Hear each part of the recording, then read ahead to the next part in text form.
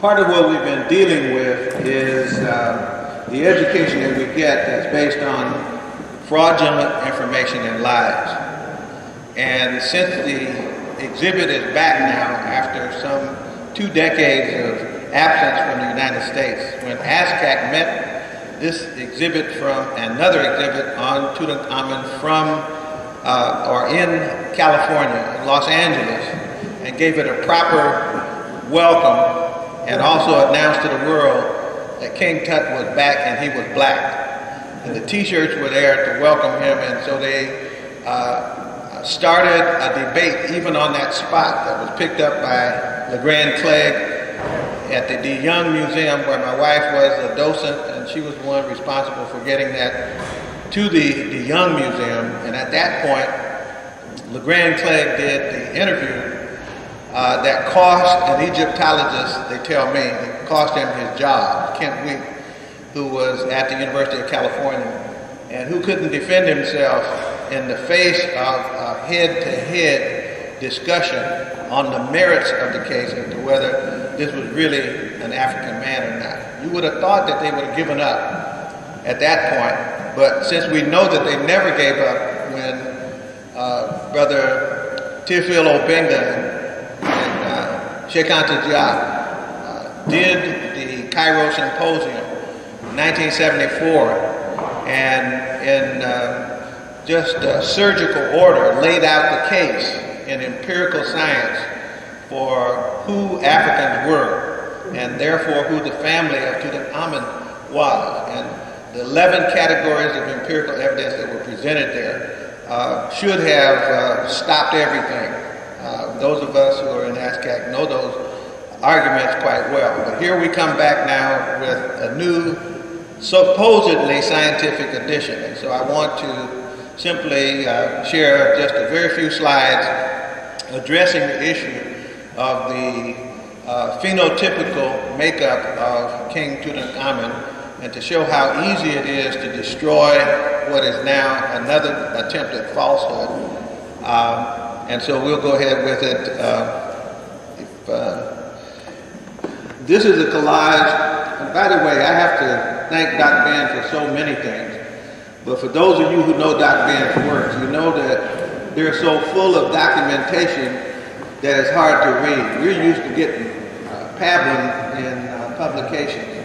And Dr. Ben loads, as did Joel Rogers before him, loads his um, presentations, his, not just his speeches, but his publications with documentation. And so I'm influenced greatly by those two men in terms of a method of presenting information. So what I've tried to do is to collect together here uh, the uh, collage that has the African family on the right and picking the most important information about those families, which is the actual images of the mummies in most cases of the 18th dynasty, which is the dynasty of Tutankhamun, that, in, that means that those are his relatives, including one who is in the upper right-hand corner, said to be both, uh, by some people, his mother, others uh, that uh, suggested some, that uh, Akhenaten and someone else was the father and mother of Tutankhamun. I actually happen to believe it was uh, Queen Tiye. In fact, he even looks like her. But that's the uh, physical uh, carving of Queen Tiye. But there's also the mummy of Queen Tiye that we have. And there are other mummies in here, and those are the types of mummies that Dr. Cheikh was trying to uh, be able to perform the melanin dosage test that was created and uh, presented in Cairo. And uh, the mummies that had been examined by him in the Museum of Man in Paris uh, had indeed shown themselves to have the same melanin content as black people you would expect. We shouldn't even have to go through this. But the fact is that if we need to go through it, we can easily go through it and blow people away.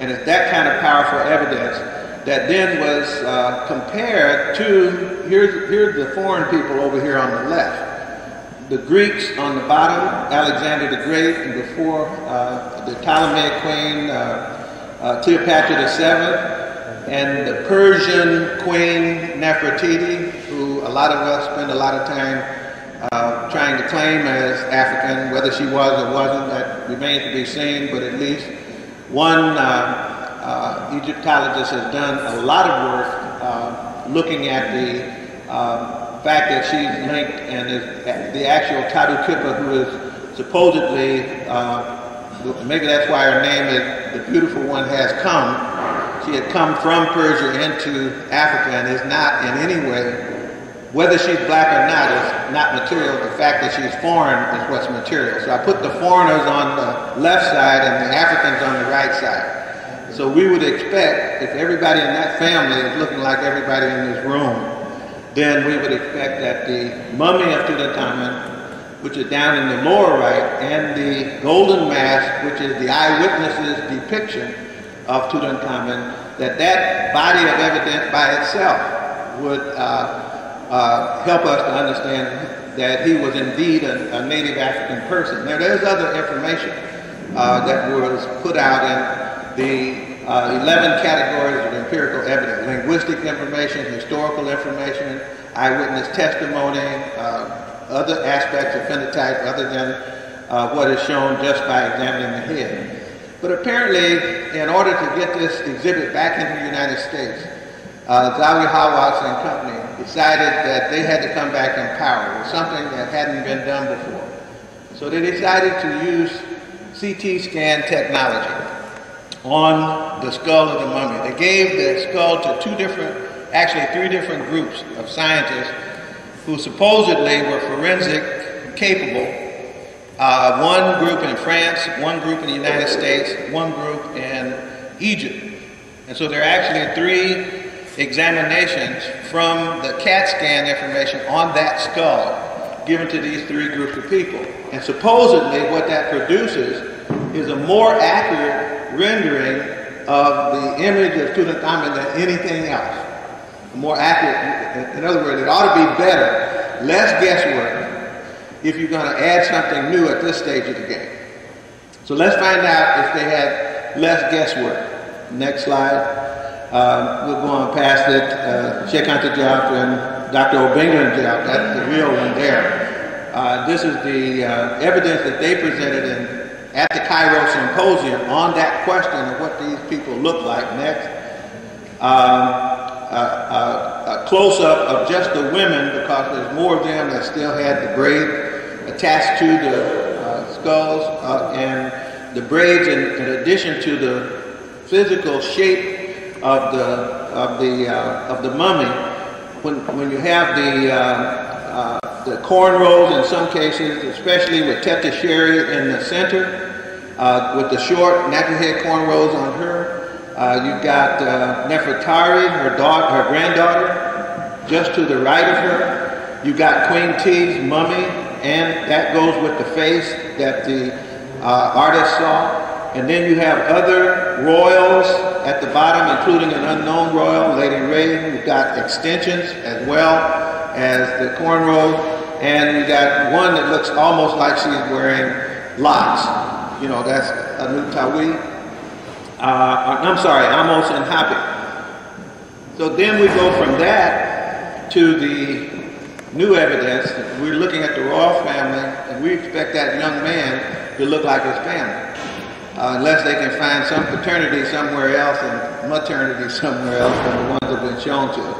Uh, these are some of the ones in his line, Nefertari, again, uh, the, at the beginning of that dynasty, uh, Teta uh, her son, Seqenenre Tao, his daughter, Nefertari, and the mummy of Nefertari, painting of Nefertari, and the three mummies, and they're all tied together as uh, genetic kin. Next.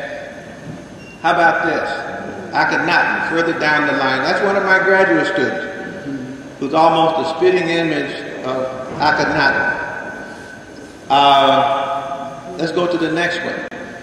That's a second person. This just happens to be in Atlanta. I could come to Philadelphia, New York, Boston, uh, Los Angeles, Atlanta, and I could find people who would match what was supposed to be a distorted image, as they say about Akhenaten. That he was sick, there was something wrong with him and everything. because they say he was abnormal. And the abnormality in the physical renderings of Akhenaten was supposed to be swollen lips, flesh, uh, fleshy nose, and so forth and so on. But here it is with two other people. The one on the right is actually the son of one of the former professors at Morehouse College, Sam Williams, and the one on the left, Shati Omasadi, who is one of my students now, uh, Akan priestess in Ghana. And then when you put them together with Akhenaten, we get some additional information uh, to peruse. And then next, uh, the attempt to take Tutankhamun is old. This was one where they were trying to do it with comic strips.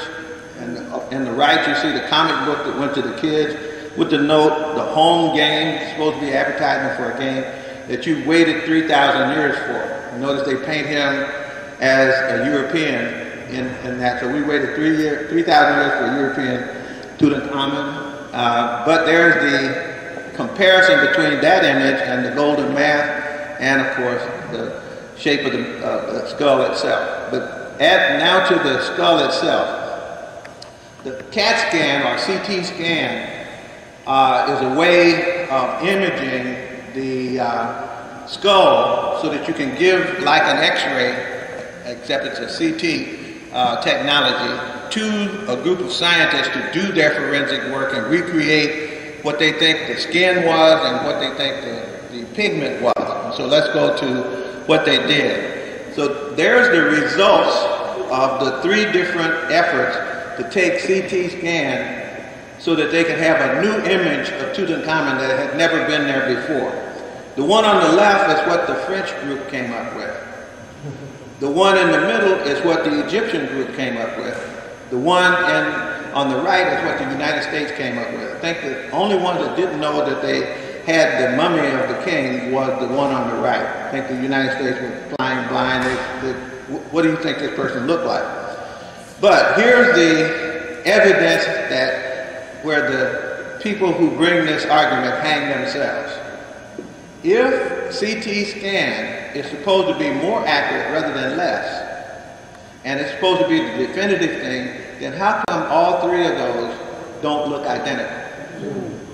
How come you got three different images from a scientific process that's supposed to have less error in it? Okay, that's one thing. Then let's move from that into what they chose, of course, was the, the image on the left, the one that looked most uh, debatably uh, European in, in appearance, in phenotype. And so that's the one that now travels with the exhibit. The other two are left behind, by the way. They become ambiguous. But this one is less ambiguous. And so then we go on to the next thing. And here are the three questions that have to be asked. You have to ask the question, if CT scan is more accurate science, how do we get three distinctly different images? It seems to me if you get three different ones, you don't you haven't added anything to the debate. Number two, soft tissue cannot be determined by the CAT scan. So the nose, the lips, and things like that, the CAT scan from a skull does not give you that information. But they went ahead and added the soft tissue in European form. Third, pigment cannot be determined from CT scan. So they chose to make it white rather than black. That's, that's an arbitrary choice. So it's hard to see how anybody could claim that to be science and force that off. But of course, you got a waiting public that's waiting for a new image of King Tut, hopefully to open the door to the possibility that others could be uh, done in the same way. So, in other words, I'm just saying that uh, if you get a chance to ask, and some of the people have been asking at the exhibit area, I've got a couple examples of students who've gone into the exhibit and asked those exhibitors these questions. And people start stuttering and backing up and so forth. But it's also interesting that you don't have what they had in 1974, which was uh, about 20 people who were all coming together face to face on neutral territory to have the debate on what these physical types look like. What you have is the decision unilaterally by people led by the Director of Antiquities to handpick his people and to not have peer review, so to speak, is what I'm saying. And so that's how they got their results. And finally, we say no more extreme makeovers. And of course, Los Angeles came up with this, uh, uh, the Los Angeles ASCAC came up with this uh, poster, and we think that everywhere this exhibit goes, we ought to take the no more extreme makeover uh, image with it. So I just wanted to throw that out there, even though that's not the essence of what it was I came to talk about, but I couldn't resist uh, doing that. Um, also, I, I did this.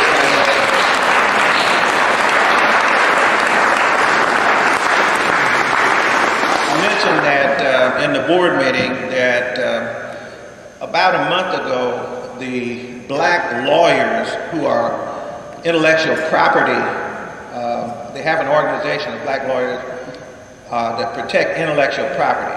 And they decided they wanted to explore the history of science in ancient Egypt. And of course, I don't think they had in their mind separated the Arabic latecomers from the ancient Egyptians. And so they went to praise the ancient Egyptian science. And, uh, uh, but they wanted to do it by holding their annual meeting in the embassy in, uh, uh in uh, uh, D.C.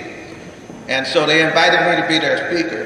And I went with this information and evidence. And the ambassador wasn't there, but the number two person was there, and he actually sat through what I just presented for you and a whole lot more, uh, dealing with the uh, uh, contribution from ancient uh, Egypt to science, but also specifically on this exhibit, which is now running around trying to muddy the water on who Africans are. Then we now know why it is that people have to do that. And might add that the I did get a request for the images, which I haven't yet sent but will, to the embassy official uh, who at that point didn't know that he wasn't supposed to be impressed and announced that he was impressed, but I think he hadn't talked to Howard Hawass yet. And maybe at that point uh, he'll change his mind on whether he wants to know anymore or not. So at any rate, uh, let me get back to, because uh, this is one of the things we have to tell our children, is the tortured way in which people manipulate evidence in order to construct falsehood and how they hide from true intellectual engagement and conversation. We had an opportunity to do this, uh, Dr. Obenga and several others, Martin Bernal and others. We went down to Miami when the exhibit opened down there, and we had a wonderful time down there as well. Um, again, uh, when, when you do bring people out in the open, usually they run. Uh, Dr. Asante had the uh, was a conference on Martin Bernal's book, Black Athena, here at uh, Temple University some years ago. And uh, you really need to get the videotapes and to see how people had to back up. The classics department came out supporting the African studies position. And then you had a few Assyriologists that began to uh, uh, try to make up some real weird stuff, which was adequately handled, uh, quite adequately by Dr. Charles Finch. Uh, he was going skull to skull with, uh, I think it's Actos, or I can't remember the, the scholar's name, who came up with some weird notion about the Assyrians teaching the Egyptians certain kind of technology. All inferential, none in terms of science and so forth. So when people get into those kind of battles, and that's what I'd like to say to our children, that when they talk battles, in hip hop, for example, they need to know that there's also intellectual battles that are just as uh, exhilarating, and we're winning those battles as well, and we will continue to win those battles. Um, what I'd like to do in the brief time I have remaining is to uh, enter this discussion that we've been having over the last few days. I think this has been one of the most wonderful ASCAC that I've ever attended. Uh, the presentations have been absolutely magnificent. Um, uh, I, I, don't know where else you would ever go to get a better demonstration of what African people can do with scholarship. To listen to Mario and what he had done. And um, Dr. Obenga, of course, is his own inimitable self.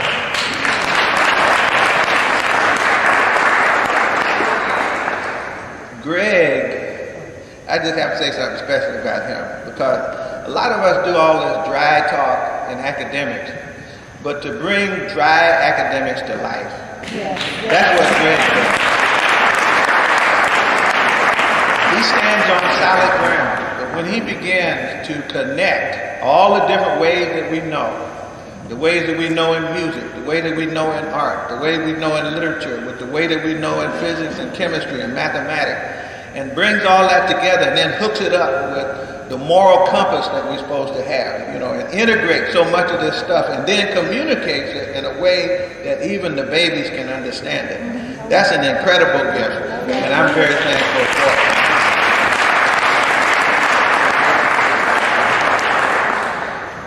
But I want to not go back to the pyramids. That's too far back. And this time, to you, and plus you've already had it done quite well. Don't want to go back to Timbuktu. Uh, we need to do more of that, Dogon and so forth, to the Zulus and what have you. But let's go to 1865 for a minute. And let's look at what was happening as Africans came out of enslavement. And let's listen to the reporting of what they did when they came out of enslavement. So I want to read just a few of these so you can get a flavor for what was happening in light of what was being said about the Renaissance, the repetition of the birth, in light of what's being said about Ma'at even in light of what's been said about a lot of things that we've talked about. So here, here we go. Uh, a couple times I'm going to use the term freedman, but it'll only be because I slipped. What I'm trying to do is to read the quote that I'm taking, and everywhere it says freedman, say African. We got to really look at any kind of writing about us and be careful about any name that we allow to be used. If you say freedman, that does not acknowledge the fact that they were still Africans during the whole time that they were enslaved on plantation. And if you think that there's something called a freedman that's not an African, then you don't look for the cultural hookups and the identity that's necessary to finish the description of what it is you're trying to do. So these Africans came off of the plantation and here's a quote. It says, A teacher at Port Royal declared that he could not set forth anything in adequate terms to describe the eagerness with which the Africans applied themselves, young and old, to the task of learning the alphabet. They were cold, dirty, half naked, but eager to learn. Their students were not concerned with what they could receive in food and clothing. Their students were anxious to feel sure that they would have the privilege of coming to school every day. So this is the young people and old people who became students in 1865. And it's so massive, that's why I want to read several different quotations. This comes from the book by uh, Dr. Bouchard, uh, and I can get the exact uh, citation for you if you're interested. As late as 1867, a couple years later in Washington, D.C., with the greatest concentration of African teachers, 70 in that year still had hundreds of children seeking schooling, but being reluctantly denied. The children sought schooling in spite of great distances, in spite of inadequate clothing, very little meat, in spite of opposition from employers or former masters, they were observed spelling words and reading during their play, during their chores, and in their cabins. Many teachers conducted night schools as well as day schools to accommodate the aspirations of workers. Thousands of black men attained literacy while serving in the army, learning from chaplains, or interested off-duty enlisted men. Numerous observers reported black soldiers, workers, and travelers with their primers and readers, snatching moments of rest to study their lessons, or mothers in the midst of their child children trying to learn from the children what they had learned in school during the day.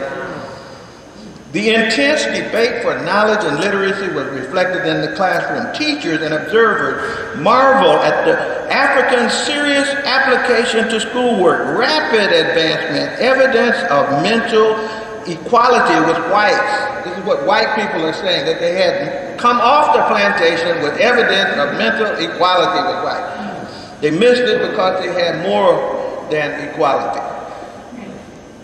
They will compare very favorably. This, these are missionaries.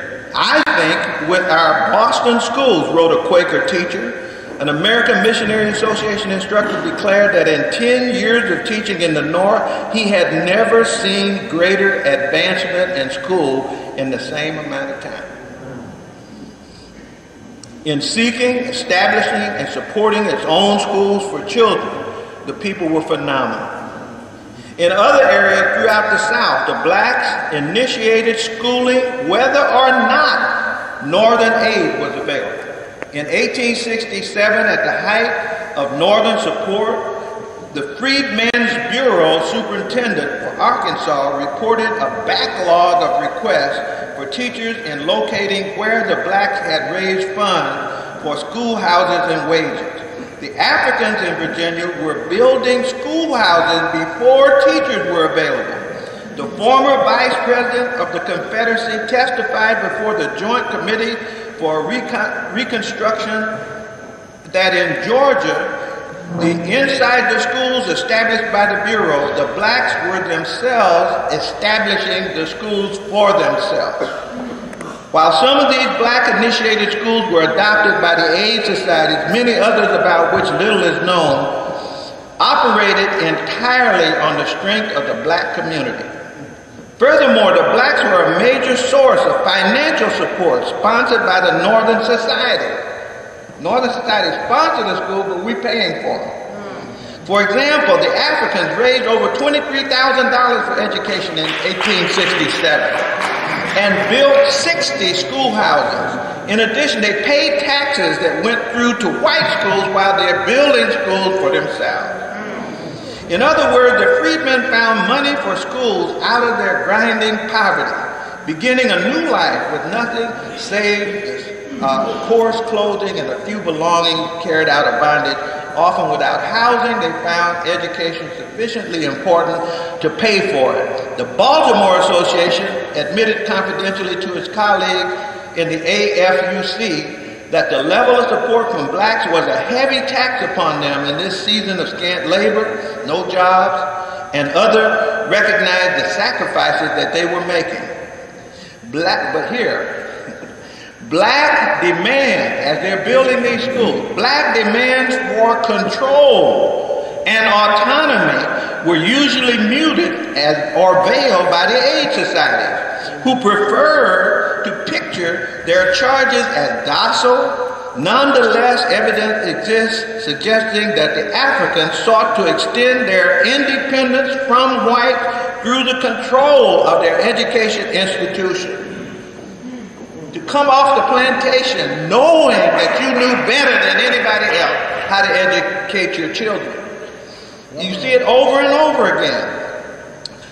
Uh, at Savannah, Georgia, in 1865, that's right at the emancipation, provides a particularly clear study of the demand for black control over school. There, despite the existence of the American Missionary Association and the New England Freedman Society, the blacks organized their own aid society, the Savannah Education Association. The association schools were entirely self-supporting, relied exclusively on local black community for their support, and had all black faculty, including James Porter, who is the one that started the public school system in Georgia, by the way, as a legislator, and friend of Henry McNeil Turner, who was the founder of the Republican Party in Georgia, those two legislators who were put out of the legislature were the ones that founded the school. That was one of the ones who had started his own school like so many other people. Uh, William Gannett wrote, they have a natural and praiseworthy pride in keeping their educational institution in their own hands there is a jealousy of the superintendents of the white man in this matter. What they desire is assistance without control. This is something. I mean, I'm going to read a couple more because I just want, I just wish that our community today had the image of what they were when they came immediately out of the enslavement process. Because we got people who are on their hands and knees going to people, begging them for scholarships, begging them to please bring some of your special expertise in and please teach us how to teach our children. We got black colleges that are going to grant makers, asking them to please send us some white to teach our faculty members how to teach the teachers that they're training how to uh, learn the program. In fact, the name of that program is Success for All. Our children aren't in the top 40 because they're taking that program. But can you imagine the Accrediting Association giving a grant to black colleges, almost everyone that has a teacher education program, even more, can you imagine the colleges accepted that in the case that they take this money in order to be taught how to teach their students how to teach reading, meaning how to teach this way of teaching reading only. And that's higher education. And you're bragging because you got a grant. That's a different Negro That's it. than the one that came off the plantation in 1865. That's right. Control of the schools was never a reality for long, however. Effective and continuous control presupposed community solidarity and group proximity. The dispersal of the African onto isolated plantations, their further isolation onto individual tenant farms and the plantation, the refusal of denominational, denominational societies to provide access and control over the school, and the creation of white controlled public education in the southern area, that's what destroyed the vital community power base in mm. education in the South. I'm sorry. A couple more if I can find. Oh, here's one that's real interesting. I'm trying to set this up. When General Sherman, the Secretary of War, met with the leaders of Savannah's black community, asking what black people expected of the government, they heard no mention of schooling. Think about this in light of what I just got through saying. They're meeting with the general and said, what do y'all want? Again, this was a very conscious group of Africans who met with General Sherman. So they didn't ask him for school. Why would they not ask for school if they cared so much about school? Let's look at this again. What they asked for was land. That's what they wanted. That's what we first needed. The interview was held just weeks after the blacks had already created the Savannah Education Association. They had that education in hand. That's why they didn't ask for education. And they knew that if they asked the general to help them with education, he would send control over the education process into the African community. Those are some slick black folk who knew what was getting ready to happen to them. And they did everything right from their angle to make sure that they kept the control of the children's education in their own hands. That's really the piece that I'm, I'm coming to because if we go back and we look at the time of trouble, remember now I'm back in the Kemet, where they talk about the period of trouble, renaming the period, the intermediate period the invasion period. I think it's a great uh, renaming of what it really was, the time of trouble, and taking that text which named it where the Africans named that themselves the time of trouble. They didn't name it an intermediate period. They said it's the time of disorder. And what we got to do is the Wehem Mesut. We got to go back in the time of trouble and look at what it was like when we were not in trouble. Or look at what it was like when we were solving our own problems. To go back to that point and then start your historic use of historiography in order to set yourself up to solve your own problem. And so land was what they asked for. So that schooling could hardly have been far from their mind because they had already established the Savannah Education Association. It was simply not as central as other concerns for talking to Sherman. Likewise, the numerous black conventions of the mid-1860s in the South, uh, in the South mentioned education. if at all, only in passing. These black conventions. Gratitude might be expressed for such schools as been provided by the North, but the calls to action or appeals for support were not focused on education when they were talking to white folk. There's a movie with Richard Roundtree, Robinson Crusoe.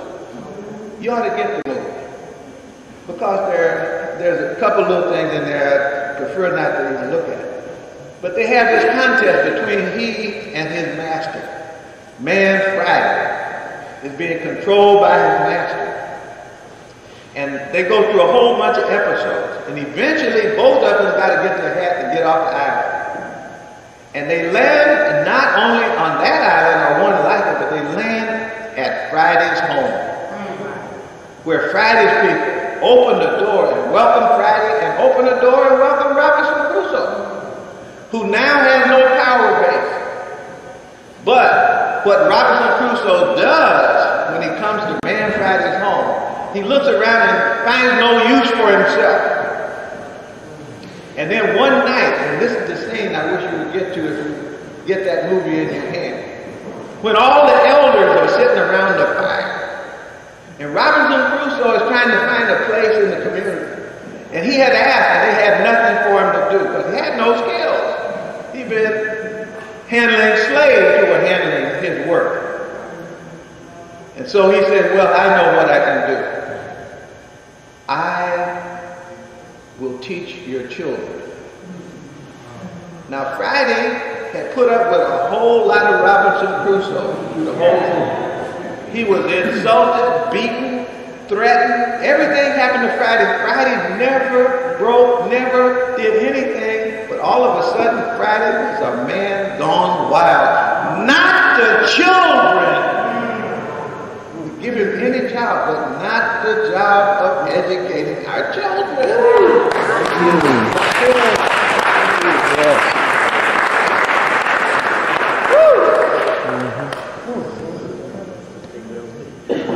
It goes on like that. I got pages and pages and pages of testimony of what the Africans were doing and what they were asking for. And I, I wish I could, uh, somebody might even want to carry this copy home with you. If you don't like that, I can email you. Just, all you got to do is email me. You'll have more than you want to read. But basically is making the same point. So let me come back why I wanted to start there rather than at the pyramid. Because obviously there have been many repetitions of the birth from pyramid time. There have been many times of trouble. And in the times of trouble, we always went back to our memories of what had happened first, to the Zep Tepi, to the first time, rather than to this time where we're at sea, where we're up against the rope, so to speak. We go back to the point where we had our mission clear. Mm-hmm. And then we ask, how do we act at that point? And at that point, that's going to give us the guidance that we need to have. And so, when we got to that point here not too long ago, uh, that's why, for me, I don't know how it is for everybody else, but for years, I've had a special place in my heart for the UNIA. And that's why when the gentleman on the end stood up, the head of the UNIA here, in Philadelphia especially, the Philadelphia UNIA, knowing what had happened in the time of Garvey, which was a Wehem Mesut, where they went Went back and then established a method out of having gone back. Garvey did something else. And so I brought this along just to share with you, and then I'll conclude by telling you what we tell our children. Garvey, in a book by Robert Hill, Marcus Garvey Life and Legacy. Some of you know there's almost 30,000 documents that have been saved and now published on Marcus Garvey's moon. Beg pardon? Huh? Oh, yeah. Marcus Garvey's documents, in most cases, were found in the files of the FBI hmm. and the British Secret Service. Otherwise, a lot of things that he said we wouldn't even know. The snitch kept a record of what he had to say. We We got 30,000 documents. Now, combing through those documents, independent of how they were taken and recorded, you know, and this is before cell phones and tape recorders, so somebody had to be doing a whole lot of shorthand to keep up with what Garvey was trying to say and do. But one of the things Garvey did that many black people don't know about, we know about the ships and all of that. We know about the nurses. We know about the millions of people that marched.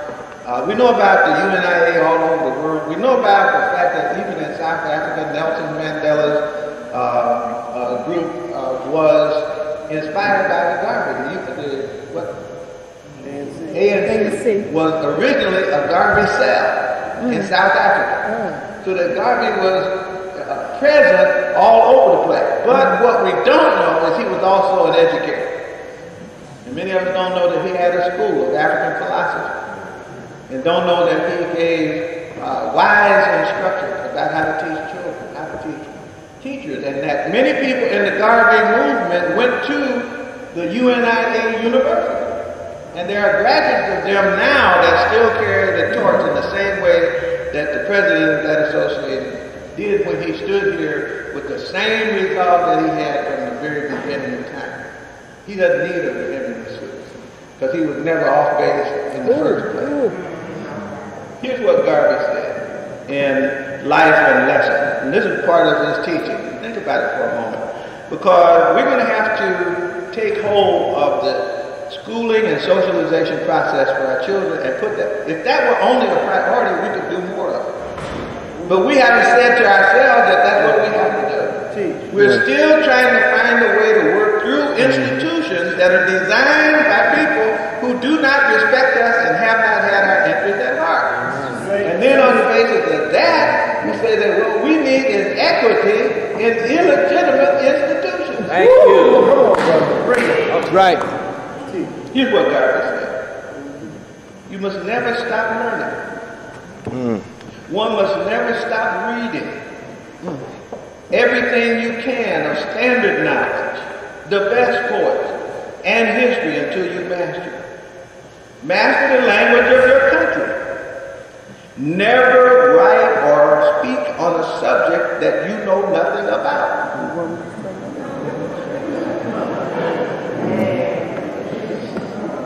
You should read at least four times a day. Wow. Never keep the constant company of anybody who doesn't know as much as you or isn't as educated as you and from whom you cannot learn something or reciprocate in your learning. Never go down in intelligence to those who are below you, but if possible, lift them up to you and always try to ascend to those who are above you and, and, and be their equal in the hope that you will at some point gain mastery. In your desire to accomplish greatness, greatness, you must first decide in your own mind in what direction you seek that greatness. And when you have decided in your own mind, then you work unceasingly toward that goal. Never Try never to repeat yourself in any one discourse, saying the same thing over and over, except you're making new points because repetition is tiresome and it annoys those who hear. No one is ever too old to learn. Therefore, you should take advantage of every educational facility. Anything that you're going to challenge, you must first know about it so as, so as to be able to defeat it. And knowledge is power. Never, therefore, attempt anything without being able to protect yourself in it. All the knowledge you want is in the world, and all that you have to do is go seeking it and never stop until you found it. Always have a well-equipped shelf of books. In reading, it is not necessary or compulsory that you agree with everything you read. Pass judgment on what you read based on these facts. You must always search to find the latest facts on a particular subject, and only when those facts are consistently maintained in what you read should you agree with them. Otherwise, you're entitled to your own opinion. Mm. Always have up-to-date knowledge. Use every spare minute in reading. Never lend anybody the book you want. Never allow anybody to go to your bookshelf in your absence. If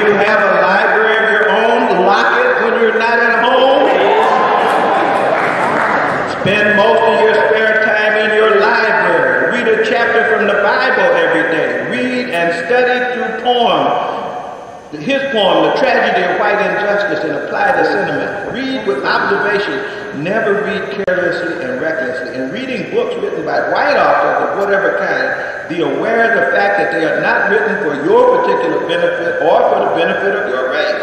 They always write from their own point of view and only in the interest of their own race. Never swallow wholly what the white man writes or says without first critically analyzing it and investigating it. White man's trick is to deceive other people for his own benefit and power. Always be on your guard against him with whatsoever he says or does. Never take chances with him. His school books in the elementary schools and high school and the colleges and universities all fixed up to suit his own purposes and to put him on top and keep him on top of other people. Don't trust him. Beware. Never yield to any statement or history made by any individual caring or not, caring not how great that the Negro was nobody in history. Even if you can't prove it always, claim that the Negro was great. Read everything that you can get written by Negroes and their ancestry and go back 6,000 years, never admit that Jesus Christ was a white man. Otherwise, he could not be the Son of God and God to redeem all mankind. When through reading and research you have discovered any new fact helpful to the dignity and prestige and character and accomplishments of the Negro, always make noise about it. That's some of Garvey's advice. That one volume, Life and Lessons, which also describes the curriculum of the fundamental school of African philosophy is well worth one of the one of the things that we ought to revisit. What should we tell our children? Mm. What we have to tell our children is about the cycles. Mm-hmm. The cycles that we've been to. We have to tell them that what is natural in any human group is to be whole is to be whole means to be in Ma'at. It means to be in balance and harmony as a family, as an ethnic family, well as a nuclear family. That's to be whole. That's part of what's natural. That's normal. That's how all people are when they're not faced by trouble. To tell them that they are divine. To tell them that they are creative to tell them that they're connected and that they can be conscious and must be, and to tell them that they must develop character and to keep them informed. But how do you tell them? Irit ma'a. You tell children things by doing what it is you want them to know. Yes, yes. You cannot get them to learn anything sending them to somebody else hoping that they will fix your children for you. That's the first thing I want to know. That's what I mean by wholeness, those things that I was talking about there. Was a time before the trouble when we were whole. We can find it in the text. We can find what people were striving for in the text, and you've heard that mentioned. And then the trouble. Tell them about trouble. Tell them about how trouble works. What happens to the family in trouble? What happens to the environment in trouble? What do politicians do to make trouble? At a certain point, I've written uh, uh, a summary of the structure of domination. There's seven facets to it. One of them is to make sure people have no memory mm. as yes. people. No collective memory. Yes. That's true and real. Mm-hmm. Another is to make sure that people have no collective identity. Mm-hmm. They can have individual identity, not a collective identity. Another is to teach okay. people the superiority of their oppressor over themselves, okay. culturally and intellectually and every other way. Another is to make sure you control the socialization process of the people you want to dominate. Ooh, Why else would you destroy all the Medu Neter and make us wait hundreds of years before somebody could painstakingly put it back together again so we could read the remnants of what it left, what was left that you hadn't already burned up. Why would you shut down the African schools that came into being out of slavery when they were better than the ones that you funded for them after that? Why would you do that? Why do the people who run African schools now that have the highest achievement in their district get fired? Like Audrey Bullard Kansas City, like Fred Rivers in Lansing, Michigan. Um, why is it that the people who are national champions in forensics are treated like dirt by the principal and the school board, like Tommy Lindsey in Logan High School in the Bay Area in California? Got the MacArthur Genius Award, and his principal asked him, What makes people think you're a genius? And he said, Because I never thought to ask you that question. He was a genius. What do we tell our children? We tell our children what recovery looks like. We have recovered. The Garvey movement was recovery until it was sabotaged. You know, Garvey had painted a new picture of possibility. He had mobilized energies and created structures that were effective, engaged people in time on task, and even now has left a lasting legacy because people are still running around running off the energy that was created during that one movement. That was recovery. Many of our children don't know what recovery looks like. Mm-hmm. The movies haven't been made about Garvey. The movies haven't been made about Haiti. Toussaint Louverture, Boukman's, Right. Crocodile. Movies haven't been made about them yet. Especially the movie from the African perspective that will say what went on there. How did they mobilize in time of trouble and overthrow trouble and mm-hmm. establish Ma'at again for themselves? It's happened before.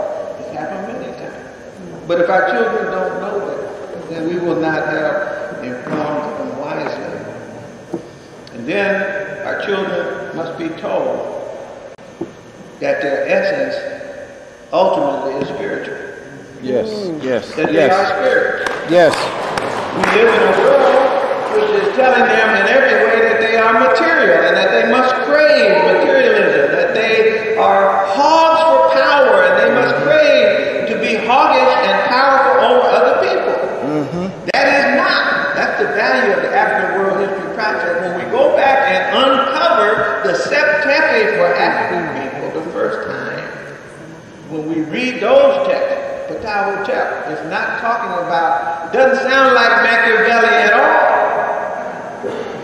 And every time Africans confront Machiavelli, they put him down. That's what uh, the president of the University of Sankore, uh, our people did in uh, looking at Machiavelli in Sankore. They looked at it and criticized Machiavelli. One of the books that uh, Ahmed Baba was supposed to have written was a critique of the prince. Machiavelli's the prince. That's what they said. I would, I would love to know what that would have looked like. Because I'm sure it would have been critiqued from the point of view of Ma'at. In other words, when we go back to wholeness, then we have an image that we could tell to our children. So that they would know what to strive for should they be freed and uh, liberated enough to make some choices for themselves and for their children. But in order to do that, as I said, what you say is not what they will see. There's something, as I conclude, called mirror neuron. Anyone ever heard of it? If you want, when you email me for anything that you ask me for, ask me for that PowerPoint I got on mirror neuron. That's a new thing in, in uh, uh, neurology and learning. And what, what they've discovered from watching apes in laboratory imitate the behavior of the lab assistants who didn't even know they were observed. And the only way they knew the ape was even watching was by electrodes hooked up to the ape's brain. Because the ape is just sitting there, not doing anything. But down the road, the ape begins to imitate the behavior, picking up the cup and taking a drink, like the person did that they watched. Because they said the apes have something called mirror neurons. That you have pictures in your head of what took place outside, and you don't have to do anything except have your eyes open. And then they went further than that and started examining human beings. And they found out that human beings have even more deep and complicated and massive sets of neural neurons. And the neurons allow you simply by watching not only to imitate the behavior like dance and playing ball and things like that, but also to take in the intent of people and the emotional state and to experience that as if it were you just by observing. This, this, this is some this is some new stuff, extremely powerful stuff. Yes, yes. But it's something you already know anyway. That's what Shinichi Suzuki learned in teaching the violin, his method. Get the book, Nurtured by Love. Mm-hmm. And in that book, he says, the way you teach anybody, get rid of your little snotty nose gifted kids. I don't want them. If you think they're gifted, you go teach them yourself. Get me the ones that nobody thinks can learn. That's what Shinichi Suzuki said. And read the book on how he did it. He just takes, and he plays perfect violin.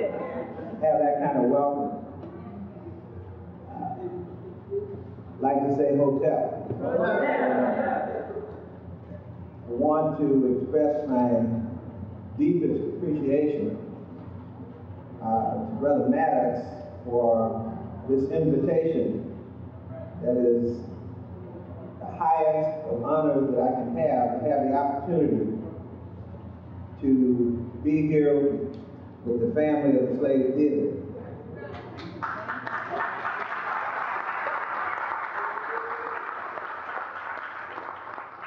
I would also uh, greet uh, Brother Khalid Abdul Muhammad.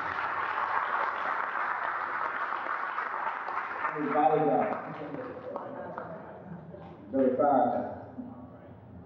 Um, it is uh, it is getting late for Africa and for African people. You know that uh, my work is first and foremost to be a teacher uh, I am your emissary to that arena, hopefully to work on the problems of the education of African people in whatever way we can. Um, we have some special types of problems that I want to present because I'm concerned, deeply concerned, that we are misleading ourselves, that uh, we are hearing alien voices, uh, that is, educators and even our community, that draw pictures of how education is supposed to be, and in the process draw pictures of us that are false, misleading, misdirected. Uh, before I get into the substance of what I want to say, I have to go back a little bit because uh, I'm fundamentally a Texas country boy. That's where I started. Barefoot in the cotton field of Van Vleck, Texas. I was in Texas because my father left, or my grandfather left Georgia. They were in Atlanta, Georgia. And when the slaves were freed in Georgia, He changed his name from Sterling, which was the name of the plantation owner, to Bunker Hilliard after the Battle of Bunker Hill, because he thought that would be a liberation name. He picked up his family in a covered wagon and went all the way to Texas, where he settled down with his 13 children, including his oldest son, who was named Asa. And Asa got into a little trouble in Hackberry, Texas, where they settled. He hit a white man in the head and had to leave. Remember the Ku Klux Klan?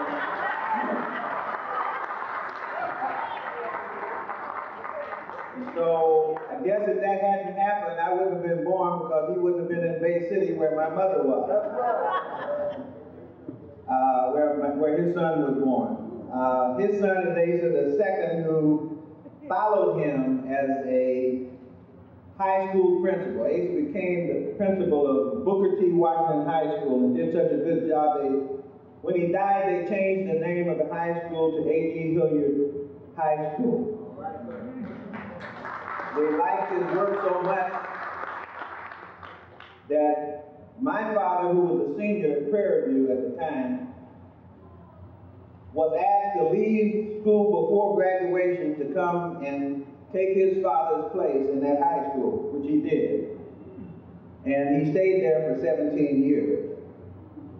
So that I grew up in Bay City and Van Vleck and Houston and Marlin for the first 12 years of my life, was very important to me, and you'll see why in a moment.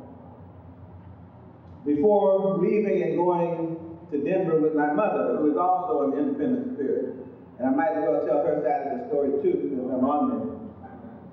Because they too had a um, really important experience. One of the greatest love stories I've ever heard. Her great grandfather was Jim Shankle, who was on a plantation in Mississippi. And he left Mississippi because his wife had been sold to a family in Texas. And one night he ran away from the plantation with a friend, headed to Texas to try to find his wife. And they got to a lot of places, a long story, but I won't make it as long as my grandmother makes it when she tells it. But they, they were helped along the way by women who would feed them at these different plantations where they would stop. And they got to the Mississippi River, and the bridges were all covered, so they had to swim. And my grandfather found out at the last minute that his friend couldn't swim. And so they went into the middle of the Mississippi River up to their chest, and they found out it was too deep. They hugged, my grandfather said he had to find his wife, so he swam the Mississippi River and walked 400 miles barefoot until he found his wife and founded a town in Texas today called Shankleville, Texas. There's today a Texas historical marker that marks this spot where Jim and Winnie, Winnie came out to get water one evening and Jim was in the bushes. He whispered to her and they were reunited.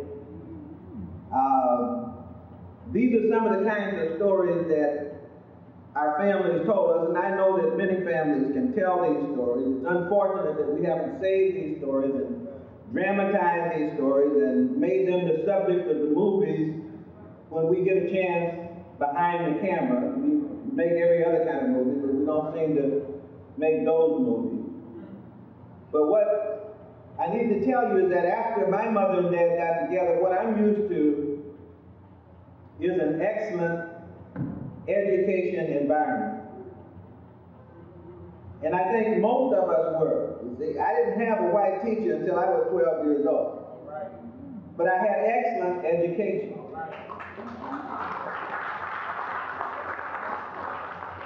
I remember as a little boy, the first song the earliest song that I can remember as a little boy was from a visit that I made to the high school where my dad was principal, and it was Lift Every Voice and Sing. And after we moved to Denver, they didn't sing that song anymore, but it was always in my head, and I kept trying to remember it. And I can remember the day when somebody sang it again, and I caught the tune to lift every voice and sing. And I'm just happy that uh, we finally picked that one instead of the other one for the song that we sing each time. But again, I remember that environment, this little eight-year-old boy standing in a high school. And I remember those tall children standing there singing this song lustily at the tops of their voices. And it would bring tears to my eyes. I remember the teacher asked me as I was in that room a question. She sat me on the front row. She said, Mr. Hilliard, I don't know if you know Southern schools, but they would call you Mr. Mr. Hilliard, you know I was eight years old. What is a preposition? I don't know what I said, but she pretended that I had actually given the right answer to the question. And I remember the feeling of warmth, both for the question and also for the reception of my answer in this excellent school. But by the way, this school, even though it was closed for integration, I call it disintegration, because it disintegrated the African community. And that school is now closed, but every year they have an alumni meeting, and they'll have four or five hundred people still going to a school that's been closed for their alumni meeting. Lawyers, doctors, bankers coming from all over the world back to Bay City because they had an excellent education in the African community. All we wanted, as you remember at that time, people weren't asking for integration, they were asking for their money. That's what they said. They wanted their money. They said, we won't give you the money, we'll give you a chance to move out of your communities and sit with somebody else in another community. In which you get resegregated in an integrated environment. But that wasn't the case then. We were well integrated among African people in a segregated environment.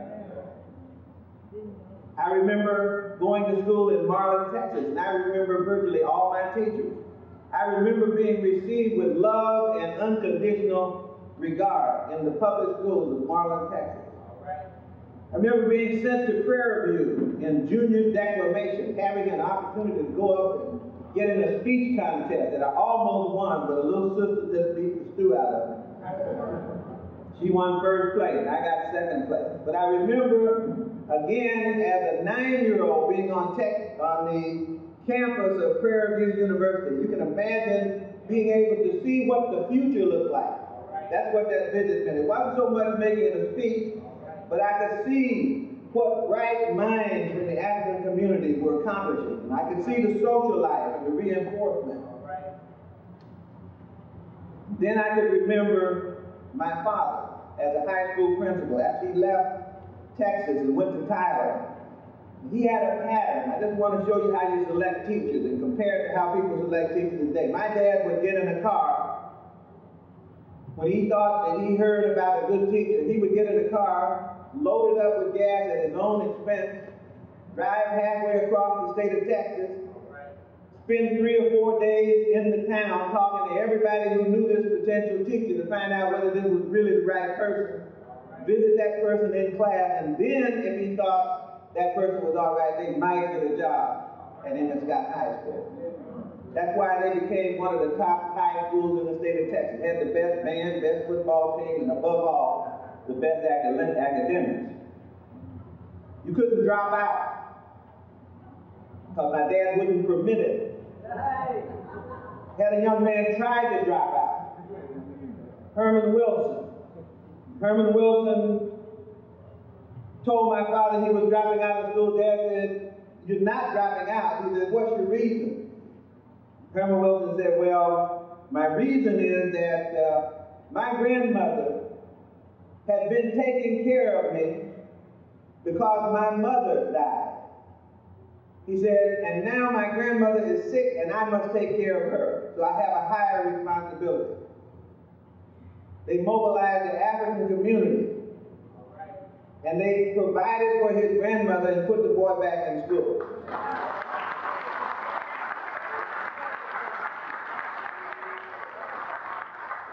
Herman Wilson went to Lincoln University and graduated at the top of his class.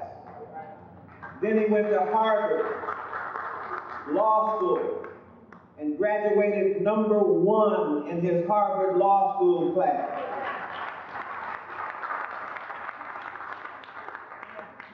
Because you can't drop out in an excellent school. There are a lot of schools around that can't live up to those standards today. And as a matter of fact, when I go into the colleges of teacher education, where they talk about what an excellent school is, they don't talk about the advocacy role of principals, the love that's supposed to be manifest, the social environment that's supposed to provide opportunity for students to reinforce and get to know each other. It's a different language altogether.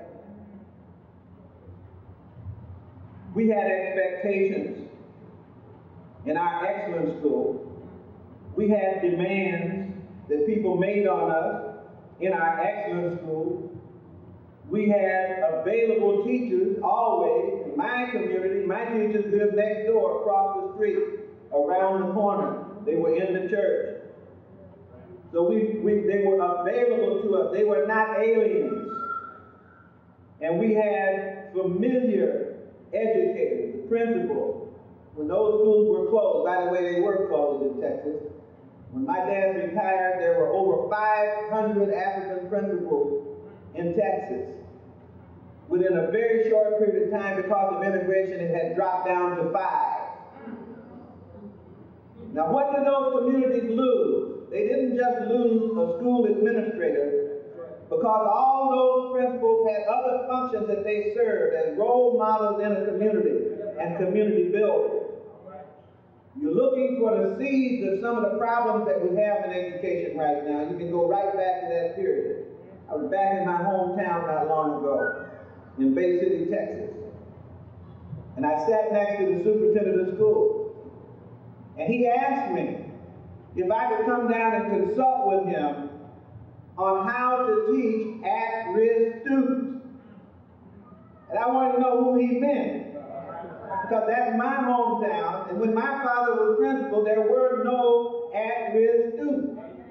There was only African students that were there. But now they become at risk. They're on dope, on drugs, in gangs.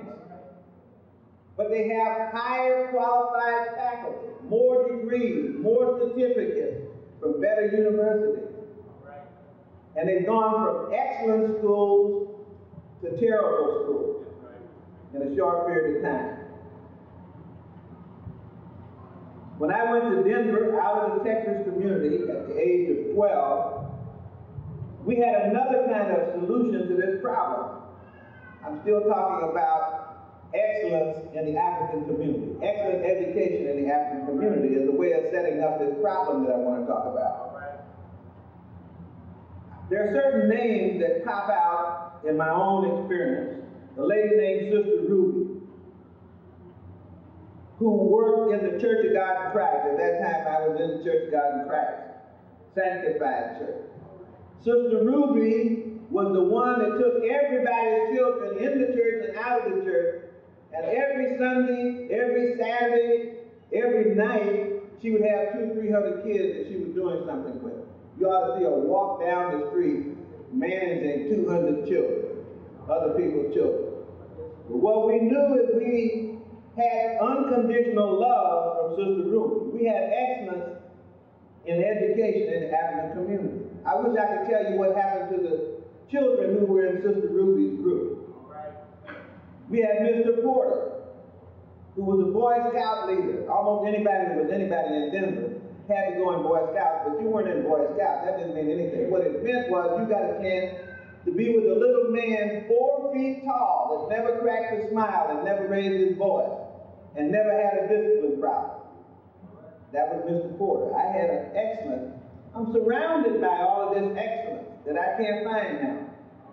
We had Mr. Mosley, who was one of the Tuskegee Airmen. Every Saturday, two, three hundred boys go down to the YMCA and hear stories of the Fighting 99 and learn the song of the black pilots who had that incredible record over in Europe as they escorted bombers and never lost a bomber, an unequal record in aviation history in the military. Right. Then we had Miss Smith, who did something called the show wagon. And we had in Denver, of all places, in the 40s, an African dance troupe. My wife was an African dancer, and I was an African drummer. So that Miss Smith was the one that turned my African curiosity into a love of things African. And then, of course, there was Miss Woolfolk, a little old, gnarled lady about 80 years old, who saw me when I was getting ready to drop out of school myself in a new and hostile and alien environment. Graduating from school with no prospect of going to school because I didn't have money.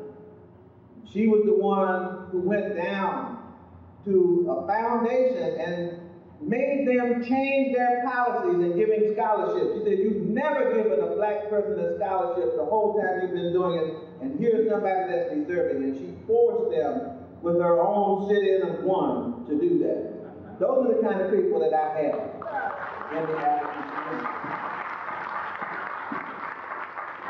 I was surrounded, as were my peers. I'm not the only beneficiary of their love and encouragement. I was surrounded by people that Gloria Ladson Billings, in a wonderful new book that she just written called The Dream Keepers. She called them the Dream Keepers. That's what they were. Now, we didn't only have excellent education when Africans were more in charge of their communities. We come from a long excellence tradition in African education. This is the first point I want to make. Because many of the teachers that I see who are African don't know this. You know the Europeans don't know. But the Africans also don't know that we did not come here as educational beggars. That when Africans came here during the enslavement period, that what we left behind was better than anything else on earth. We were the world's best students. Go into any of the valleys. Dr. Clarke is always talking about trying to understand Africa by understanding. If you don't understand the rivers, then you don't understand the valleys. That's why Langston Hughes writes that poem, I've known rivers. Because it's on the rivers that people create their civilizations. And if you look for the evidence of what the Africans did in education, you'll go to the rivers. You go to the River Nile, and you'll find at least three major centers of higher education on the Nile before Europe ever existed. In the country of Kemet, in the country of Nubia, and also in the country, country of uh, the area of Ethiopia, or what we call Kush. In those areas, we had at least three major places where independent African excellence higher education, high tech, high spiritual education existed, providing the model for the world. So we don't have to come as beggars in the design of excellent education. We come to this with a background of high achievement. Or go to the other river, in the Niger.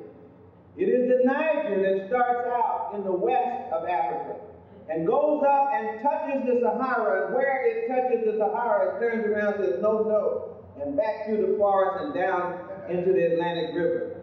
But at that point where the trees and the desert meet sits the city of Timbuktu. And around that river, three to four major cities produce higher education, high-tech, excellent education. Djenné, Gao, Timbuktu. And they tell me now that Gao had a better reputation than Timbuktu and the University of Sankore, which is considerable. We begin now to look at what was going on there because people have always tried to depress the meaning of those river universities, mainly because they existed at the height of the slave trade.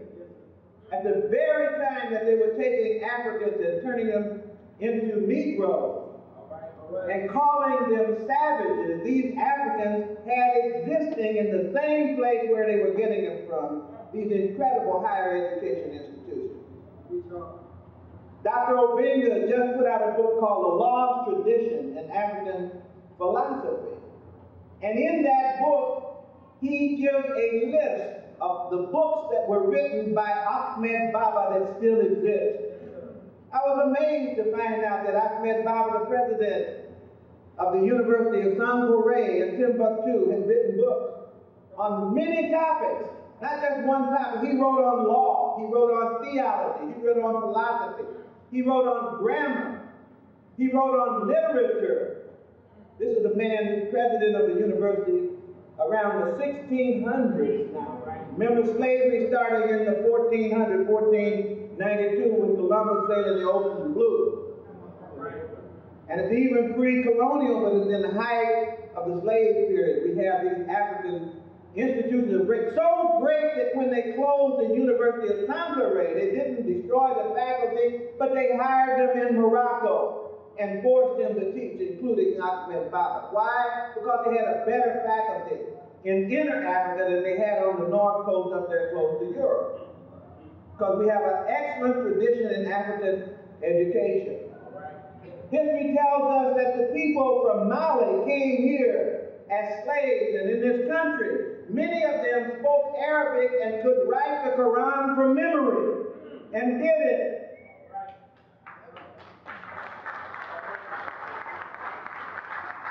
One brother was so bad that the slave owner tried to get him to uh, write the Lord's Prayer.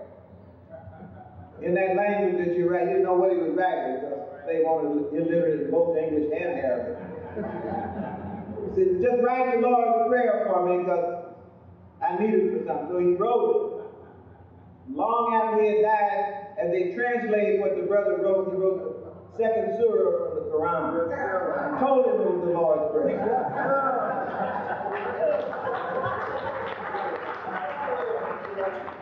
Saying that uh, we didn't come here begging, and we don't have to. We don't have to make up stories. These stories are well recorded on what we can do.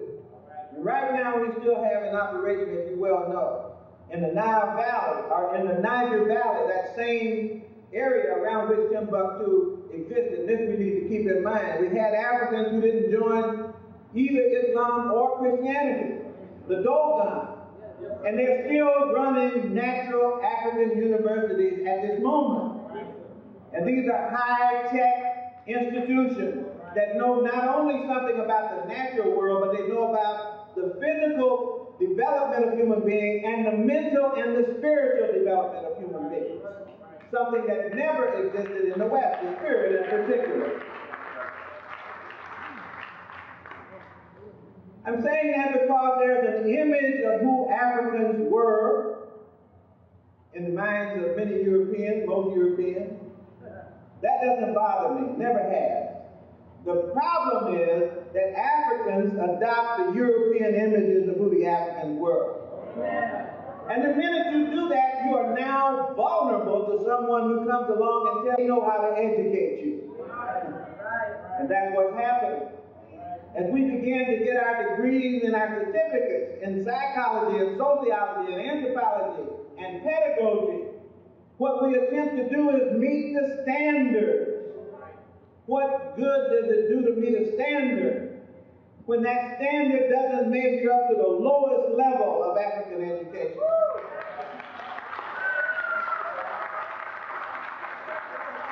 Why do I say that?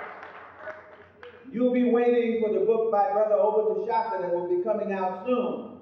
One of the most important books that T'Shaka or anyone else has written, in my opinion. One of the first books to articulate African pedagogy. What were the methods by which the Africans educated themselves? What were the aims by which the Africans operated? And of course, the Dogon again give us deep insight into this. You remember they have the Giri So, the Beni So, Bolo So, and So Dai levels of education. Giri So being the first word, which is things as they appear to be. It does take you about 15 years to get there. To get to that degree. the Giri So degree. You had two white people that were given a Giri So degree. They wrote a book called Conversations with Ogotemmeli. And they wrote a book called The Pale Fox. That's Griaule and Dieterlen. And they say they got Giri So. But they didn't get Beni So, and they, which is the word on the side. And the word from behind, which is Bolo So. And they never got So Dai, which is the clear word. That takes about 60 to 70 years to get the clear word. this is Africans now. Why did they not get the clear word? Because they never had a spiritual education. They had a natural education, but they never had a spiritual education. The Africans understand spirituality. And as Marimba Ani has shown us in the book Yurugu, what's missing from Western civilization, it capitalism or communism, because both are based on materialism, is spiritualism. There is no spirit. And if you don't have a spirit, people can't be whole. We are not only material, we are material and spiritual. So we come from an excellent tradition in which we have an idea of the aim of education, the methods of education, and we know what ought to be in the content of education. If you get into Nile Valley, what became the liberal arts tradition in the West was pulled from an incomplete understanding of that same tradition in the Nile Valley. The Nile Valley had 10 virtues as the purpose of education. The Greeks took it, decided they could get along with four of them. Six virtues they didn't need. The Nile Valley had seven subjects in the liberal arts curriculum. The Greeks decided they only needed three of them. And the Romans had to add the four a little bit later on. I'm just saying they were partial fulfillment students. That's what they were. But we need to know what the whole systems, not just the Nile Valley, but all those systems of African education look like. And so brothers like Oba T'Shaka, who have spent, for example, he spent the last 15 years studying Dogon education and the Pale Fox in particular. And more recently, when he wrote his book on Return to the African Mother Principle, that is based on the examination of male-female relationships and family relationships in 13 African societies. In other words, what he is doing is answering questions about development and education by asking Africans the answers to those questions. Where else would you go to find the answer to the question when people have never answered those questions for themselves? And we had the answer to those questions before. I'm saying that if you had this knowledge and this information, then you would not be able to be confused by people who don't have the knowledge and information. You would not be vulnerable to trash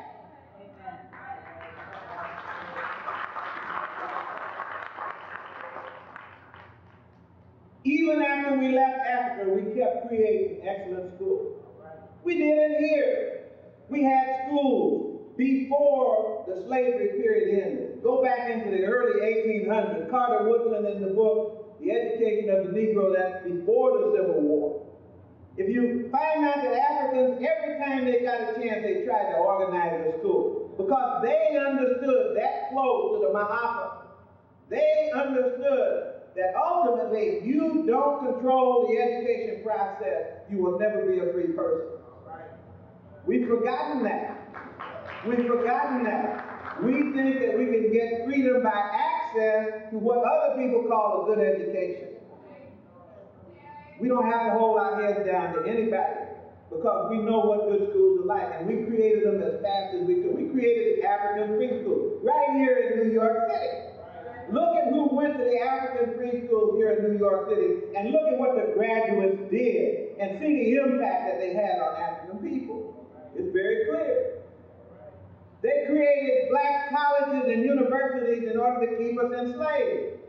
Read the book Pan-Africanism and Education by Kenneth King. The purpose of black colleges was not to give us liberation, it was to contain the brightest and the best of us. The philanthropists were the ones who set the curriculum for these schools. They sent their man down here, Thomas Jesse Jones. Thomas Jesse Jones was sent to work at Hampton University. He was a Welshman. After he worked at Hampton University for a while, they saw W.E.B. Du Bois was having too much influence on the minds of his people, so they sent Thomas Jesse Jones out to imitate Du Bois. Du Bois was doing studies on the black family. Thomas Jesse Jones did a study on the black family. But he became the expert, not Du Bois. Based on that, Booker T was asked by his boss, Samuel Chapman Armstrong, who founded Hampton, who also was the one that said, let your bucket down where you are, not Booker T. That was his dude. And he sent Booker T to Tuskegee to set up a school like Hampton, called Tuskegee Institute.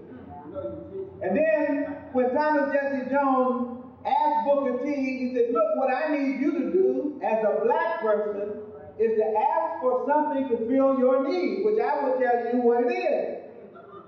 That sound familiar? So Booker T did what Thomas Jesse Jones did. He asked, or what uh, Samuel Chapman Armstrong asked for, the president had asked for, and he invited Thomas Jesse Jones to do a study of independent black education.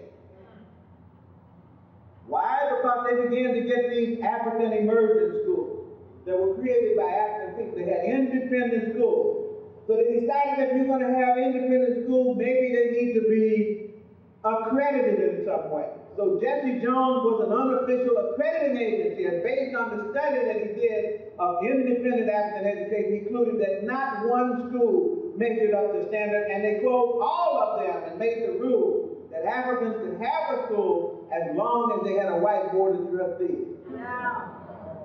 That's Thomas Jesse Jones. Now, because he did this, because he had done these studies, he became the expert on black people. And by being expert on black people, he worked for the Phelps Stokes Fund. The Phelps Stokes Fund is a philanthropic organization at this time. And as his job in the Phelps Fund was to oversee African education.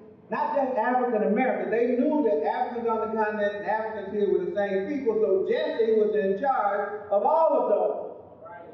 He was, how did he get to be in charge? He got to be in charge because by being an expert on Africans, any foundation that had money would have to come to him for a recommendation about whether to give it to a black college or not. If they, if he said yes, give it to a black college, they would do it. If he said no, they wouldn't. Well, what would be the conditions that would make him give money to a black college? An amenable black president. So you had, so he literally could handpick presidents of the black colleges here and in Africa. He had a committee that he served on. This committee uh, included a South African named C.T. Loram, and a Britisher named E.K. Odell. That was the Board of Education for Black Higher Education Worldwide. And they ran the show and made all the decisions about college presidents, the college curriculum. They made not only those decisions, they made decisions about the YMCA. Who could serve as a YMCA director in Africa? They made those decisions. They didn't want certain types getting over there stirring up the Africans. And then they decided which Africans could come to school and go to school in the United States. And then after they decided that, they decided which books should go in their book bag as they got oriented to education in the United States. I'm trying to show you the deliberate, calculating design of a mishigher education for African people. This is what it was intended to be. Now, the fact that many of what I'm trying to say is that in spite of all of that, African creativity comes through. And so some people, not all, were able to overcome all of that and in spite of that, turn that whole situation around. That's what Du Bois was trying to get. He said, I don't mind vocational education, but I gotta have some head as well as some heart education. You gotta have both. You don't have just one. If there's no one sitting down trying to understand this historical perspective that I'm trying to talk about right now, then we're going to be vulnerable again because it was clear to him and everybody else. It was clear to them that the people who were giving money had no intention of seeing us free. You know that they met at Capon Springs, a group of white philanthropists to design the education of Africans after slavery. That's what they did. Lake Mohonk, they went up there and they met in private to design the education of African people. They were determined that African people would never get the mental independence, especially through higher education. That's why it was targeted at higher education. They closed all the black medical schools. Abraham Flexner closed a whole bunch of schools.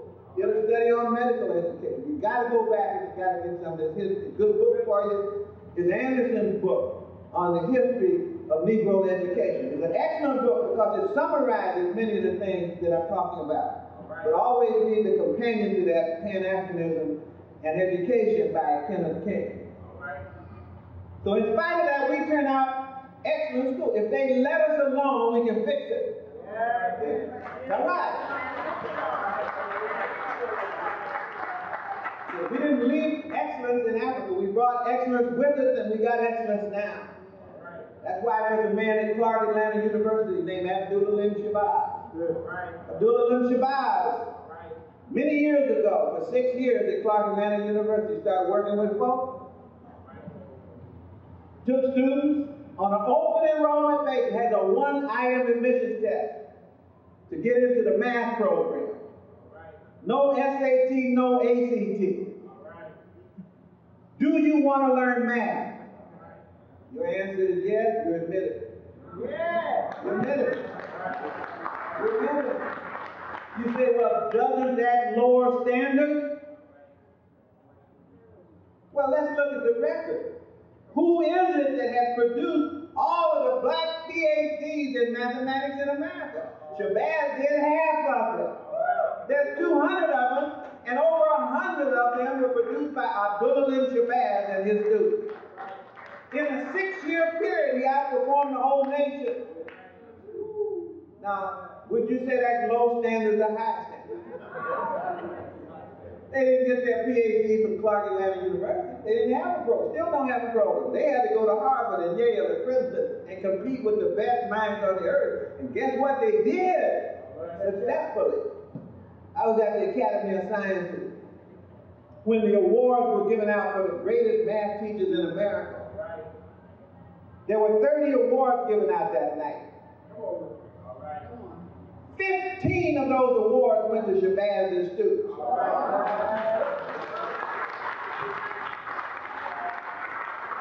We're talking about excellent education.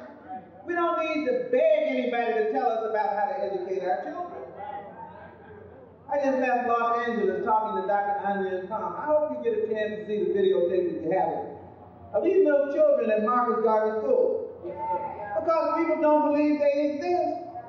You tell stories like I'm trying to tell right now, people don't believe it. You got to see it in order to believe it.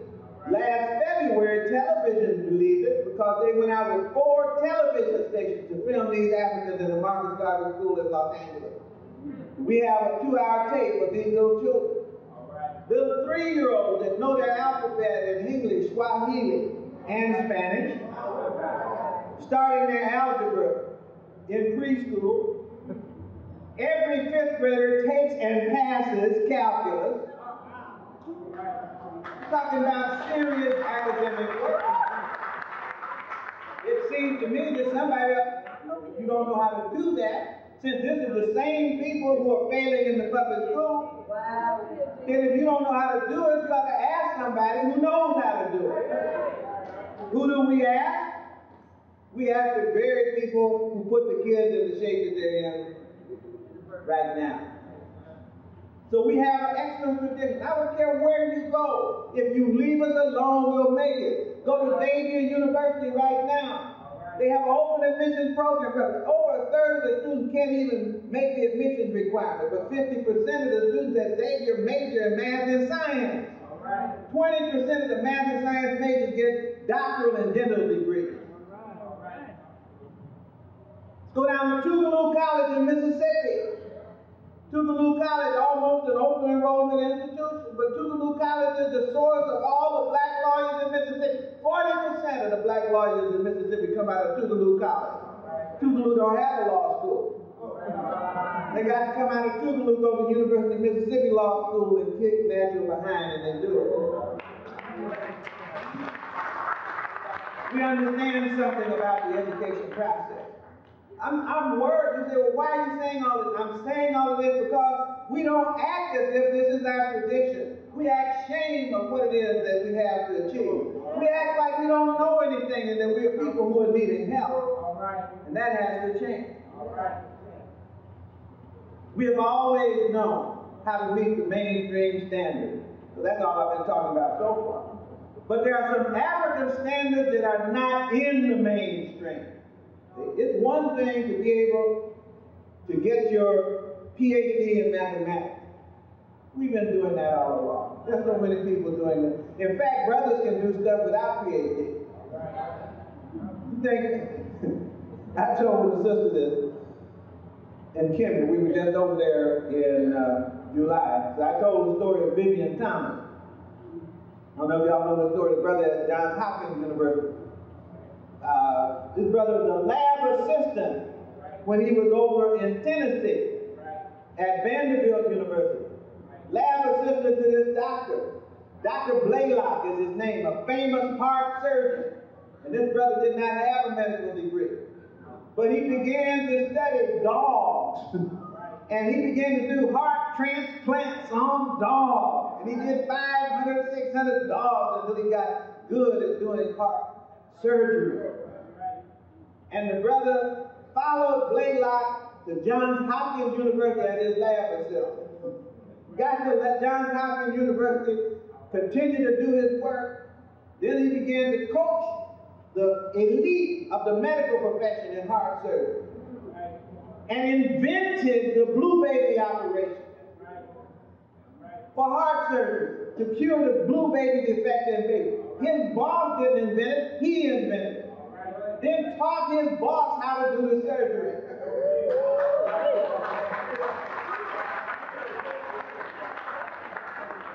No degree. But wait, his boss did what doctors do when you invent surgery, surgical technique. He went to demonstrate that surgical technique.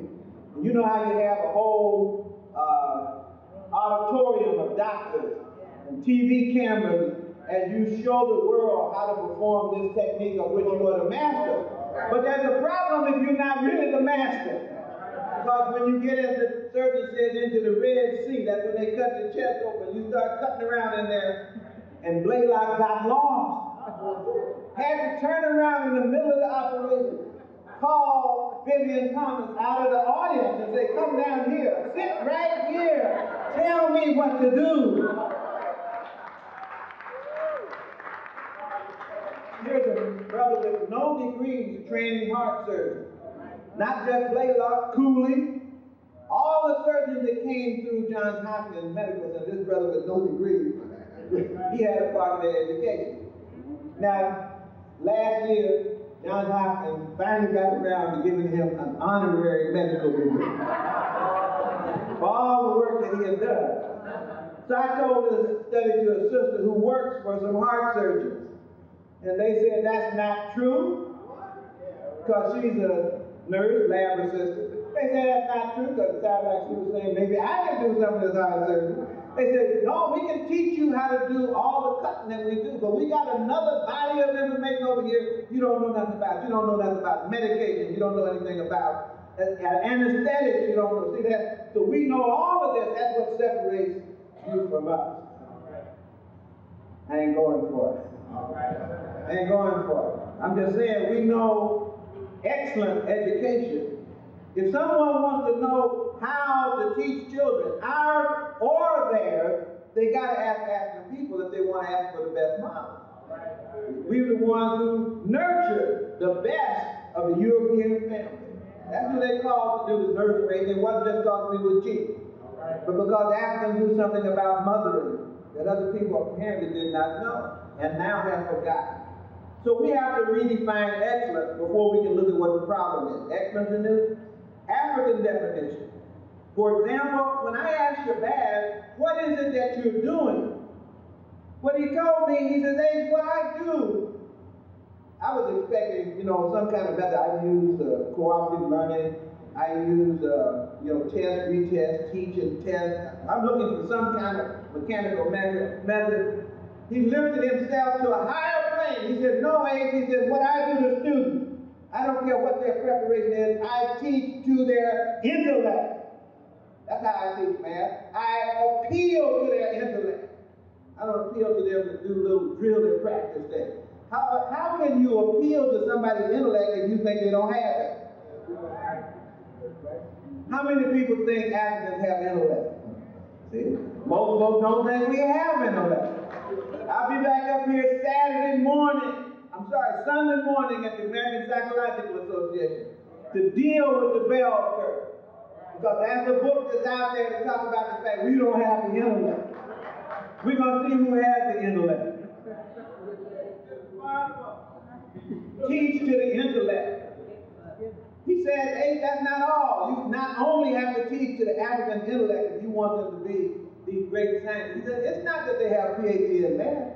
He said, but my people, they live math because math is it's the world, and the world is natural. It's mathematics. Math is the world, it's nature, and nature is mathematics. He said, so when you study mathematics, you're studying the whole world. That's what you're doing. That's what I tell them. He said, but then I appeal to their humanity. How can you appeal to a student's humanity if you don't think they have any? If you call them dogs and animals and, and, uh, and criminals and, and felons and so forth, how can you teach somebody when you don't think that they're human? And then he said, I teach to the spirit. How can you teach to the spirit when you don't teach to your own spirit?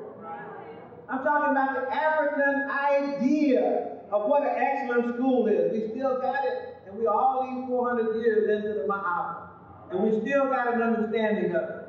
The African also knows that in an African school, part of what you're supposed to do is what my dad did.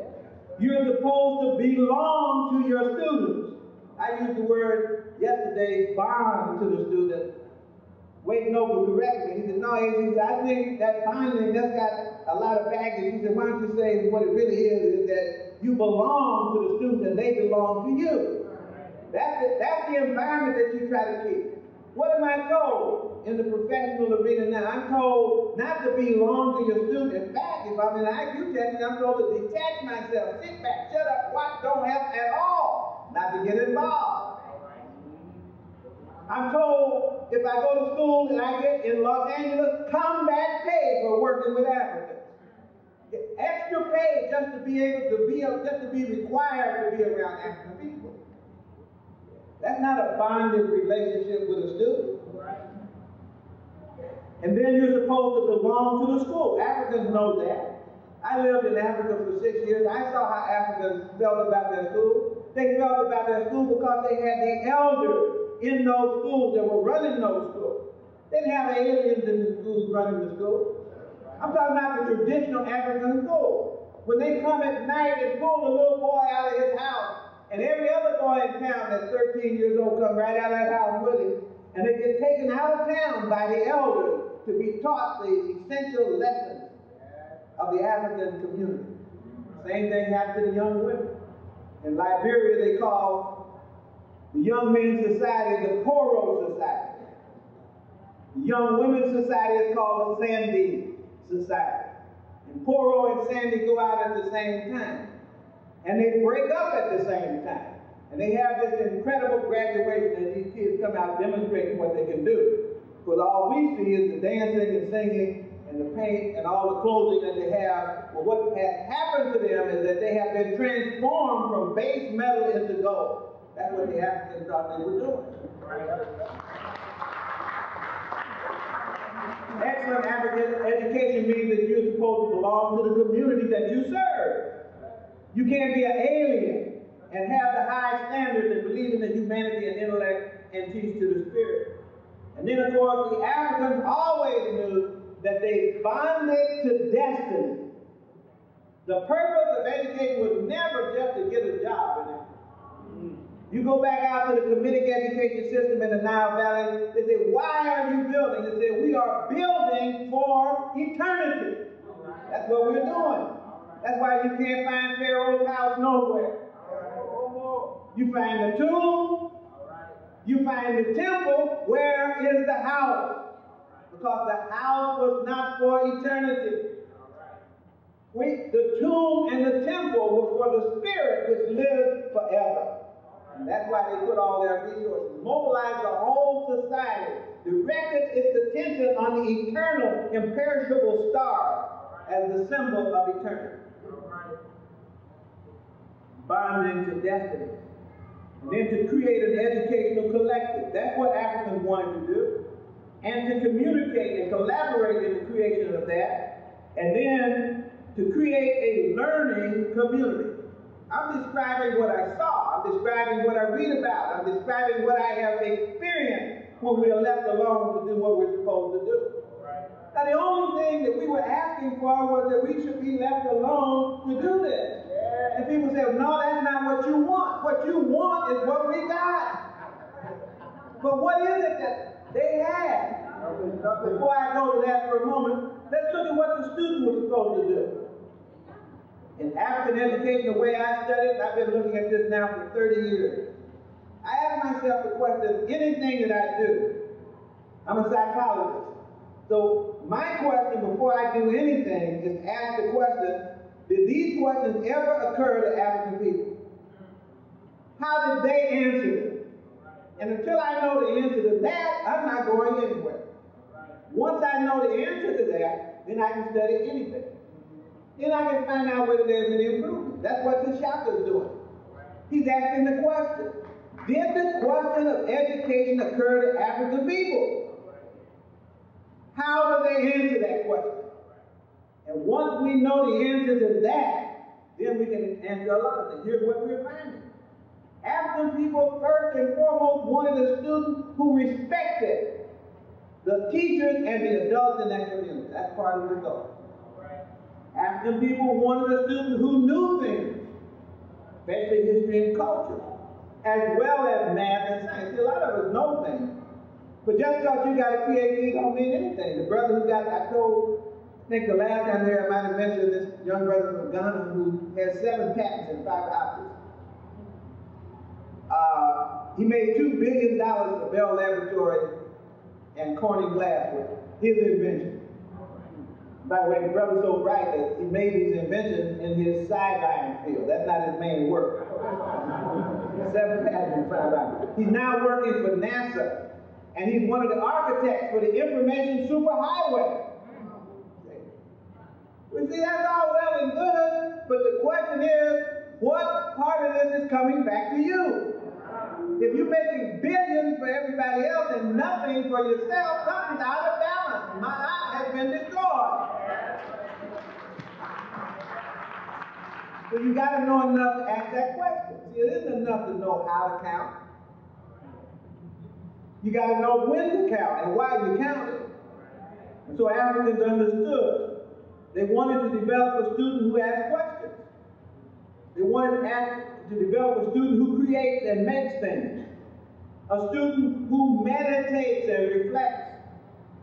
That's why, if you look at African society, one of the things you notice is the poverty of this today in popular culture. African society is full all day long. All you hear is wise sayings. That's all you ever hear. People always giving you some kind of saying. If a problem comes up, you're thought to be a smart person if you can pick exactly the right saying to make things clear. Read while these things fall apart. And you will see these wise sayings and how people use them. And so that's something to make the child reflect. You don't just say, stop, don't do that. Say a hard head makes us all behind. There's a little reflection that has to go on. We want a student who belongs. Not one who goes out and comes back to the community so they can show off for the community what they got. Degrees, cars, whatever it is. But one who sees the interest of the community as their own. They want a student who acts. Not one who sits down and merely listens and becomes competent. Naming you the, the, the whole national instructional program at one point was minimum competency. There's more to it than competency, but one who speaks Medu Nefer. Medu Nefer is beautiful speech. The interesting thing, that's what the Kemetic people call it. Jake Carruthers has written whole papers about Medu Nefer, beautiful speech. That was the goal, one of the main goals of Kemetic society, was that people would speak beautifully, not just speak clearly, but speak beautifully. You know what was funny? When I was talking to Shabazz about what he does and how he teaches, he said, Dave, you know, when I talk to students, I want, I tell them that math is not an exact science. He tells them exactly the opposite of what everybody else is telling. I thought that was the one exact thing. He said, no, it's trial and error. He said, you try one thing, you try another, and then you get something that you think looks like a rule. He said, that's what I want my students to do. I want them to investigate and to invent. And when they have invented, I want them to write up what they found in a beautiful way. Medu Nefer. The same thing that we find in the Kemetic system, still present in the creative system of one of the greatest math teachers on the planet today. We say that we want a student who is clear about their identity. And these times that's very important because one of the strategies of white supremacy right now is to confuse the African community categories in the census called mixed. Black, white, and mixed. You can be whatever you want to be. This, is, this identity thing is not something that we really want to do. Why? Because they fully understand what identity means. I got an article that I pulled out of the paper two, two times in the New York Times book review section. I forgot the exact date reference. Anybody wants it, I'll get it to you. But on the same day, they showed that they understood the meaning of identity. One of the things they said was that Japan, because of a rise in ethnic consciousness, it would make it difficult or impossible for the United States to impose its control over them anymore. What they said. On the same day, in the book review section, they said, with the rise of Islamic fundamentalism, it will make it impossible to work the agenda out in that part of the world as people began to develop any kind of identity, they began to develop strength because they have unity and trust.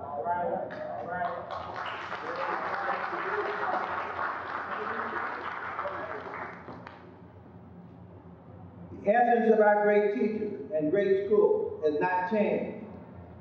It had nothing to do with simple mechanical techniques. The best teachers in the African family were always visionaries. That's the teachers I had. Septima Clark, one of the great teachers of all time, taught in this literacy program in the South, 11 southern states, and they taught, got almost 11 million people on the road to vote. And many of them had to be taught under trees in the yards of churches because they afraid to let them have their freedom schools in churches, wouldn't let them have them in the public schools, so they sat out under trees and taught reading on laundry bags with Crayolas as writing instruments. And yet, Septima Clark was a visionary. When I asked Septima Clark, what was your method? See, that's my job, is to find out what the method is. That's my professional work. I'm supposed to know that. So when I get a good teacher, I want to know what they do.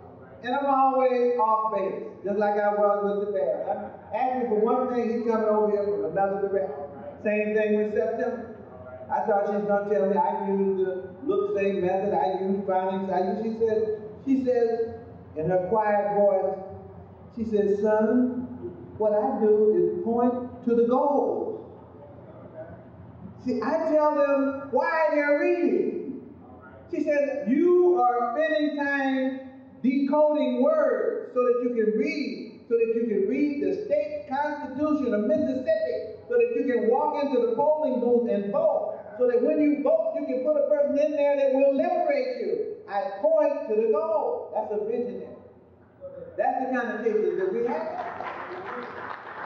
There's nothing on the checklist for teacher preparation that says visionary in the traditional arena. You understand what I'm saying?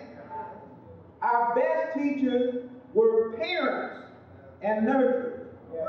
That's what the teachers that I grew up with saw me as their child. And they treated me like a child, their child. They felt completely empowered if they needed to do what was necessary to make me do what I had to do. And you know the story. All of you who had any of this old time know that when you got that in school, you really didn't want to go home that evening. Because the word would beat you home. That you had to be disciplined in school. And you embarrassed your parents, you were an embarrassment to the family, and they were going to make you it didn't again when you got home. So the teachers were parents, and because they were parents, our parents trusted them.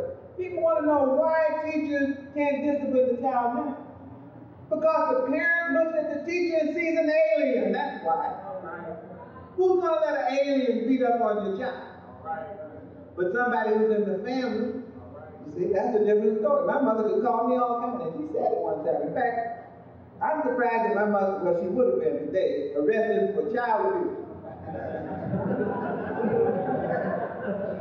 she said things to me like, boy, I'm gonna kill you.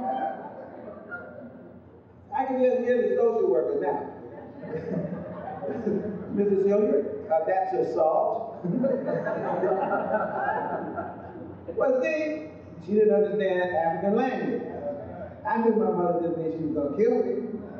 She knew that she didn't mean that. We understood what that meant. I never doubted my mother's love for me. Right. But I realized at that point, it was something serious enough where she had to get my attention. Yeah, yeah I understood that. That's the parenting function. You can do, if you're a parent, you can do virtually anything you want to do with children.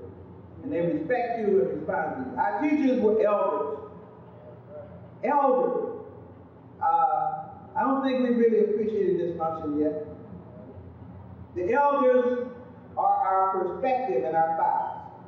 Those are the people who have the wisdom and the knowledge of the centuries wrapped up tightly inside, ready to be put at our disposal if we take time. Many of us don't think we have to take time because we know everything. But the teachers that we had when I grew up were elders, and I respected that. They were our models, role models. It required certain kind of character to be a teacher.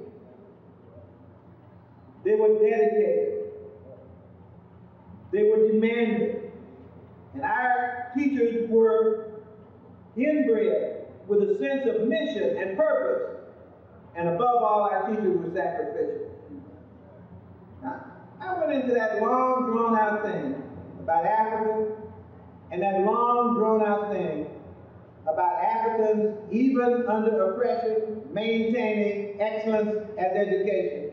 Simply to reinforce what you know, and that is that we know how to teach. If we don't know how to do anything else, we know how to teach.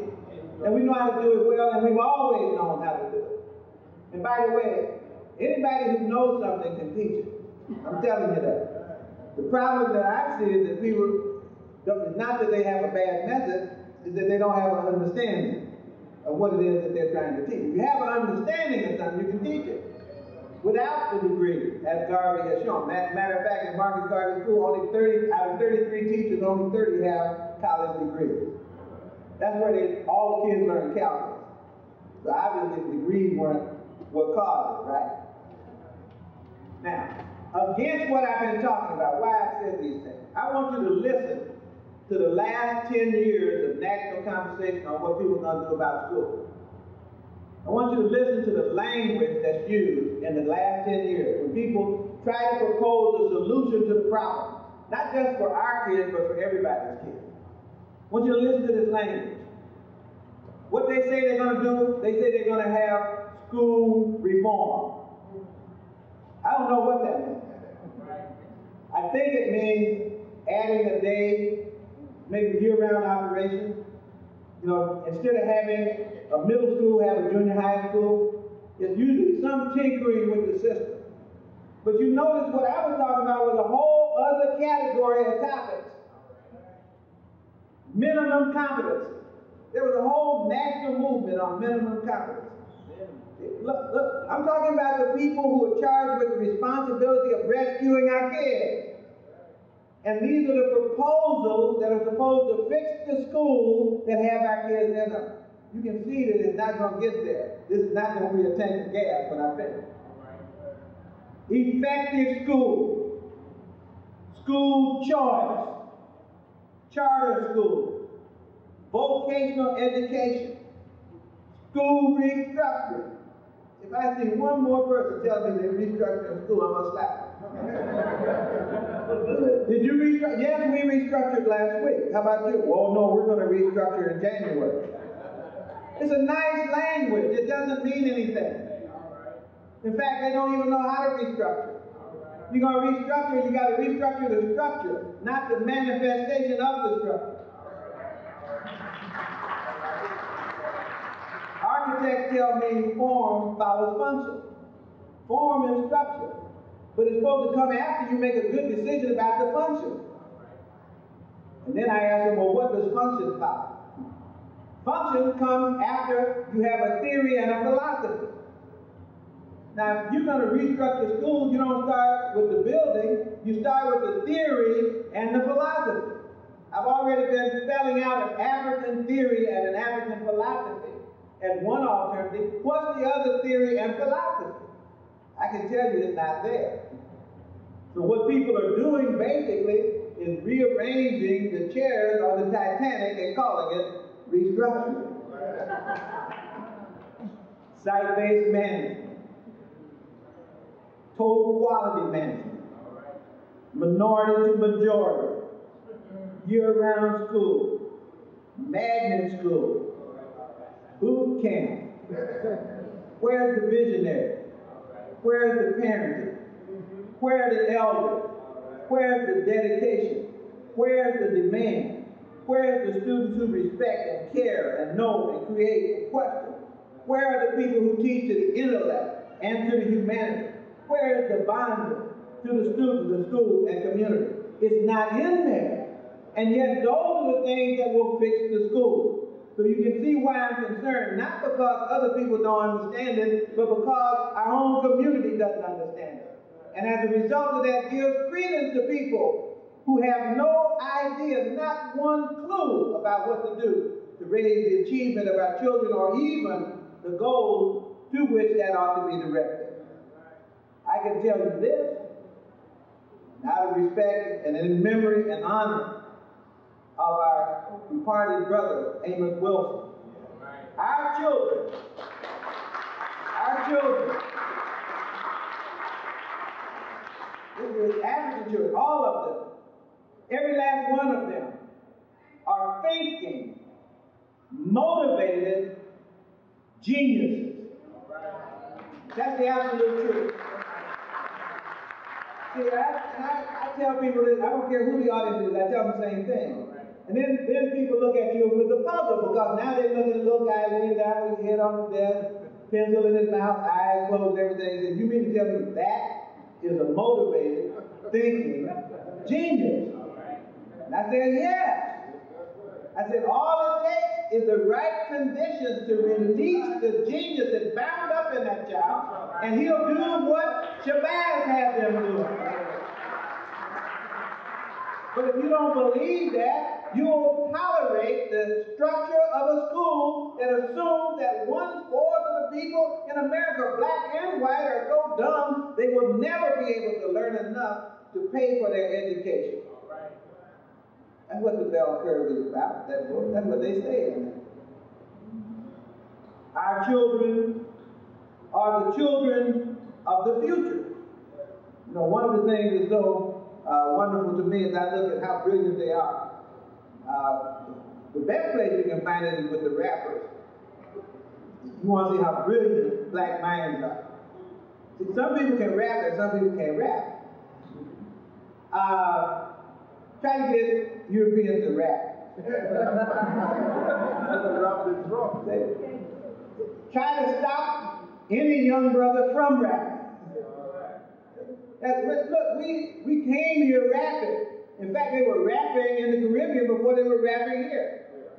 Used to call it reggae. They, were doing all that. Calypso. They were rapping the reggae calypso. They were rapping in Africa before they rapped in the Caribbean. In fact, what I found when I was there was that they said to me, man, if you ever get a Liberian a chance to talk, he will win the argument. They said, never let a Liberian man talk in court. Because by the time he finishes talking, he's going to convince you up and down, left is right, black is white, whatever it is he needs. He's that good. We rappers. I saw a little brother on TV. I remember the Carl Moyer show. He was interviewing about the black male. That's periodically people show us ourselves in our worst situation. This brother was running through a whole lot of women and everything and exhibiting a whole lot of negative behavior. And that was the purpose of the show. I saw that, but I also saw something else. Because he asked that brother, he said, look, he said, uh, I know that you're uh, a rapper. He said, but what is this rap thing? He said, well, I just talk about experience. He said, but I mean, how do you make it up in your head? He said, this something you memorize and then you practice and then, he said, no, that's the way you do it. he said, he said, well, could you make up a rap right now? I said, yes. He said, about what? He said, anything. Tell me something to rap about. He said, I can rap about that wall. And them some bricks. I'll rap about them bricks. The guy said, right? Said, right. The brother rolled right into his rap. On the brick. Just made it up out of his head. That's genius. You may not want to pay for it, but he just demonstrated for you a computer with a gigabyte of memory, a Pentium chip, and a 100 megahertz processing speed.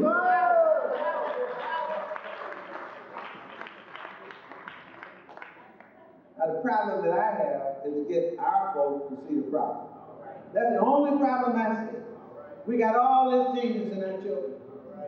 We got all this genius in our teachers and they're invisible in the African community. People don't know they're there, so they lose trust in themselves. They lose trust in our own leadership. And when they lose trust in themselves and their own leadership, then they begin to trust in strangers and aliens. And the minute they go down that road, they bring back to us these crippled solutions that will cripple us even further. What we need right now is a rite of passage that will include the kind of thing that Dr. Adelaide Sanford is now leading, the Board of Education for people of African ancestry, where we sit down and think about what it is that we need so that we can specify the nature of the education that we want our children to receive. That's what we need, and we need chapters of that all over this country. It's unfortunate that in some of the biggest cities in the world, with some of the most degrees, I live in one of them, the greatest number of degrees per capita in the world. And where is the independent think tank designing the future of education for African people? We're doing it through other people's structures. Uh-huh. So we need that board function. Then we need a board of elders to oversee what we come up with. You need to run past the elders, these solutions. Because sometimes they can see that we've been there before. That's not something you got to do again. And it's not consistent with the ma'at that we're supposed to be representing and reflecting, or whatever it is, but we need to institutionalize that elder oversight function. We've lost it. We don't talk to our people anymore, the old people. And then, of course, we need a teacher training process, a retraining process. This is one of my fondest dreams, that one day we will set up a training process. In fact, that's where I was yesterday with Dr. Wade Nobles. Because he has tried to establish a teacher training process. That's what you have to have. If you want the kind of outcomes that I was talking about, you got to train teachers in a different way. You have to put them through a different process. You will not be able to do that at Columbia University. You will not be able to do that at New York University. You can only do that in a training structure that you control totally. And that's what we have to have. The three things that we have to have in order to get ourselves out of the mess that we're in. Because no one knows the answer to how to fix our children better than we do. We need control of the education process, in whole or in part. We need a perfect educational agenda. But we've thought about where it is that we have to go. We don't need any more Jesse Jones telling us what to do. Amen. And finally, we need to execute the plan. Because it's not enough to plan to plan. We got to plan to act. And so once we have the control and project an agenda in the African way, then we can guide our people where they're supposed to go. Thank you. Dr. Asa Hilliard, let's give him a big round of applause. Dr. Asa Hilliard.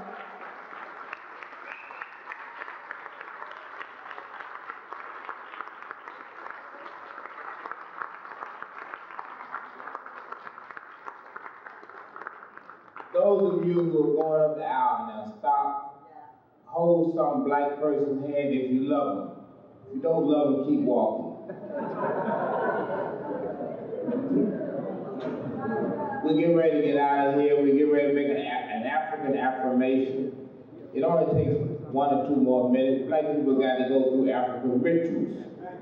We got to go through an African commitment. It's not enough just to come and hear and then fall down at the finish line and not make the African affirmation to us. I want to thank Dr. Huey tonight for that very inspiring message.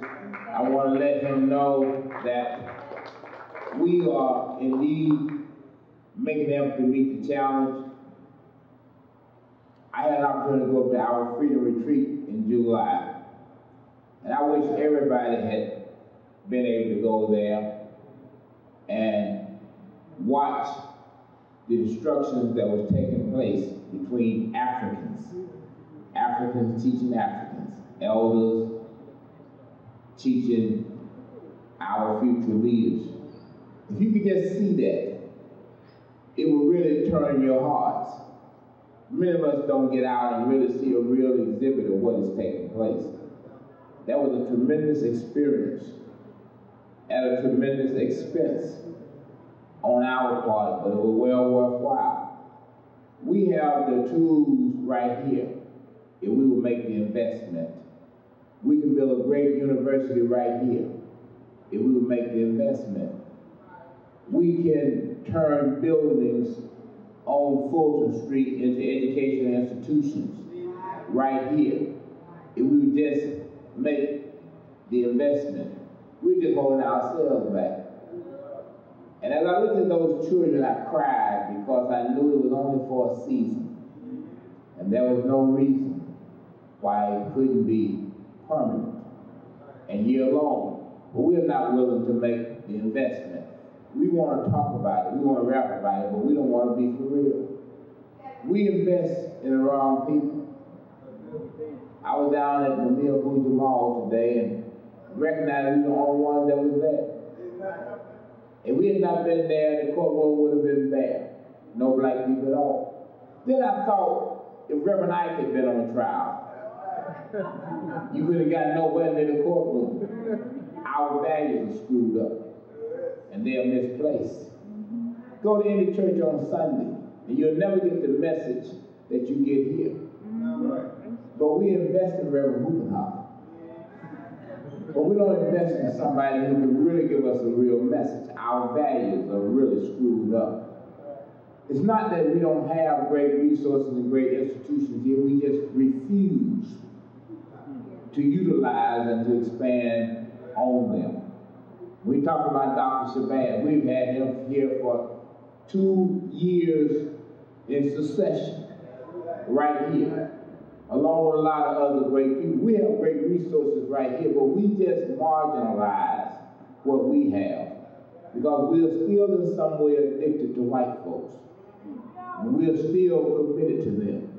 This is the reason why I do not let white folks in here, so that you can really see the genius of black people and see what that's really about. Even if the authorities come down hard on me, I'm man enough to withstand that. I can withstand these crackers. And they know that. And I welcome their talent. I like for them to come down hard on me. Because it proves to you that we can beat them back. That's why I try to give these crackers reason to come on down on me so that I can instill confidence in you and that we can win and that we can be victorious. And I hope that when Dr. Hilliard come here again, that we will show him signs and exhibits of our revolutionary and evolutionary minds. And that we have a commitment to an African people, and that when we say this African affirmation, it is for real and it has real meaning.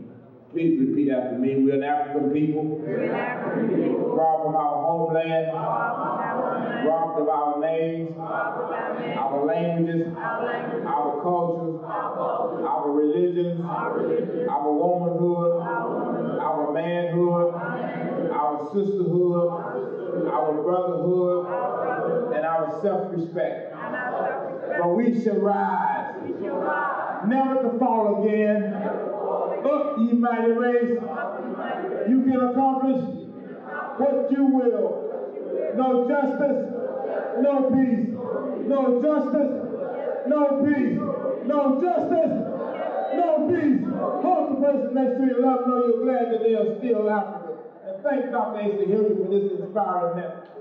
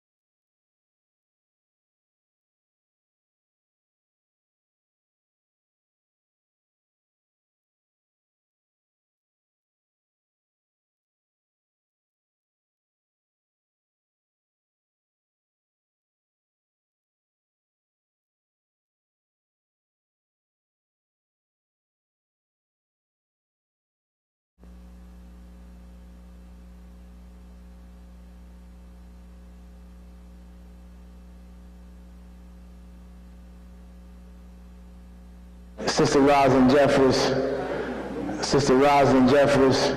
Now, as many of you know, we are extremely fortunate to have this sister. Let's give her a warm round of applause. Sister Rosalind Jeffries, our sister. We can take this photograph because we know Dr. Jeffries hasn't gotten here yet. All right? It's too early for him. It's 9 o'clock, so if y'all don't tell, we won't.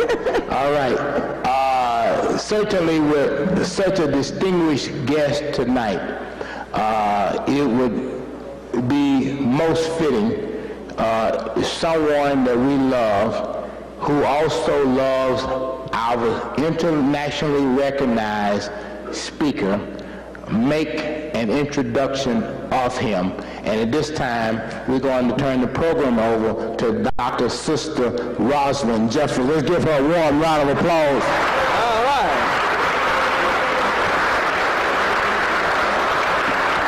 Greetings, brothers and sisters, Hotep.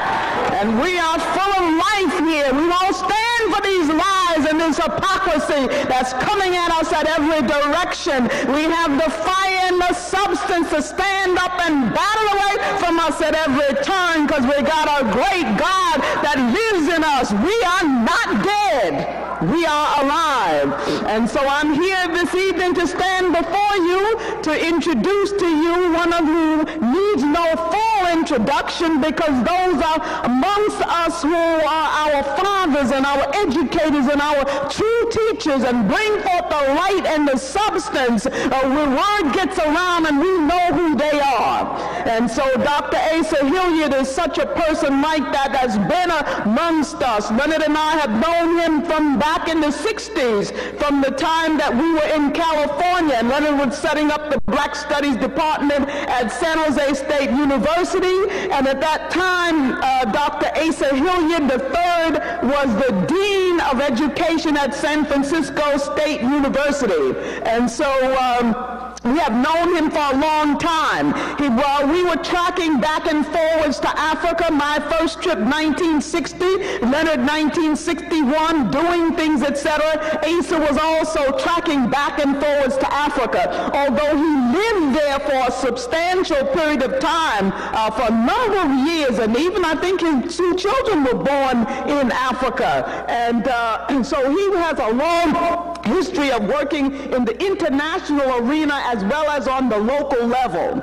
Uh, we know Dr. Asa Hilliard uh, is the Fuller Callaway Professor of uh, Urban Education at Georgia State University. And so those kinds of positions, see, even the folks down at that university knew what to do with Asa. Some people you don't know because they have, uh, they're a think tank, their mind works in the right way, their spirit is right. You take those kind of people and let, sit him down and let him think. And so that his job is one where he's not overburdened sometimes with some of the things that local teachers are. He has the time to go and to develop things like they like, uh, and so we he has been one developing and decoding information for us for a long time and bringing back and sharing with us the things that we need. If there's one word that I really want to say about Asa too, it's relevance. That he brings information that's not all chewed up stuff you heard before over and over again, but he's able to take that material and apply it to a situation. I remember how inspired I was when I heard him give those talks about how the Germans, by name and by institution, took information. Um, and the truth and how they turned it into lies and led into the propaganda to uh, mess with our minds, the details in psychology. And those were phenomenal things and keys that we needed to know and to learn to make ourselves more correct. Uh, we know that uh, Dr. Hilliard uh, had uh, uh, the conference that he invited me to be a part of down at Georgia State College, which was called the Infusion of African African and African American content in the school curriculum. That was in 1989. But even before that conference, he had invited me down to work with the uh, uh, school teachers of Georgia State, Georgia as a state.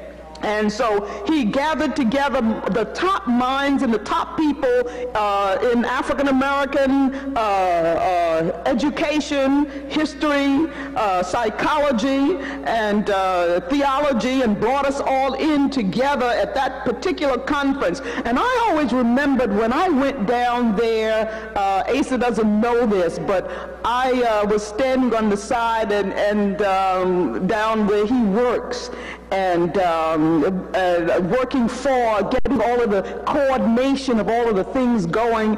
And I saw some secretaries that he went to, and they were all smiling and everything. And when he turned his back and went away, they didn't know who I was, just standing there. But they just assumed I was nobody, just standing there. And they just turned just the opposite. I said, look at here, look at look at these white folks are devils, totally.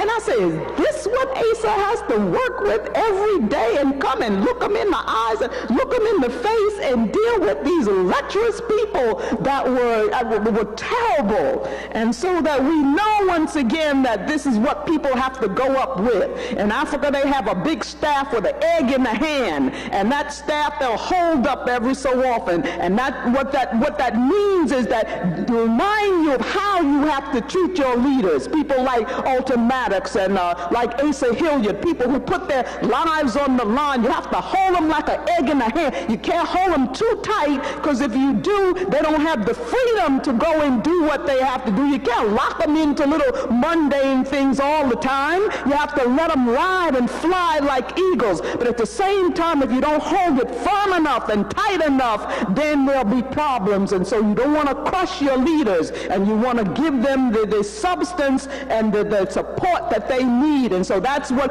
we learn from Africa, how to take care of our leaders and to appreciate them at every turn, to obedient, be obedient to their calls. And when they ask you to sacrifice, go ahead and make the sacrifice. I mean, what else are we living for but to sacrifice our life so that things will be better for us all and for the generations to follow. It's an opportunity and we should be glad to lay down our lives for these kinds of causes that we have. And so I'm, I'm, I'm going to stop in a few minutes, but I want to mention again that Asa Hilliard was um, did some monumental work with Les developed Middleton when he created a series of, uh, of uh, educational data and material for the South Carolina network uh, that he worked for that went out around the country and in particular out from Washington, D.C. It was Asa Hilliard that played a key role. Asa Hilliard was also one of the founding directors and officers of ASCAC, the Association for the Study of African Classical Civilization civilization,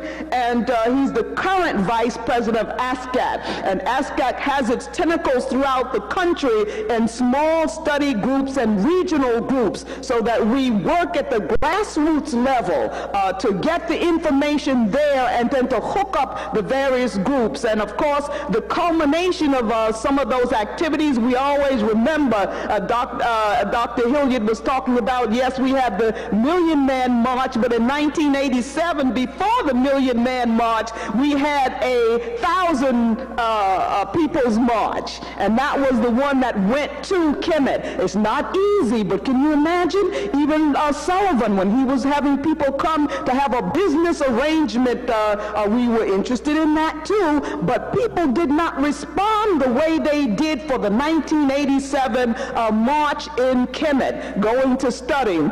And so I was saying to myself, why is it What was different about the Sullivan call and the call that went out to uh, Kemet? What was different? And that difference was, yes, we want these business deals and arrangements, and we need those things done vitally. But at the same time, we've been filled with people that misleading us and hypocrisy in high places and wickedness all over, and so all those turnover. But the call that came for people running to Kemet was because because they were seeking after what?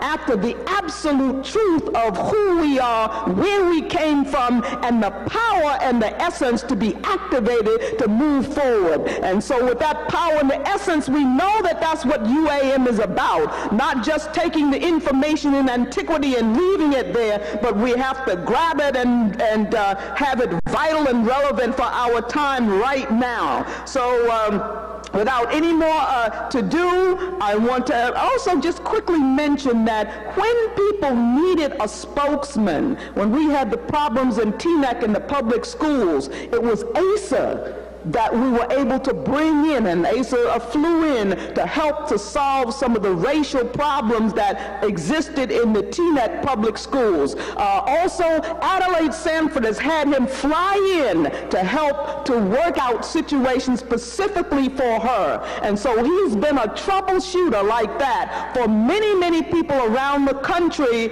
in these educational systems. And so we're thankful for the role that he plays, and we are indeed indeed honored for him. And so the person that's coming forward will be our Dr. Asa Hilliard, and I want you to rise to receive him uh, because he's a person of honor, a person of dignity that is uh, indeed worthy of your respect. Dr. Asa Hilliard, let's give it up.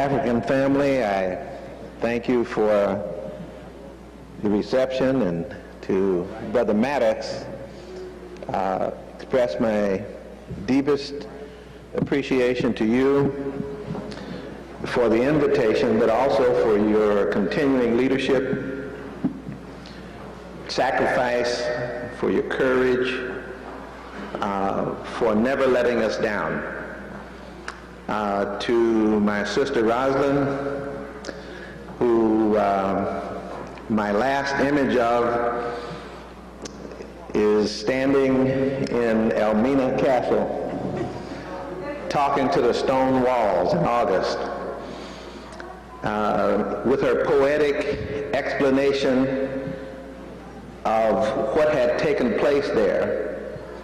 And this was with the ASCAC conference this summer. And she and Brother Leonard did a duet in Elmina Castle. And it was a thing of beauty.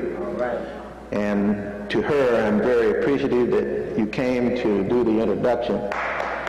Thank you.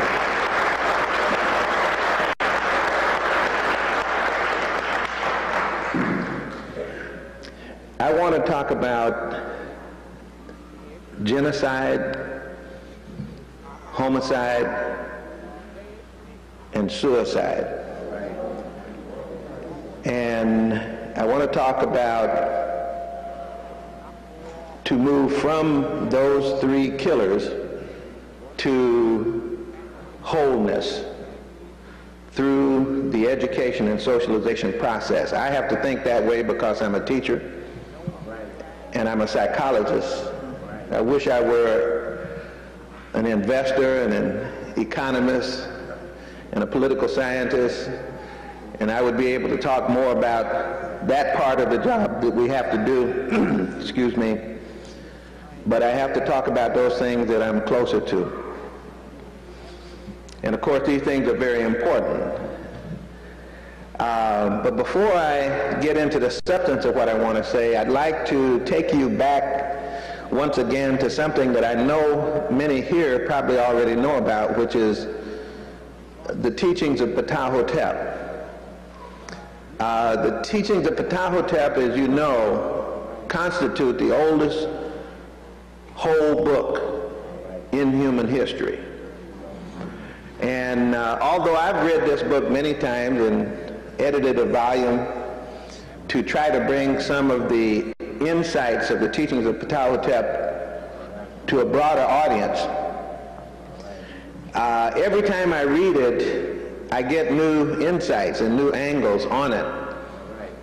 And not long ago, I was asked to make a speech by a brother who worked for the Center for Disease Control in Atlanta about violence. I don't know if you know it or not, but people have theories about violence that pertain to us. In fact, one of the largest studies of violence is now being done on black people. Um, they thought they had shut it down, but they didn't. It's being run out of Boston and Chicago. DNA is being taken from young black males to find out whether or not they are violent in their genes. Um, and I turned down the invitation three times, in fact. But for the main reason is I don't talk about violence um, as an expert. I talk about things I try to study about and know about. And I told this person that. I said, I, I won't do it because I'm not prepared. I said, not only that, but I probably won't take the position that you want me to take. I'm assuming I know what position you want me to take.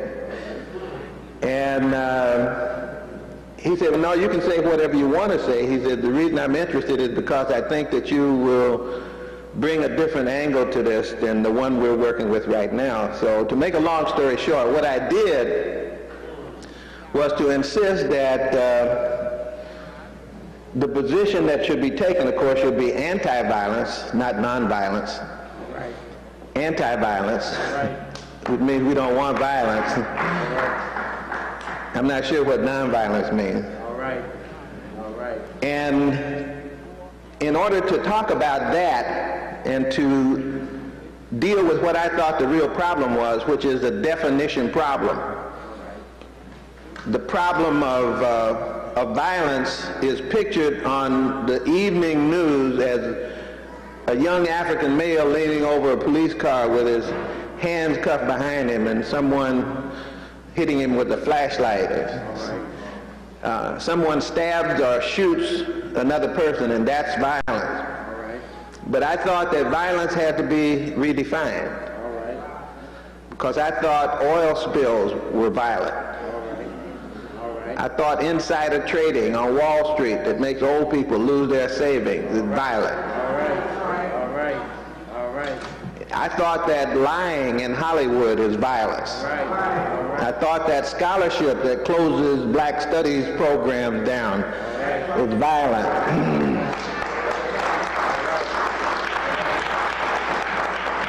And I thought that if we're going to draw DNA, we need to draw DNA from those violent people and study what makes them so genetically violent.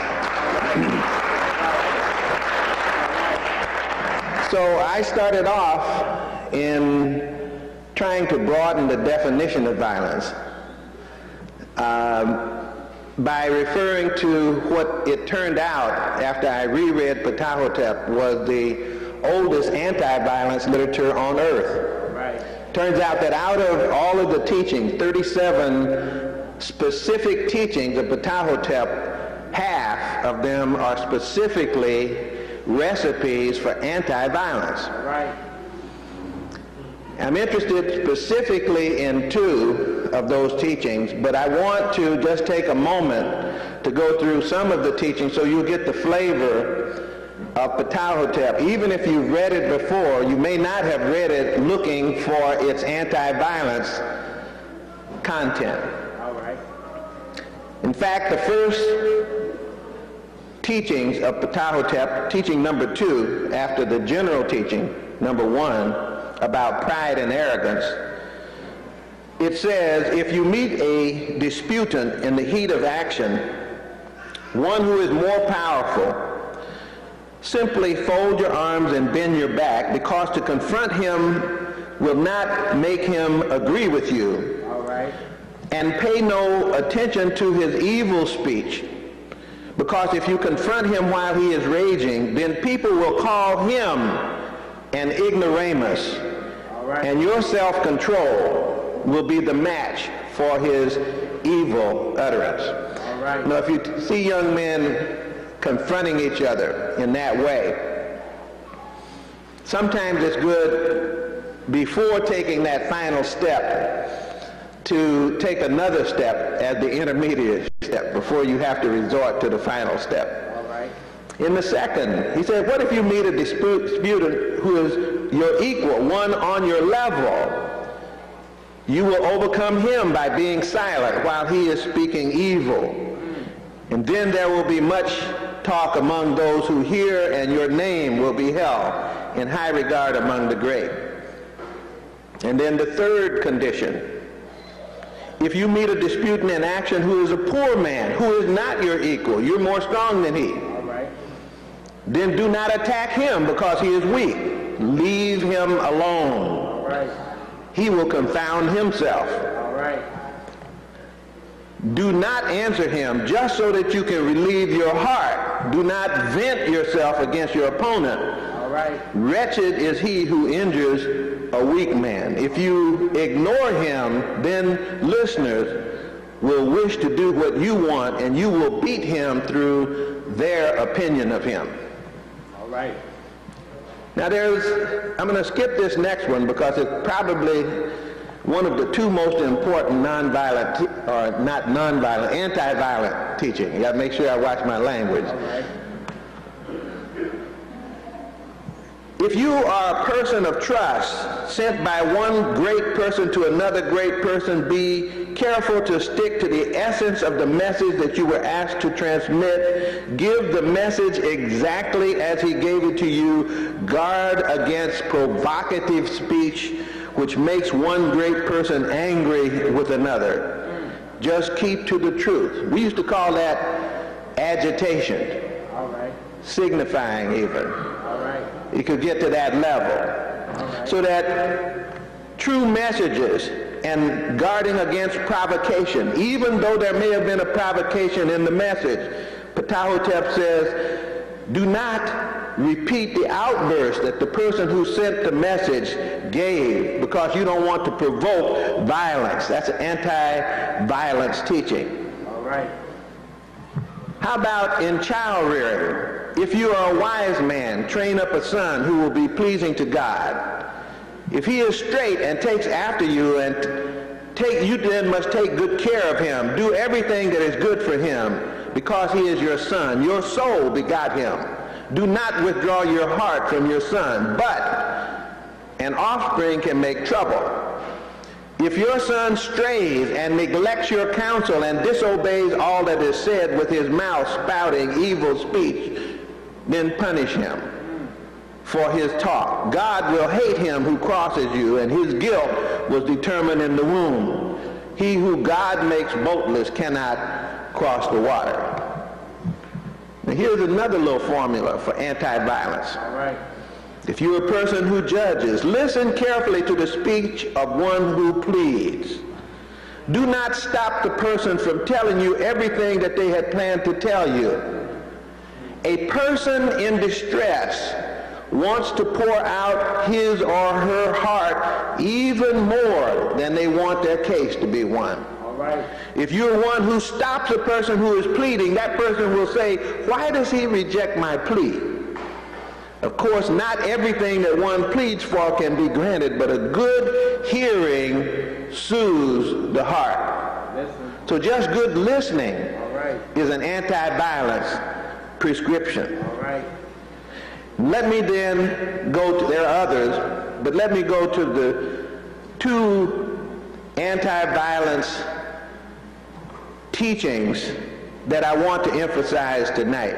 One is Ptahhotep number five. It says, if you are a man who leads, All right.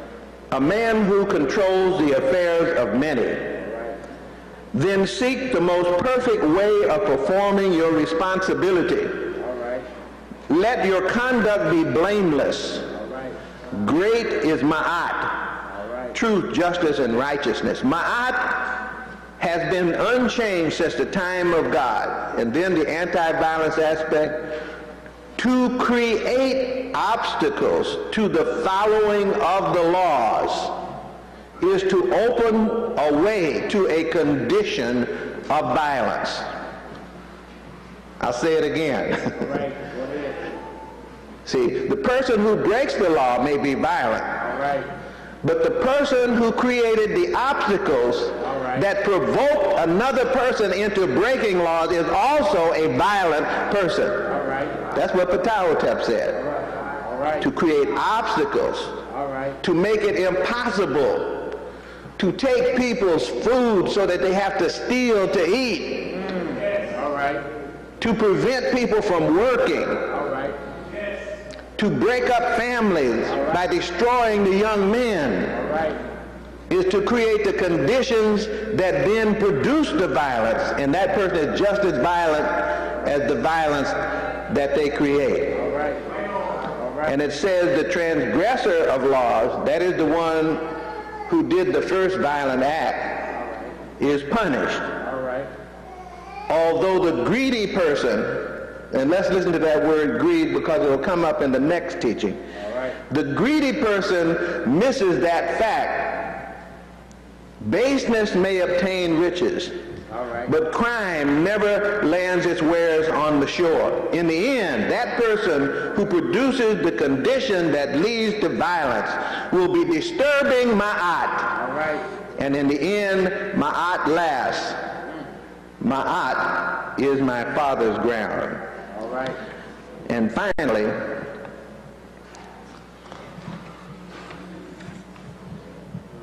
anti-violence. If you want to have perfect conduct, to be free from every evil, then above all, guard against the vice of greed.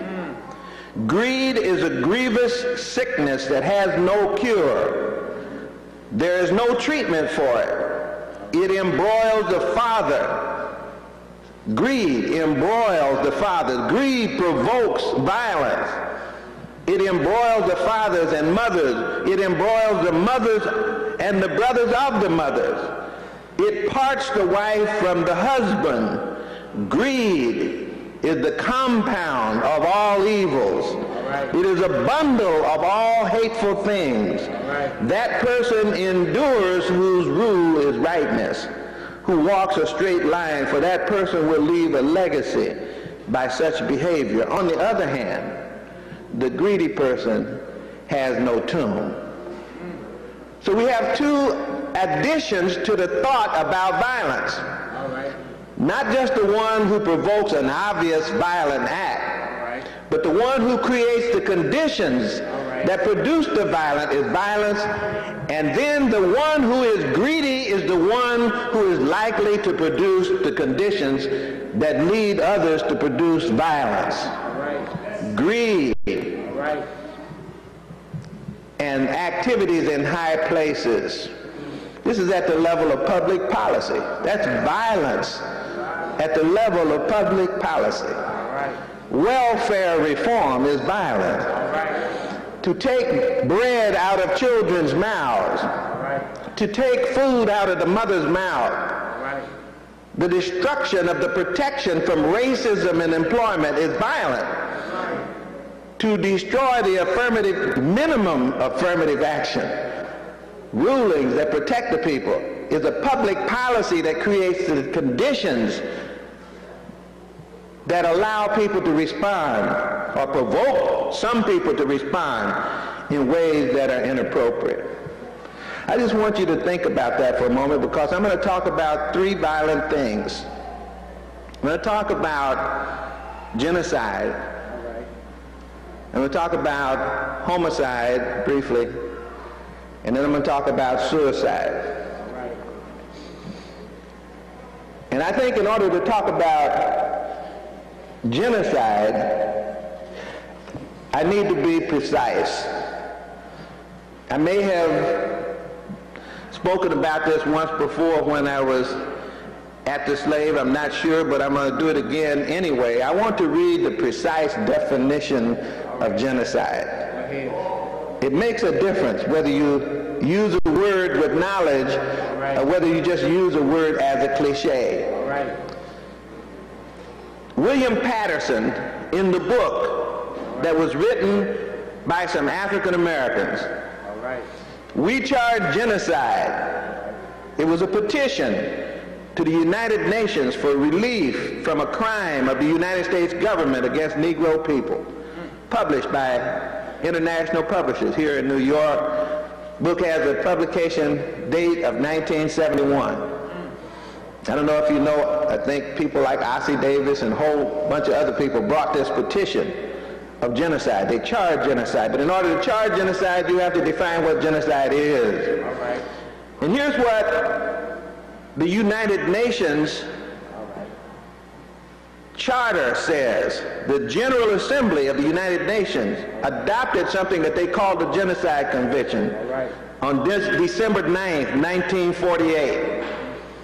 Article 2 of that convention defines genocide as any one of the following acts committed with the intent to destroy in whole or in part a national, ethnic, racial, or religious group as such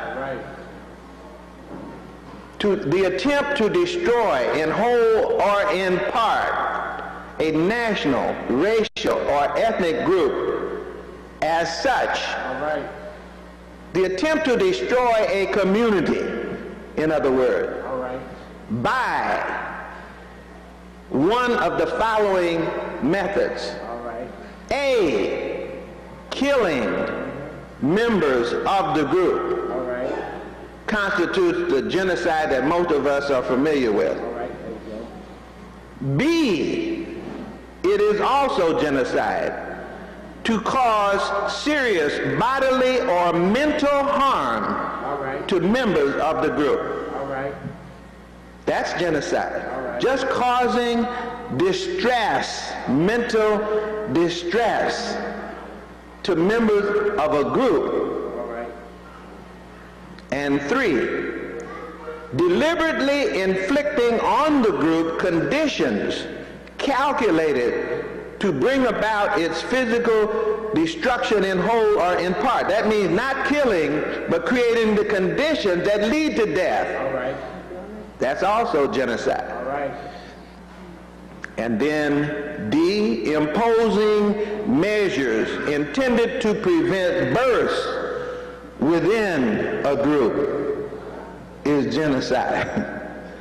and then fifth, forcibly transferring the children from one group to members of another group All right. is genocide. All right. That's the UN Charter. That's the UN Convention, I'm sorry. All right. Now, the man who thought up this word, at least the one who was given credit for it, is a man named Raphael Lemkin. All right. He clarified it even more. And he said, genocide can be affected by physical, political, social, cultural, biological, economic, religious, or moral oppression. Any one of those.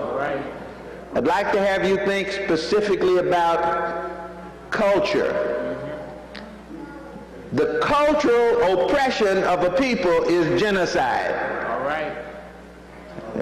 See, there was a wonderful book written by Dr. Yosef Ben Jochannan called Cultural Genocide and the African, Black and African Studies Curriculum. A lot of people ask why you put a word like that in a title of a book like that. Why wouldn't genocide have more to do with armed struggle? There you go. But cultural genocide is armed struggle. And our people haven't gotten it yet. All right. There you go. And so when I say suicide, or actually genocide, of course, physical is important, but so is cultural. And then it can be direct or it can be indirect. It can be indirect if people just operate in such a way that they ignore you to the point where you can't manifest your culture. It can be direct if people calculate and design to prevent you from practicing your culture. And why would that be true? Why would that be genocide? Why would preventing people from practicing their culture be genocide? It would be genocide because culture is the tie that binds, the glue that holds a group together, the glue that makes for the possibility of unity, the glue that makes for the possibility of collaboration. Anybody serious in the study of humanity understands this. I don't think our people get it. I've just been talking to some people the last few days that blow my mind. I sat down at the table two nights ago with someone, and this woman was saying, well, you know, I thought I was talking to an African, but it wasn't. And she said, you know, we don't really have anything, anything that connects us to Africa. And I sat there with my mouth, I'm not shocked at much. I couldn't believe this. And she's sitting there with an afro, dressed in African clothes. And she said, no, we don't have it. Of course, she made an interesting choice of a mate. All right. And so that might explain why she's confused about the origin, her own origin. And then she went further than that and she said, you know, it, of course I understand that we came from Africa, but there's nothing of Africa left in us. And that our problem is how to fit into this cultural stream that is the majority cultural stream. That's our only job. And she said, that's what I intend to do with my leadership role is to help people fit into this cultural stream. So I'm shocked because I say, well, you know, other people understand the function of culture. And so many of us have forgotten it. Treat it casually and communicate that to our children. I think the last time I was up here, I probably mentioned the book Tribes by Kotkin. It's very clear, according to Kotkin, that three things account for the power of global groups that rule the world. Ethnic identity is strong. That produces the possibility for trust, which then produces the possibility for collaboration. They have a global sense of themselves. And they have a passionate commitment to technology. And these things, with the cultural bond, allows the group to function even when it crosses national boundaries. Right. So that they're global, not local. Right. And we have evolved to the point that so many of our people are local people in a global world and have no knowledge and understanding of a connectedness to anyone outside the local community. Don't understand. Don't see it. And you know what's pitiful? When we were over in Ghana this last summer, is the same kind of thinking is growing on the continent itself. Growing on the continent as alien ideologies compete for the minds of people. When a young man stands up on a bus and says that um, he was talking to a priest and then he was talking to a fetish priest. I said, who is the fetish priest? He said, you know the fetish priest. I said, wait a minute, I don't understand. Who is the fetish priest? He said, he's the one that handles fetishes. I said, oh, you mean the Catholic priest? He has the cross, the holy water, and things like that. He, no, no, no. I mean, the African, the Ghanaian traditional priest. I knew what he was doing. That's the term that's used. And I find not only do we use it, Ghanaians use it to their own people. And then I had a young man on the same bus sat down and bragged about the fact that he was no longer a pagan. I said, wait, if you want to join somebody's church, that's fine. But why does that require you to call your own daddy a pagan and your mother a pagan? So I'm saying minds are being changed because people no longer understand the bond and how it's created and the meaning of having bonds in a global world. So we haven't understood it. So we become ripe for genocide. And so how does, how does the genocide occur? How does the genocide of African people occur? It's very simple. But I don't think our people really at the mass level understand this. I know we understand it here, that's why we're here, but I'm just saying we have not gotten this message out to the masses. They don't understand it. For example, the genocide occurs when someone else can define who you are. Richard B. Moore, in the wonderful book that he wrote, The Name Negro, Its Origin and Evil Use. See, a lot of people have grown into the name Negro and can't give it up now. A lot of people grew into the word colored and can't give it up now. And what else will you grow into that you can't give up now? Because there are those who are naming us now and naming our children, and we're not objecting to it. Raphael Powell, in the book, The Human Side of a People and Its Right Name. I'm just talking about people here in New York who met in committees because this name thing was so serious. Richard B. Moore chaired a committee of Africans to sit down and think about this name thing. Dr. Clarke was on that committee. John Henrik Clarke was on that committee. They wrote to the New York Times and they said to the New York Times, don't call us Negroes, don't call us colored, refer to us as African people. Put us back into the stream of history. And the New York Times wrote back and said, we will not permit you to tell us how to name you. Get the book. The letter from the New York Times back to the committee is in the book. The name Negro, its origin, evil use. They say that slaves are named by their masters and dogs are named by their masters, but free men must name themselves. But then when free men name themselves the same names that the master named them, that's genocide. that's genocide.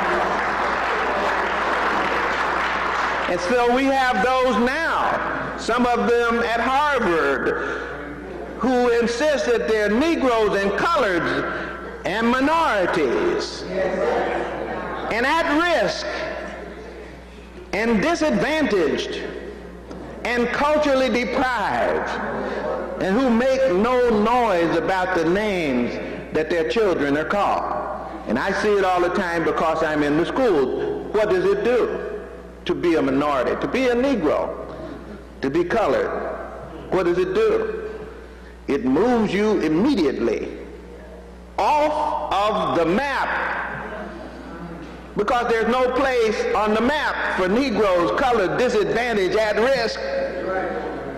And it moves you immediately out of time because there's no time where there's ever been Negroes, colored. That means you cannot be a human being out of space and out of time. See, people see this. I'm, I'm only anxious about this because more and more I'm hearing people who say the names that you call doesn't mean anything, and I'm hearing it out of the leadership.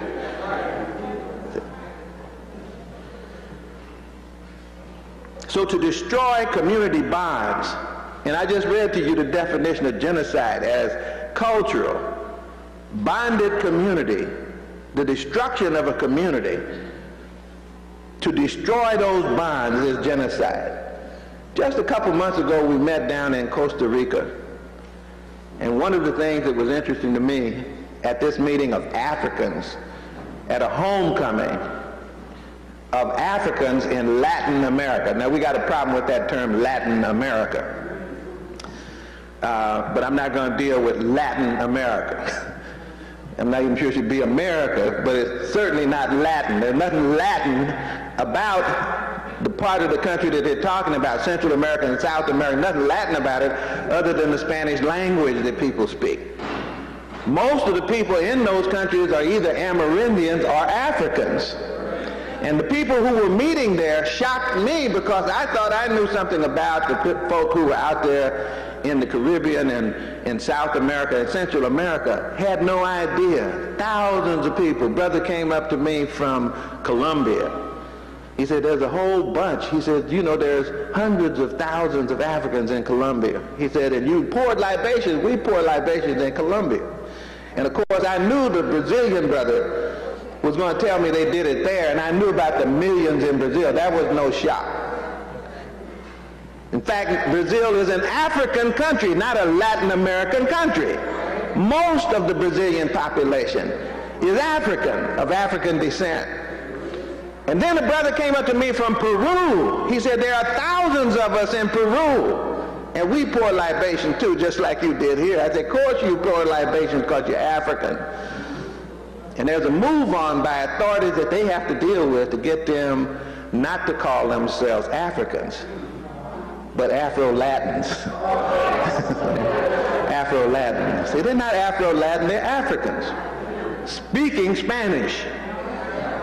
Although some of them speak English. The brother from Belize, they speak English. And they got conscious communities in Belize. The brothers in Costa Rica still speak English as a way of defiance against the Latin American. And in Limon, which is an African city in Costa Rica, they are Africans with a Universal Negro Improvement Association active with a red, green, and black flag over the UNIA building on the corner next to the barber shop where the president of the UNIA still carries his business. They're Africans. To call them something else is to take them out of space and out of time. They're in Nicaragua.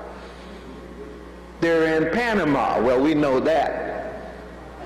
They're in Honduras. See, we didn't know how to deal with the whole Contra thing. In spite of this whole interesting thing coming up now, a lot of things going on with the Contra that we didn't understand at the time. Find out that military people for United States government appear to be drug runners now. And getting money for the Contra war by selling drugs to us. by selling drugs to us to kill us because who were the Contras?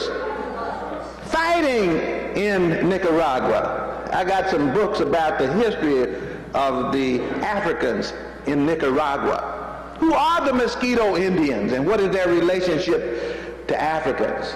See, once you get taken out of space and time, you don't even ask those questions. If you're only from Philly, I'm from the Bronx, from Atlanta, then there's no need to ask any question about Nicaragua, Honduras, Costa Rica. But there is an awakening among those people who never forgot. In spite of the fact that they were tried, the attempt was made to name them out of themselves. How else can there be cultural genocide? The control of African scholarship. The containment of African scholarship. The containment of African scholarship prevents the transmission of culture from one generation to the next to make a people dependent upon other people to give their picture of themselves to their own children. That's genocide. That's why the attack on black studies program that is mounting with even more fervor than ever before, the closing of the program at City College and the virtual crippling of the programs that remain, or the co-option of the programs that remain by people who are even hostile to the Black Studies program themselves. Bernal over Diop. You ever think about that? Why is Black Athena a bestseller and Civilization of Barbarism not? When Black Athena is 10 years later than Civilization of Barbarism and a weaker argument that essentially copies the same argument that Diop wrote. That's the control of scholarship. Bloom at the University of Chicago wrote a book called Closing of the American Mind. That's a nice title. Universities all over the United States had workshops on that book. You owe it to yourself to read the book Closing of the American Mind. Why would, you know, the, the, the workshops that I know of that captured the attention of university presidents would get these books and ask their whole faculties to read them all across the United States. That was one by this Chicago professor, home of the great books of the Western world.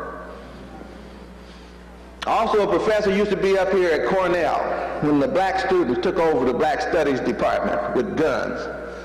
Took over the president's office or whatever they took over up there with these guns. Uh, he was on the faculty then.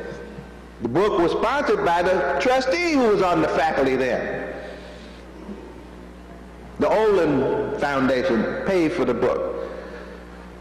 Olin Foundation paid for another book that we will learn about.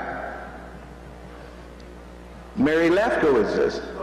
not out of Africa. You see? So here's this man angry at the University of Chicago writing a book called Closing of the American Mind. The argument is that when they opened the doors to the university in the 60s, they let all these people in with these funny ideas. And now they're writing all these books that are destroying the foundation of Western civilization. See? And then he castigates specifically the Black Studies, African Studies program. Vitriolic, poisonous criticism. You ought to read it. If I had time, I would have brought the whole transcript and just read just how nasty. It doesn't sound like scholarship. It's not scholarship criticizing scholarship, it's propaganda against African scholarship. To control, to say that African people have no right to write their books. Or as Lefkowitz says, to say that anything that people who are writing on behalf of African people say is myth and fraud. In the face of all the fraud and mythology that's been perpetuated by people about African folk, you know the fraud that I'm talking about. You know that Brother Jake tells us, Jake Carruthers, They used to have some books called the Harvard Classics. This is another way to keep Africans away from themselves by establishing the norm. And the norm, not meaning the norm for Europeans the norm for everybody, but establishing the norm for everybody. And saying that you're not literate until you've read the right books. And the right books were decided at Harvard by the president of Harvard, Charles Eliot. And they gathered together all the books of the world. At that time, they had some of the books from Asia in there, but no African books.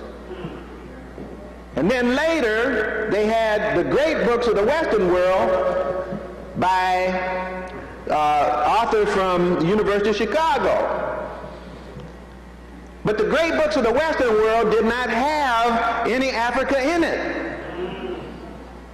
Even though the people at the University of Chicago housed the Oriental Institute, which studied the Nile Valley Rockefeller had set up the Oriental Institute and you had all the Egyptologists sitting right there at the University of Chicago when they wrote the great books of the world, the Western world, and never talked about the Nile Valley. Well, even if you say, well, we're not talking about African books, how can you leave those books out when the Western writers referred to them, like Plato? And then in the great books of the Western world, assuming that you're restricted to reading these in order to be a literate person, you have to read white supremacist texts. And Jake points out one of those texts, which I'll read for you from Montesquieu's Spirit of the Laws. So in order to be an educated person, culturally literate, read the great books of the Western world, which include this quote from Montesquieu. Were I to vindicate our right to make slaves of the Negroes, these would be my argument. The Europeans, having extirpated the Americas, that means had committed genocide on the Americas, were obliged then to make slaves of Africans for clearing such vast tracts of land. Sugar would be too dear if the plants which produced it were cultivated by anything other than slaves. These creatures are all over black and with such flat noses that they can scarcely be pitied. It's hardly to believe, hard to believe that God, who is a wise being, should place a soul, especially a good soul, in such a black, ugly body. The, this is the great books of the Western world. The Negroes prefer a glass necklace to the gold which the polite nations so highly value, can there be a greater proof of their waning common sense? It is natural to look upon color as the criterion of human nature. It is impossible for us to suppose these creatures to be men because allowing them to be men, a suspicion would follow that we ourselves are not Christians. Then he continued, the greatest part of the people of Africa are savages and barbarians. They are without industry or arts. They have gold in abundance, which they receive immediately from nature. Every civilized state, therefore, is in a condition to traffic with them to advantage by raising their esteem for things of no value and receiving a very high price in return. That's Montesquieu. That's the great books of the Western world. Hegel, in the great books of the Western world, also talks about the fact that Africa has no history of its own. It's capable of no development and culture. The enslavement to more advanced Europeans is necessary to the increase of human feeling among the Negroes and is an advance toward becoming participants in a higher morality, a phase of education. So at this point, forget Africa and never mention it again because it's not any historical part of the world. It has no movement or development to exhibit any historical movement in it, that is in the northern part, talking about Egypt, is Asiatic or European. Carthage displayed there an important transitory phase, but as a Phoenician colony, it belonged to Asia. Egypt will be considered in reference to its western phase, but it does not belong to the African spirit. What we properly understand by Africa is the unhistorical, underdeveloped spirit still involved in the threshold of mere nature, and which had to be presented here only as the, on the threshold of world history. So in order to be literate, you have to be anti-African. Ptahhotep doesn't exist. The teachings of Merikare do not exist. The teachings of Khunanup do not exist. The great book of the dead does not exist. The control. See, these are the things that have to be controlled. So when Africans begin to discover their own literature, then that literature has either to be co-opted, transferred in its authorship to somebody else, or it has to be shut down as not relevant. In fact, one of the ways to close the literature of Africa down is to say it's mythopoetical literature. It's not philosophy. It's not science. And even the science is pragmatic. That's what I mean by the control of scholarship. Mary Lefkowitz, not out of Africa. Molefi is doing a book called Still Out of Africa. Dr. Ben, I'm sorry, Dr. Clarke cleaned her house the other night, as you know on the video. I don't know if many of you know that Dr. Finch also did the same thing up at Brown University. She called him a couple days before trying to get things adjudicated before the panel because I think she knew what kind of whipping she was getting ready to get. And I hope that article is floating around. If you don't have it, I'd be happy to get it to you. Finch did a beautiful critique of a stupid position, a propagandistic position. Schlesinger wrote the same thing that Bloom wrote in Closing of American Mind and Disuniting of America. The very fact that African scholars say something about themselves will have the effect of tearing down the unity of America, according to Arthur Schlesinger. Yeah, if it's based on a lie, it will. If it's based on these lies that I just got through reading, it will. To shut down the research, the publication, the hiring, the tenure of departments of African studies is to control scholarship. And we'll be back to the point where we were when the 60s started. Part of that argument was about scholarship. And you had newscasters on television and radio saying that there was not enough literature to have black studies programs. You couldn't have them because the books didn't exist. At the time that the Schomburg had 50,000 catalog volumes right up here in Harlem, the books didn't exist. At the time, the Moorland Spingarn Library and Research Center existed on Howard University's campus and dozens of other research centers existed, but we did not exist. People never wanted us to open the books. That's genocide. To establish white supremacy scholarship as the norm is genocide. And I just read to you some of that scholarship from the great books of the Western world. Now we have the new one, Cultural Literacy by E.D. Hirsch. That's the second book that college presidents had their people read. And there was an attempt to establish that as the norm for information that would make you literate.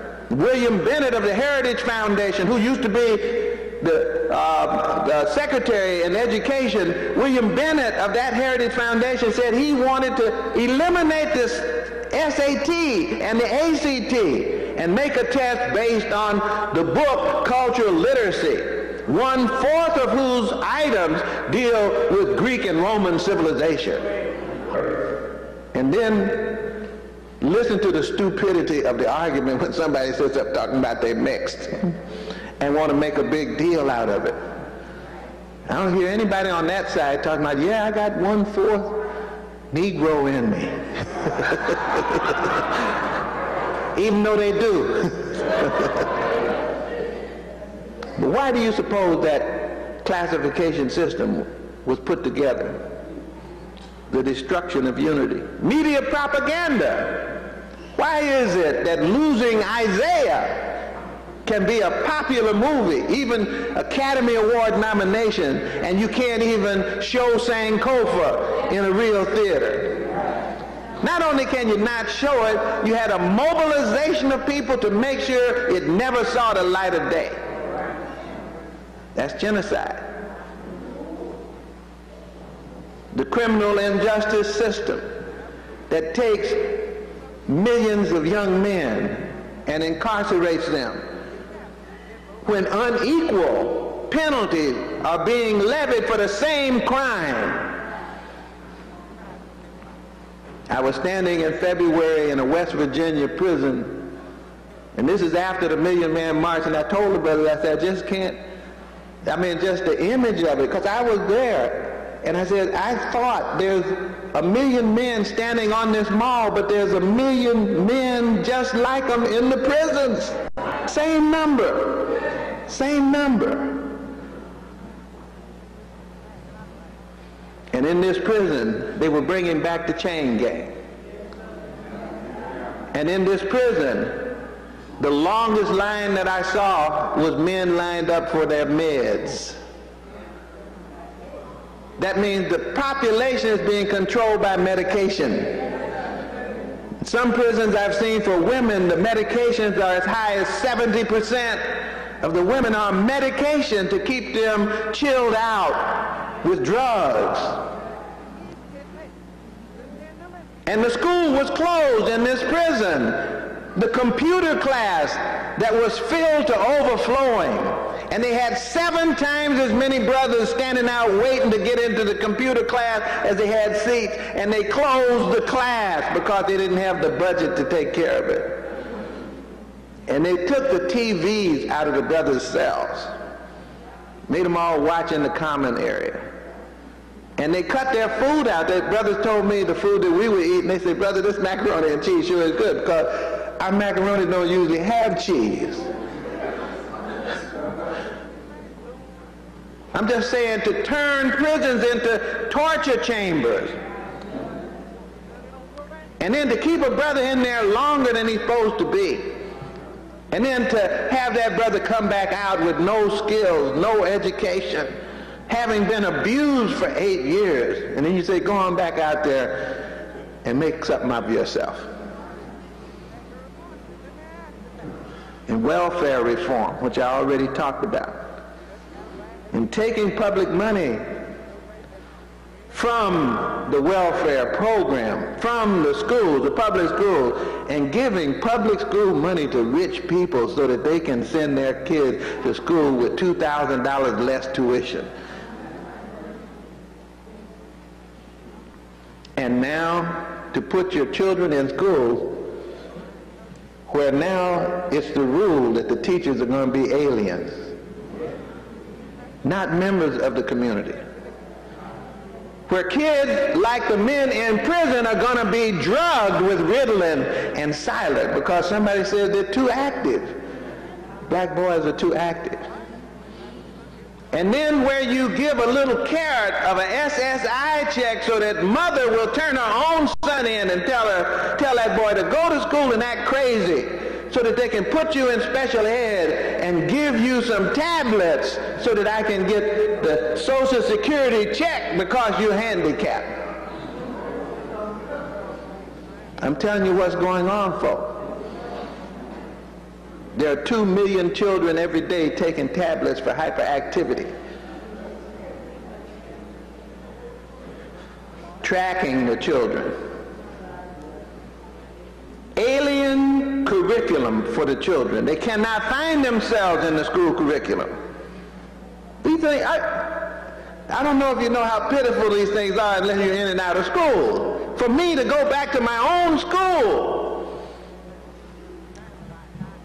and to hear the principal tell me that they have now changed the law so that they're not busing anymore. So now you got neighborhood schools again. My school is now 100% African again, but the teachers are not. But here's what's even worse. The principal said, I tried to get some African teachers over here, offered jobs to them. She said, these European teachers that came, they chose to be here. They want to be here. This is not their last assignment of last resort, but the African teachers told me they didn't want to work with African children. They want to go out to the suburb so that it can move on up the line. That's a different environment than the one that I had. That's genocide. To break up the cultural transmission process that allows a group to know itself through time and space. Dismantling the legal protections. Got the technical situation. Everybody knows that we jelly beans now. Porch monkeys.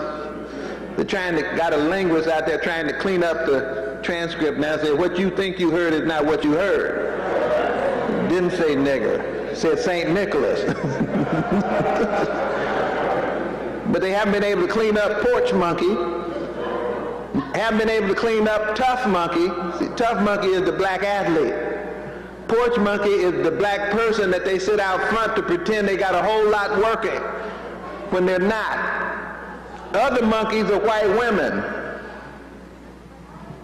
They got a problem with all things Kwanzaa. The man who is the EEOC, or uh, the EEOC had already had Texaco on probation.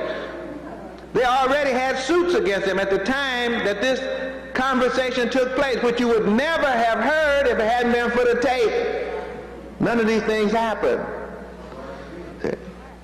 Fuhrman never used the N-word until the tape came out.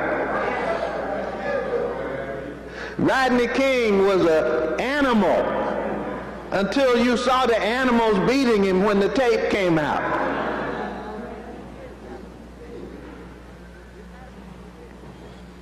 And then, of course, shredding the evidence of the misdeeds deliberately. See, that to me is bigger than the names they call us. The fact that they say we will get rid of the evidence so nobody can see what we do around here.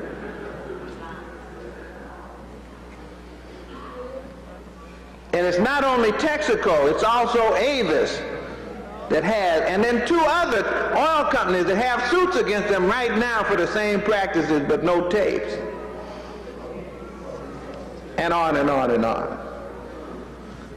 Let's talk for a moment about homicide.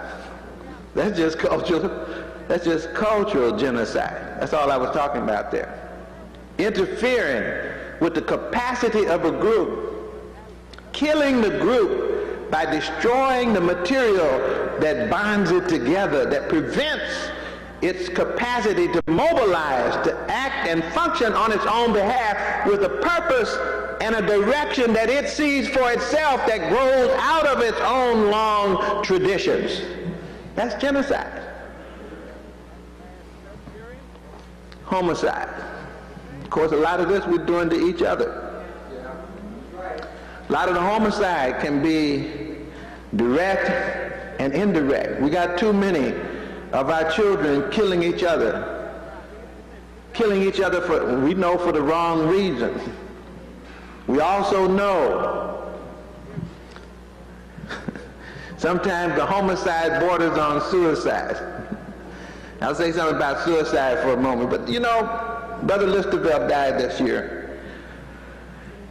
Um, when Brother Listervelt died, I watched him every week as he got weaker and weaker and weaker, and they tried all kinds of things. We thought he was healed up until September. Uh, we thought that the cancer wasn't coming back, and then one day we were supposed to do a program together, and the night before he called me and said it's back. And then he had to go through a series of bone marrow transplants. And they began to look around for donors. and over the time, they finally found donors. In cancer transplants, they try to find five characteristics to match. And if you get four matches, that's a pretty good chance five is really good. They actually found people that matched Listervelt five for five. So we were very hopeful that this match of bone marrow transplant, which he then had to have, they've been giving him his own bone marrow back after they cleaned it up before. But that didn't work, so they had to get some fresh bone marrow.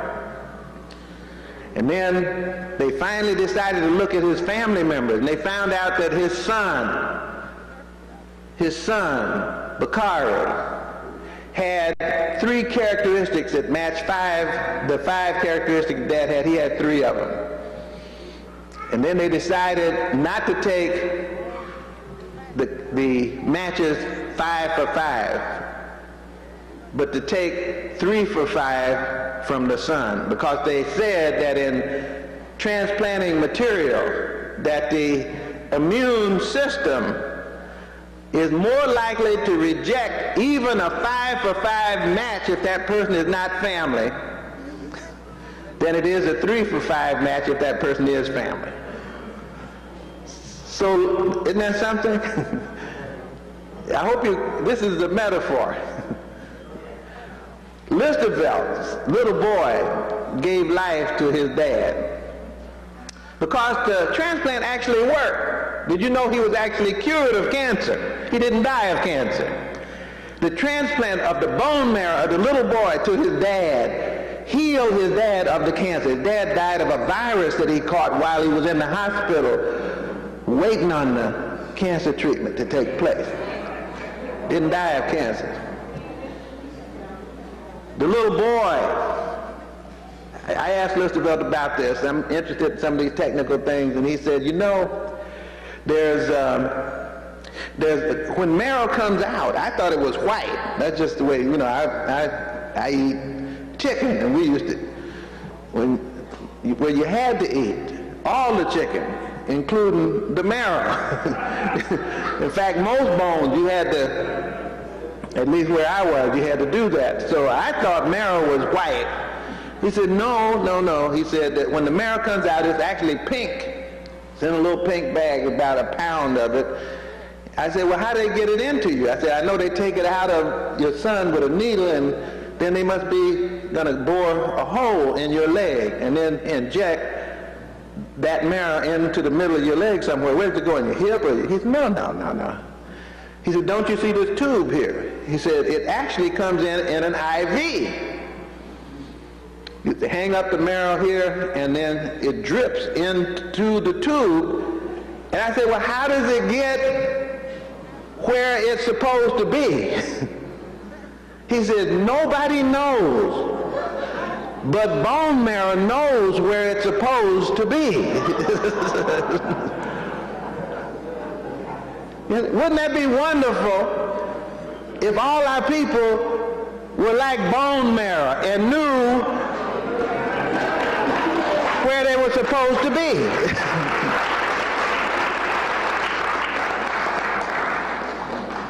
now the father, after he got this bone marrow, did not reject his son's cell because they kin, they kinfolk, they bonded physically. And of course, culturally, the same thing has to happen.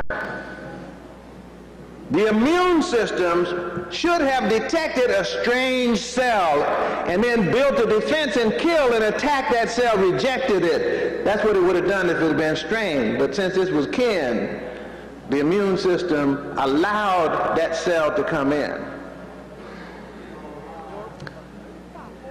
Now, in the case of AIDS, they say there's a deficiency in the immune system so in the case of AIDS, the person actually lets the thing that's going to make them sick in without the fight. Something called acquired immune deficiency. Immune deficiency. The immune system doesn't do what it's supposed to do. Syndrome. AIDS. Acquired immune deficiency syndrome. Well, it seems to me that we have something called cultural AIDS,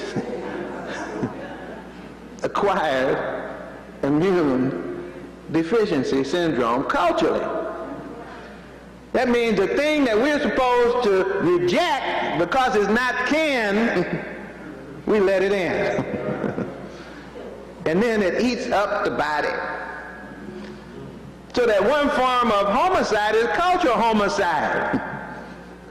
Not just the little children shooting each other, but that person in the community who passes on the alien matter to their children instead of the thing that sustains their life.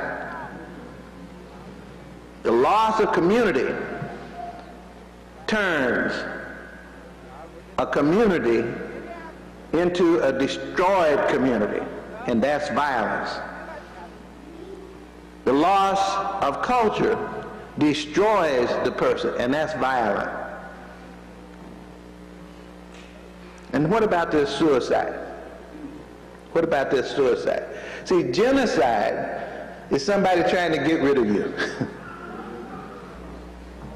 Homicide is somebody trying to get rid of you, trying to change you into something else.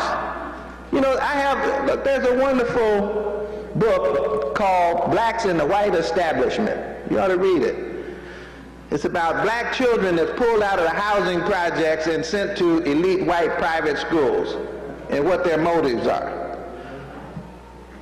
They've done a study on whether or not you could actually change Jewish children into wasps.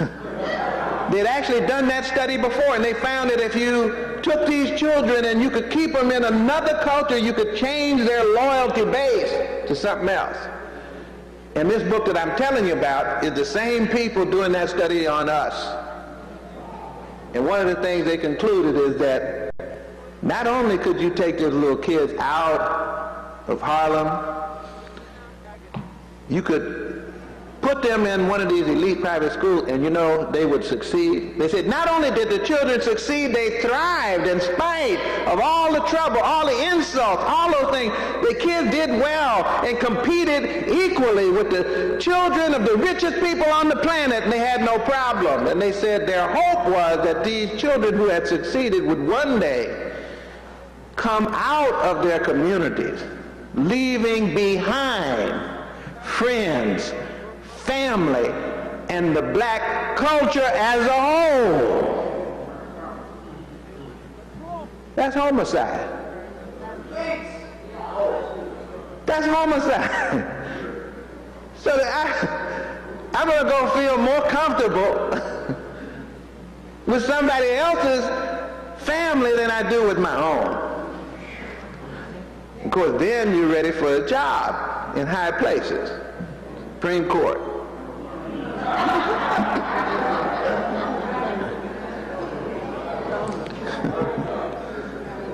But let's look at this suicide though. What is this suicide? Suicide is not when somebody tried to kill your family, not when somebody tried to take you out one by one. Homicide. Suicide is when you do it to yourself. You ought to know something about suicide. One of the things about suicide that I found out, one day a lady from DeKalb County called me in Atlanta, that's out in the northeast of Atlanta. And she said she had gotten numbers from the Center for Disease Control on the suicide rates for black male. And here's what the number said. Since 1980, the rate of suicide for black males has more than doubled from 5.1 per 100,000 to 12.4 per 100,000 up to 1985-1990. From 1980 to 1992, suicide among black males 10 to 14 years old increased more than 300 percent. For black males 15 to 19, 184%. It is the leading cause of death for 15 to 20 year old black men. Suicide. Now, I'm not talking about cultural suicide at the moment. I'm talking about suicide. I'm talking about offing yourself with a gun with some gas or cutting your wrist or something like that. You know the funny thing about this? Up until a few years ago, black people didn't commit suicide at all. They weren't even in the numbers. And now the numbers are threatening to equal the white population.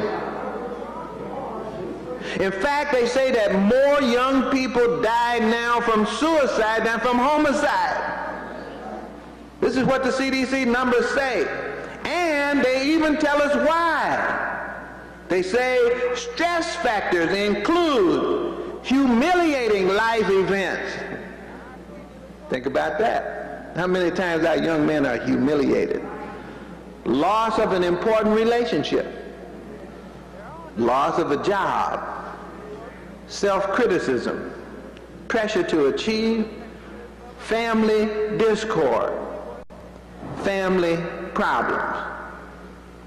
Now, before I give you the interpretation of this and what happened, I want to tell you that there's also some numbers on black women. And they find that the black men actually commit suicide more, but the women actually attempt suicide 18 to 21 times for every time they actually complete one. Which meant they have more attempts than the black male, but they just don't complete it. So both the men and women are in trouble. A study was done, working backwards to interview the families of these young children to find out if we could see why they were committing suicide. You know what the study showed? In fact, they'd asked me to advise about what questions ought to be asked. And the two questions that I put into the questionnaire were the main two questions that showed what the problem was as the research came back in.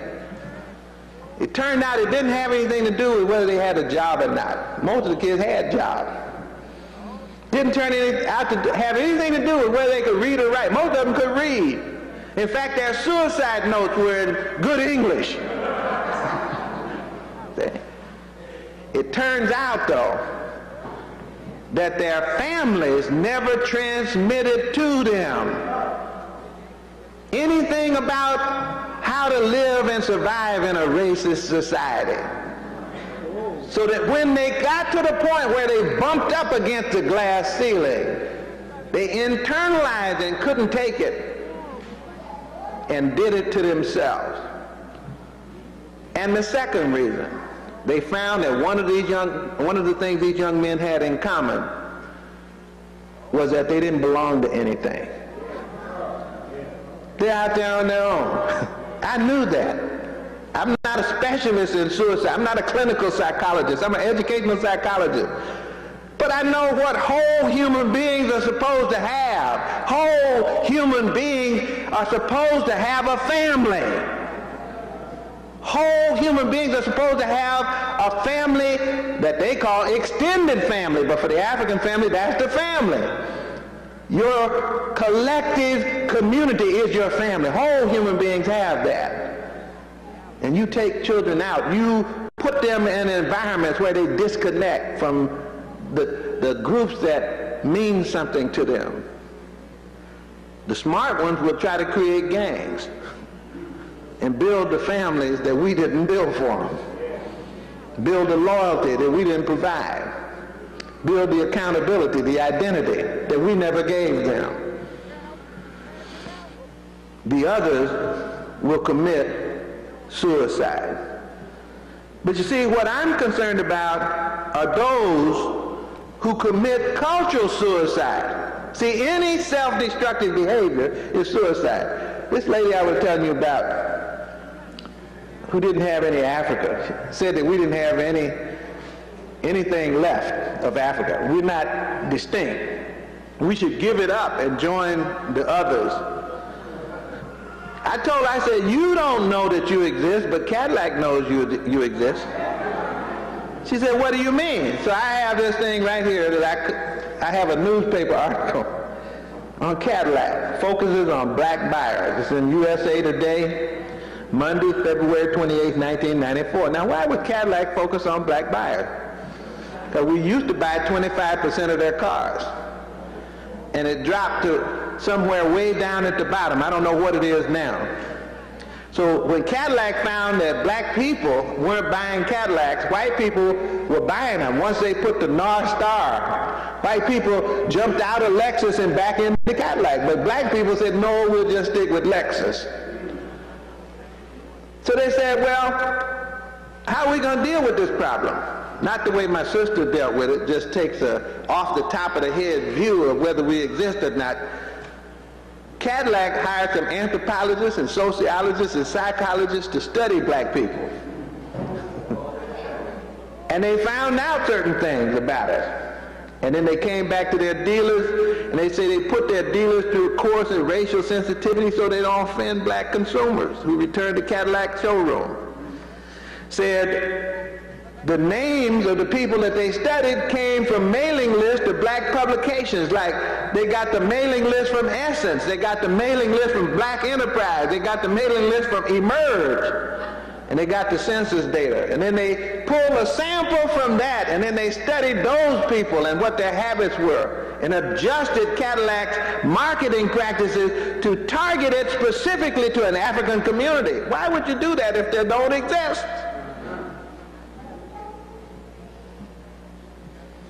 They were told not to dismiss black buyers who may dress or talk differently than white buyers. See, that might seem like common sense, but against, goes against the fears of auto uh, salespeople who train in the automobile business, automobile business. Salesmen have been taught to size up the tire kickers quickly and not spend much time on those who they think are unlikely to buy, unlikely to afford a car. And they usually use attire and speech as the keys to making these judgments. They say, you can't do that. Brother may be talking funny with about 15 grand in cash in his pocket. You don't know what he's got. And so they had to teach Cadillac that. Cadillac actually had focus groups for blacks. They got young blacks to find out what they thought about Cadillac. And they did what they had to do. R.J. Reynolds did it too.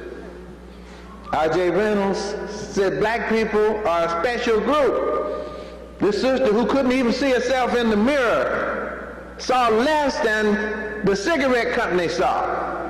They knew that they weren't selling cigarettes like they wanted to to the black community, so they got their anthropologists, sociologists, and psychologists out and studied them. And they knew something about your ego. They knew that poor folk like us like rich names for the things that we wear. So they made a name of a cigarette just for black people called Upscale. Upscale. And they study you and know you like menthol. So they put menthol in your cigarette. But they know you don't like too much. So they put weak menthol, light menthol, menthol light in an upscale cigarette. And you like filter tips more than white. So they put filters on your upscale menthol light cigarette. And they even followed you around and picked up your empty cigarette package that was on the ground and noticed that you open your cigarettes more often than whites from the bottom of the pack because you don't like to crush your filter tip before you smoke your menthol light upscale. So they decided they would pack the cigarettes in the package upside down just for black people who don't exist, according to this system. Who don't exist. You See? Everybody knows we exist except us. Everybody knows we exist except us because we make a conscious choice sometimes to commit cultural suicide. See, it seems to me that at some point we have to begin to understand what all other groups understand. We have to understand that there is absolutely no way to solve the problem I've tried to identify other than to invent and reinvent the structures in the community to do this. The public schools will never respond to the things that I just raised here. I'm telling you, they cannot. They don't know enough. They're not going to put the money into learning. They don't respect the culture enough. So we have to have a structure. Nothing happens by accident. You don't transmit culture values by accident. Children just don't learn those hanging around you. You have to set up systems to do that. Systems that involve all the children. We're not doing what we're supposed to do. Make this my final point on that. We're not doing what we're supposed to do because we're facing genocide, homicide, and cultural suicide. And somebody facing that is supposed to behave appropriately, right? Wouldn't you think that if something happened to you as you stepped out of this auditorium and somebody came up to you with threatening behavior, there's an appropriate response to threatening behavior. And if somebody walked out and ignored the threatening behavior, you say that's a crazy person. Well, that's what we're doing. I told somebody up in Florida a couple weeks ago, the PhDs, they have a program in Florida, the McKnight PhD program. They got over 200 Africans getting PhDs out of those Florida colleges down there. Brother down there, real sharp, Ike Trice, uh, Ike Tribble. And some of us get to go down there and talk. Dr. Clarke was down there this year because there are certain messages they don't get from where they are. And so I told them about the problem is not getting a PhD. The problem is not committing suicide or not permitting genocide or homicide culturally to be practiced on you. You see, appropriate behavior, it seems to me, is not our standard response. And I've kind of psyched it out. I've gone around the country to see what we're doing. And every place is not like slave theater. I tell you. A lot of people's response is what I call tables of ten. I'm getting ready to, I want to write a book about it. I'm not going to say I'm getting, re- I'm getting ready to write it because I might not write it. But it just would be a good book for me to write. Tables of ten. Because that's the typical response of black people to problems. It's the easiest thing that we can do. It's the only thing we can do without working. And that is to get in our organizations and rent a hotel from the people who make money off of us and have a banquet where we sit down at tables of ten and where we pass out plaques and have a speech and eat and dance and go home after we have given two scholarships of $5,000 after we paid $500,000 for the dinner at tables of 10. It doesn't take anything. So maybe you only do one of those a year. Or maybe you got a whole network of friends and maybe you're in three or four organizations, and I don't want to name the organization, but you know what they are. Tables of 10 is not a structure for socialization.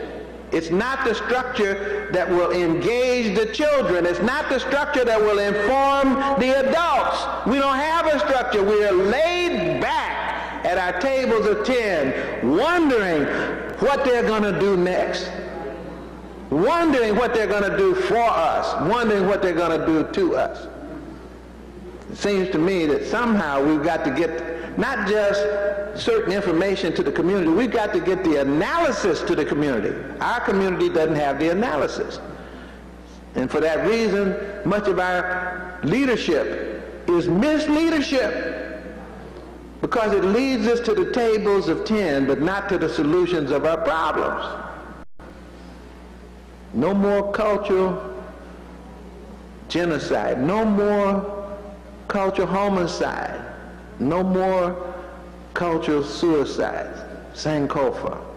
Thank you.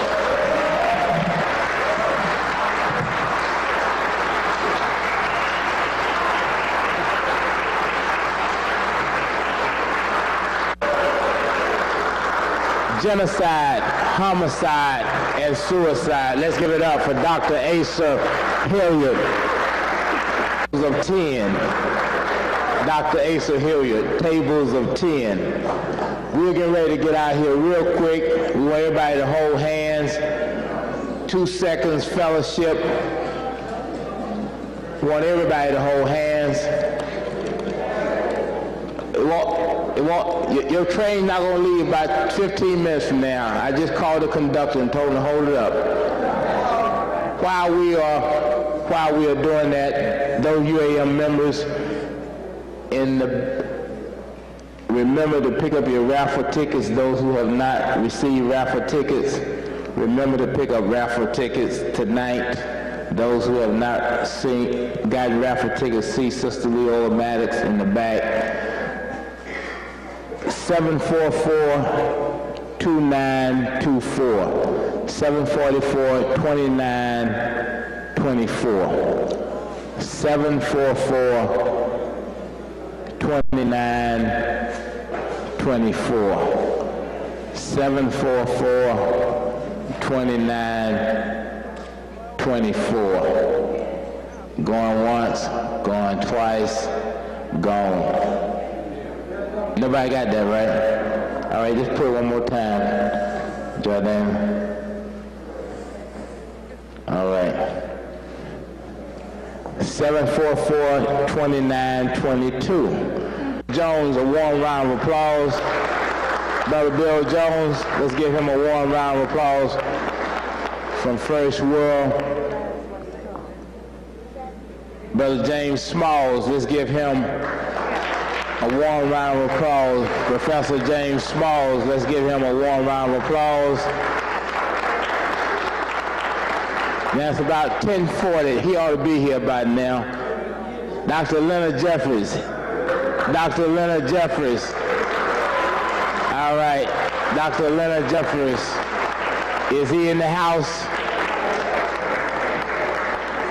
All right. I was I was out in Queens and you did not make CMATAP, brother, as you promised. Oh, y'all did? Oh, y'all got there on Dr. Jeffries' time. All right. Y'all came in late. All right. All right. We're glad to have everybody out tonight. Uh, thank you very much. We certainly appreciate Dr. Asa Hilliard. Let's give him a warm round of applause. Dr. Asa Hilliard. Asante Sana.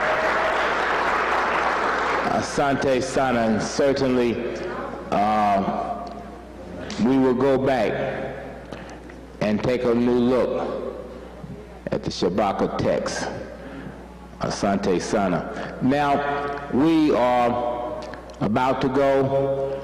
We'll be back next week with a brother from the Shawnee tribe, Barney Bush, from the mountains of New Mexico and we'll be here discussing Native American history and culture, and we'll be talking about their struggles to save their culture and their history, which will be very much in line with what Dr. Hilliard talked about tonight, and we'll be reminiscent of the struggles up at City College.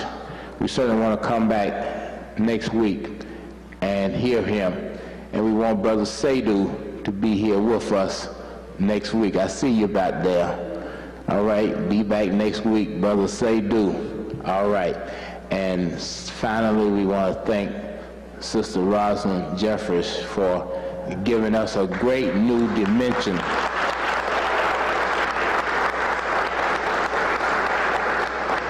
of Dr. Asa Hilliard. And then just one final omission I need to correct. We're glad to have Trenton, New Jersey in the house tonight. Brothers Glass, thank you for, thank you all for coming out and thank you all for having us down and we'll certainly be back in touch. We're an African people, robbed from our homeland, robbed of our names, our languages, our cultures, our religions, our womanhood, our manhood, our sisterhood, our brotherhood, our motherhood, our fatherhood, our selfhood, our nationhood, and our self-respect. But we shall rise, never to fall again. Up, united race, you can accomplish what you will. No justice, no peace. No justice, no peace. No justice,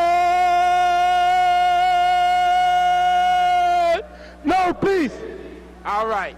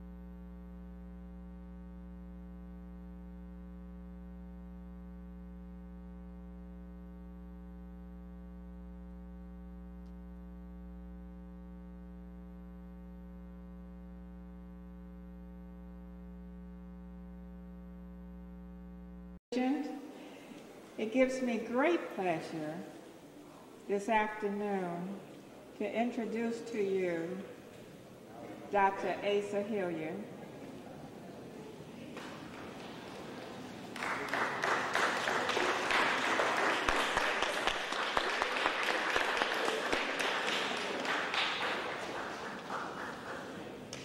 I first, I first saw Dr. Asa Hilliard in the early 80s, probably around 85, speaking at our uh, first ASCAC conference in New York. I first met him in 1987 when we went to Kemet. And I think we were on the same plane and we were all, when we arrived in Kemet, we were all hugging each other, saying, we're home, we're home. And we hugged each other, saying, we're home, being so happy we're home. Dr. Hilliard is a professor of educational psychology, was born in Galveston, Texas on August 22, 1933. This is his biography that I got from the internet, by the way. And uh, some things were revealed to me, so I'm going to reveal them to you. After completing high school, Dr. Hilliard attended the University of Denver, earning his BA in 1955 and his master's in counseling in 1961 and a doctorate of education in educational psychology in 1963. He began teaching in the Denver public school system where he remained until 1960 after receiving his bachelor's. That year he began teaching as a fellow at the University of Denver where he remained until he earned his PhD. Joining the faculty in San Francisco State University in 1963, Dr. Hilliard spent the next 18 years there. While at San Francisco State, he became the first department chairman and spent his final eight years as Dean of Education. He served as a consultant to the Peace Corps and as superintendent of schools in Monrovia, Liberia. Leaving San Francisco State, Dr. Hilliard became a professor at Georgia State. Today, he is the Fuller E. Callaway Professor of Urban Education, serving both as the Department of Educational Policy Studies and the Department of Educational Psychology and Special Education. He is a founding member of our association, ASCAC. He is our first vice president. He, served, he has served as an expert witness in court testimony on several federal cases regarding test validity and bias, and he's a co-developer of an educational television series, Free Your Mind, Return to the Source, African Origins. In 1995, he was selected as one of 30 movers and shapers of early education. He has written hundreds of topics on a variety, hundreds of articles on a variety of topics, including ancient African history, teaching strategies, and public policy. He's the recipient of the Outstanding Scholarship Award from the Association of Black Psychologists, a Knight Commander on the Humane Order of the African Redemption, and the Distinguished Leadership Award from the Association of Teachers of Education. He and his wife, Patsy Jo, who is mayor of East Point, Georgia, have four children. Some of the books he has authored are The price they paid, desegregation in an African American community. The Maroon Within Us, selected essays on African American community socialization. Teaching slash learning anti-racism, a, develop, a developmental approach. Know thyself, and he also introduced the teachings of Ptah to us. Without further ado, it gives me great pleasure, and I know this will be a great learning experience for you, Dr. Asa Hilliard.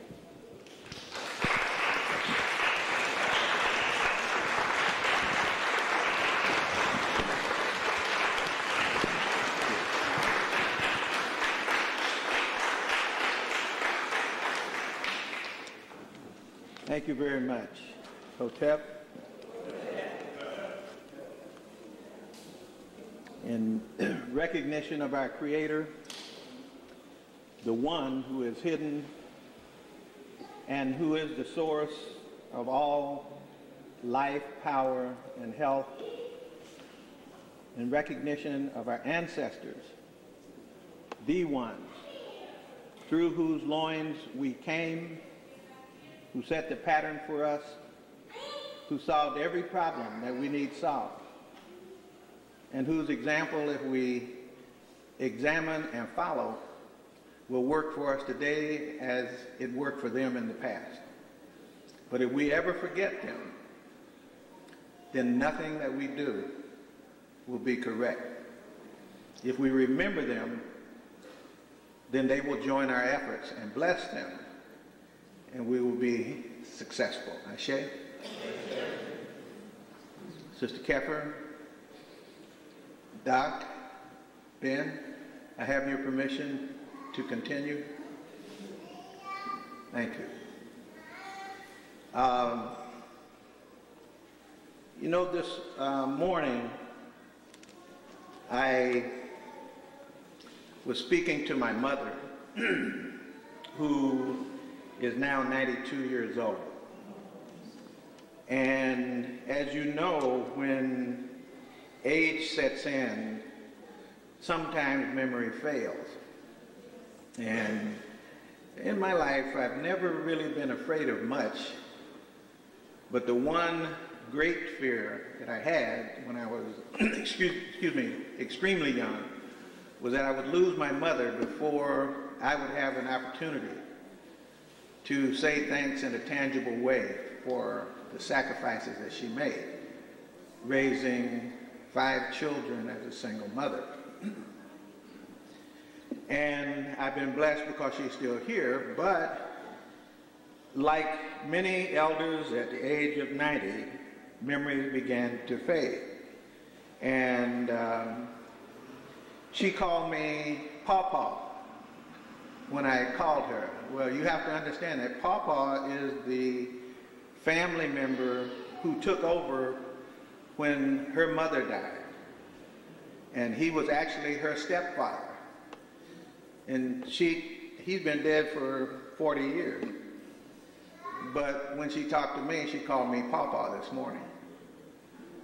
And um, a couple weeks ago, when I went to see her, she came to the door and embraced me.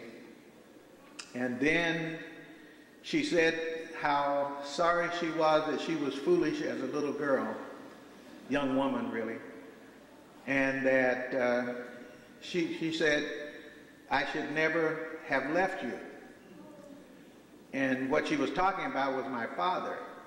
And so at that time, I was not Papa, her father, but I was my father. And she hugged me and talked to me as if she were my father, or her father, um, my father. And um, what had happened is when I was about two, my mother and father divorced. Both of them, it was one of those divorces, if divorces can be uh, harmonious, it was. Neither ever said a negative word about the other, and I never even until now, know what it was that caused them to split. And that was as close as I've ever gotten to even having a hint of why it was that at the age of two, my brother and I wound up in Houston, Texas. My dad stayed in Bay City, and then my mother and father both had three more children, so I'm the oldest of eight.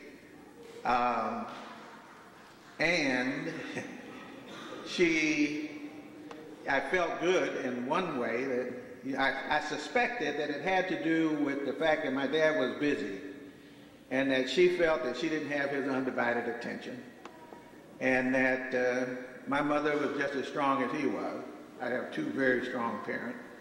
And my mother is very independent. Even now, she will not live with anybody. So we had to build her a house so she could live in her own house. And even now, with her failing memory, she will not move. Although I built a house in my daughter's yard so that she can go next door or they can come by and she can put the kids out, my grandchildren, whenever she gets ready. Now, how do I deal with someone whose memory is failing? Well, every time we meet, what I've learned is that uh, she's always disoriented now, but all I have to do is start reminding her of the jokes we used to tell when I was little. And as soon as I get to those jokes that we used to have, we used to name people. We call them by funny name. Everybody had a funny name, and we would have the biggest fun in our house with these secret names that we have for people. And every now and then we'd slip up and call somebody by their secret name that they didn't know they had. And so that would be one of the things that would get my mother laughing. And so once she went all the way back and got those memories, then we work up to the present, and then she could remember what happened this morning, yesterday, everything else. So it was a case, a living case of Sankofa, you know, going back to find out where you are, to get oriented. And I remembered that when I was coming here because that's really what we're doing in ASCAC. Um, you see, without, without memory, there's really not much you can do. In fact, with no, without memory, you don't exist. Um, so this is not something, this memory search is not something just so that we can memorize the seven principles of Ma'at, that we can, uh, the features of it, the, the, the, behavioral aspects of Ma'at, that we can memorize those. That's not it. That what we're doing in memory is really coming to life. Because 99.44, 100% of who we are is what we were. And the present moment as of this moment, what happened, what I just said, is memory already. So we don't live, we really live in memory and with memory in order to be able to go forward. And so when Bill Bennett made his comment about the fact that you could eliminate crime by killing all the black babies and then add it quickly, but it would be horrible and wrong and so forth. I might have accepted that if I didn't have a good memory. But I have a great memory for the fact that uh, Bill Bennett has a very close associate at the Heritage Foundation named Charles Murray, who wrote The Bell Curve. And I remember that the Bell Curve was sponsored by the Bradley Foundation and that the Heritage Foundation houses Bill Bennett and Charles Murray. And Charles Murray, I remembered in the bell curve, chapters 21 and 22, where Murray does the same kind of thing that Bennett does, implying that most of the people with low IQs, which is us, are worthless people, which he says, and really there's no way to get rid of them, which he says, and so therefore you have to stick them all in one community so they can stay together and the rest of the world can go about its business. Uh, so if you read the bell curve, that's the one you should read. So I remember that, and therefore I could put a different spin on Bill Bennett.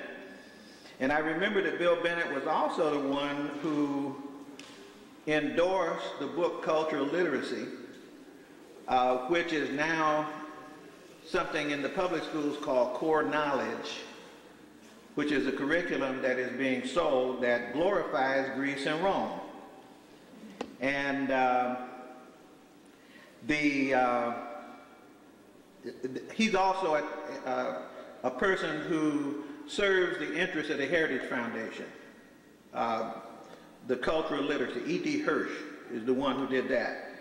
And in fact, he served it so much that Bill Bennett said he wanted to take what was in cultural literacy and make it the new scholastic achievement test.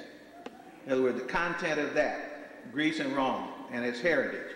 In other words, some people always remember, but they want other people to always forget. So they were putting the power, as he was then uh, the person who was in charge of the Department of Education, and which is another reason that his comments are so interesting and meaningful.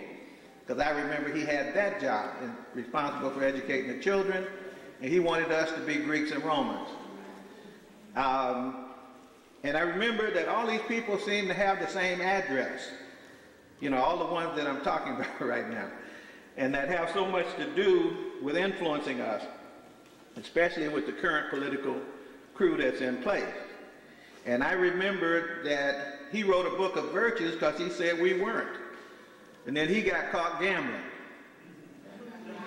And so now he's not only caught gambling, but implying murder with his virtues. So I remember, and I can put a judgment on the quality of his life. And I remember also that he's at home with the wife of the current vice president, Cheney. His wife named Lynn Cheney. She used to be head of the National Endowment for Humanities. And when Ali Mazrui wanted to remember Africa, to try to put his version of the history of Africa back together again, they paid for that. The National Endowment for Humanity actually gave money to Mazrui to do that. And then they showed about four programs because they thought he was going to talk about trisophrenia, the Africans who were confused about who they were with triple heritage. That's what they thought the message was. And he, he had that. But he also had an anti-colonial message.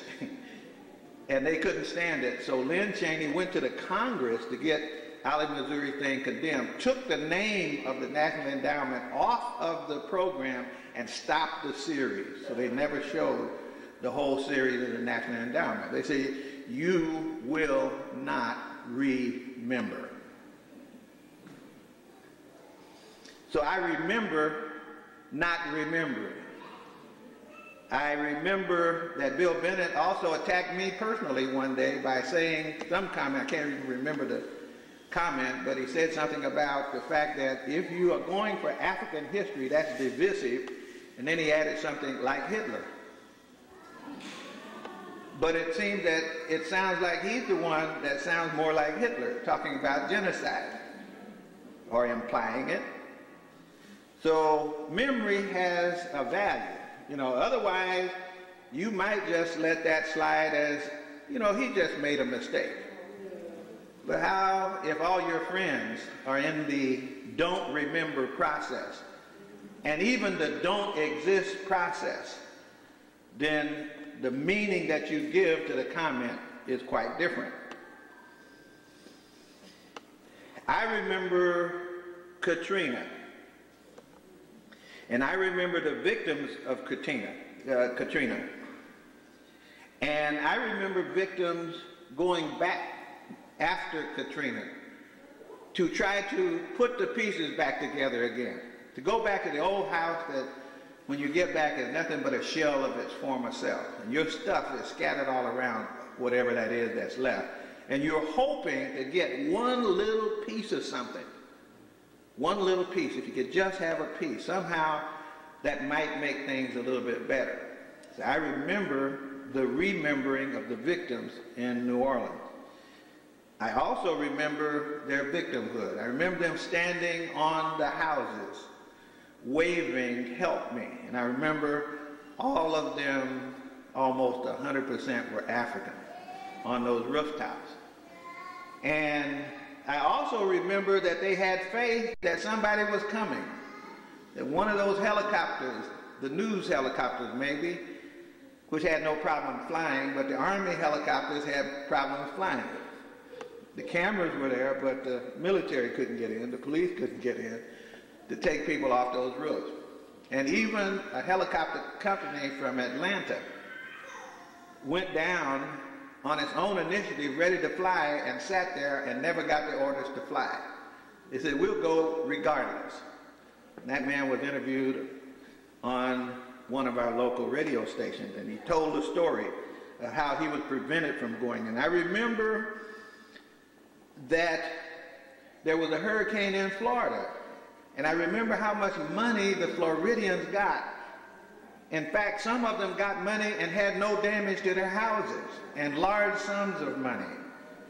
And they were going to max the victims from New Orleans out at $2,000 per family if they would sign away their rights. I got good memories on something. And I remember a public official saying that New Orleans was now gone and implying that that was great because he said, We've been trying to do this for a long time and finally God did it. And I remember that in New Orleans, that hundreds of people tried to cross a bridge to safety. And the sheriff shot over their head and said, This is not New Orleans. You can't come this way. You got to go back into the flood, go back into the danger, because we don't have room for you here. And I was hoping that African people would not forget, but would remember all of these memories. You see, because there are other crises coming, and we'll be still on the roof, like many of us now, waving our hands in hopes that someone is coming. And when even one white uh, political person mother died because he thought they were coming too, and he broke down crying, saying, Nobody's coming to save us. Nobody's coming. I said, Well, if they're not going to save him and his mama, then all those Africans on the roof, they can forget it. And so maybe that's some kind of message that we ought to remember in order to know that we ought to remember. You see, because there are people that you know and I know who say, Why are you studying all that black stuff? That was in the past. Well, there's one reason. I just got through telling you. Um, now, I remember other people's memories. I remember that every town I go into has a museum that preserves the memories of Europeans. Has libraries, thousands of books that preserve the memories of Europeans. We might have a book or two in there up from slavery, you know, something like that. I remember that they have monuments all over town, even some resembling African monuments that Africans don't even remember are African. And Europeans don't remember are African. And their buildings are built on African patterns, but since neither of us remember, we don't even know how to put a value on it, but they are remembering. I remember that there are those who are forgetting, deliberately forgetting. I remember Len Jeffries for the state of New York trying to remember in the curriculum inclusion. And I was a part of that effort, and uh, you would have thought they were dropping a dirty bomb on New York. Wall Street Journal, New York Times, all these places went after Lynn, and they couldn't find anything wrong with the curriculum, so they decided to go get him for a speech that he made somewhere and pull a line out. They've been saving that for the day they needed it, and then when they needed it, then they diverted attention from the effort. And so I remembered the efforts put into not remembering. And I remember that Schlesinger wrote a book, The Disuniting of America. And I remember the first picture in there was my Linus picture. The second picture was my picture. And the third and biggest picture in there was Lynn. That's what they were scared of at the time. Then there was a picture of Dr. Clarke. and Then there were a few others. And of course, what uh, Schlesinger was trying to do was to remember something that had never happened, a united America. he said, so this was a group of people who by remembering, notice now, what was the crime? Remembering. Because if you remember, then he sees that as dismembering America. But if we remember, we see that as unifying Africa. And of course, that's the problem the existence of African people. I remember that New York has burial grounds. And somebody remembered. I know that Brother James Smalls has been involved with that. I believe Brother Lynn and others. And, and they've been digging up stuff. And I remembered that just a few years ago, people said there was no slavery in New York. And now I just got a book from Amazon the other day, came to my house about this thick on slavery in New York. And it turns out not only was there slavery, this was one of the biggest slave areas of any city, any large city. New York had a thriving, decades old slave trade and operation that we forgot. Everybody forgot. Until they dug up, they kept digging it's, it's interesting, isn't it, how we don't have the money to do all this digging, but people who do dig keep digging up our stuff. They dig up pyramids, tombs, temples, mummies, and all of that, hoping that it's theirs, but they help us to remember. So it's interesting that in the New York Burial Grounds project, that one of the things they dug up was people who remembered because on their coffins they had the Sankofa symbol right there on the coffin. Same symbol that they put in the wrought iron in North Carolina because they were the people making those iron fences. And They put Sankofa in the fences saying they wanted to go home. The Georgia Writers Project that interviewed Africans said that um, everybody dreamed about going back. And that's where we get this these kid stories now, but they were adult stories then.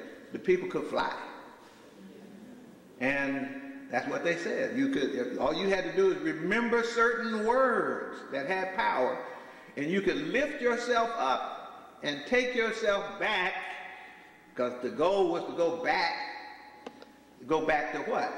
To go back in forward time, actually. To go back, to go forward in order to, what is the back? It's back to unity, back to coherence, back to sanity, back to power. So you can do what? So I can use it now. That's why you go back and get an egg out of your behind if you're a chicken, or the bird, the Sankofa bird, takes the egg out of behind. What is the egg other than the symbol of potential? Egg has all that it will become in it. It's already been fertilized. it has all that it will become. All you got to do is sit there and give it a warm environment. It will become its potential.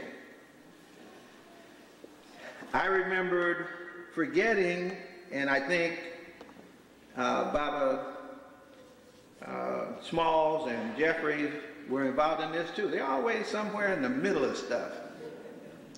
And that was taking Crystal and Carson back home when the DNA found out that they actually had a, an African from Jamaica and an African from New York City by DNA that come from Ghana, connected with Ghana.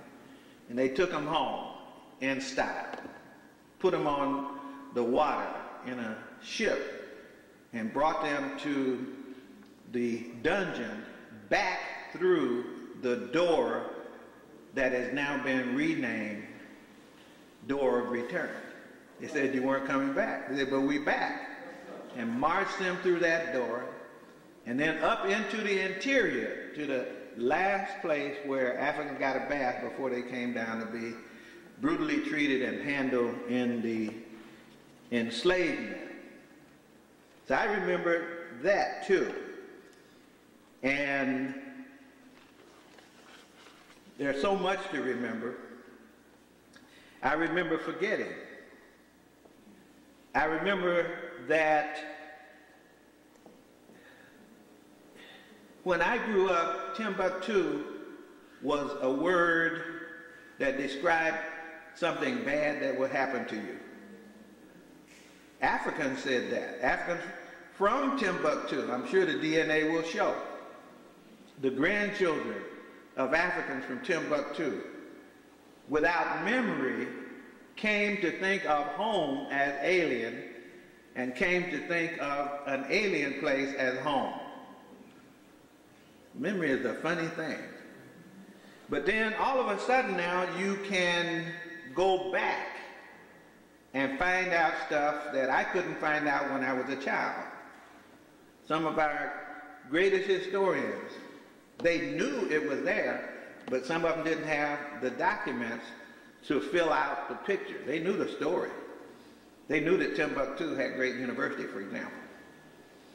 And when I get ready to show some slides in just a moment, um, hopefully you'll be able to see some of them. You notice that my slides are foggy, and that's because uh, we were bringing the projector in and it rolled down the stairs, and so it jammed the lens, and so I can't turn it and focus. That's why it looks like that.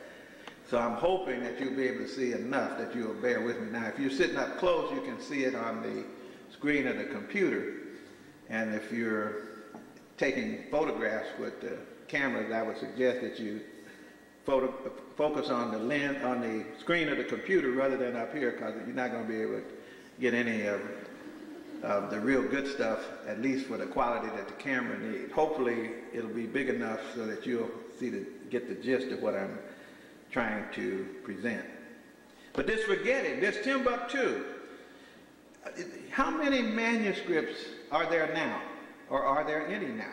Yep, turns out the archives of the university are still operating. Apparently they never shut down.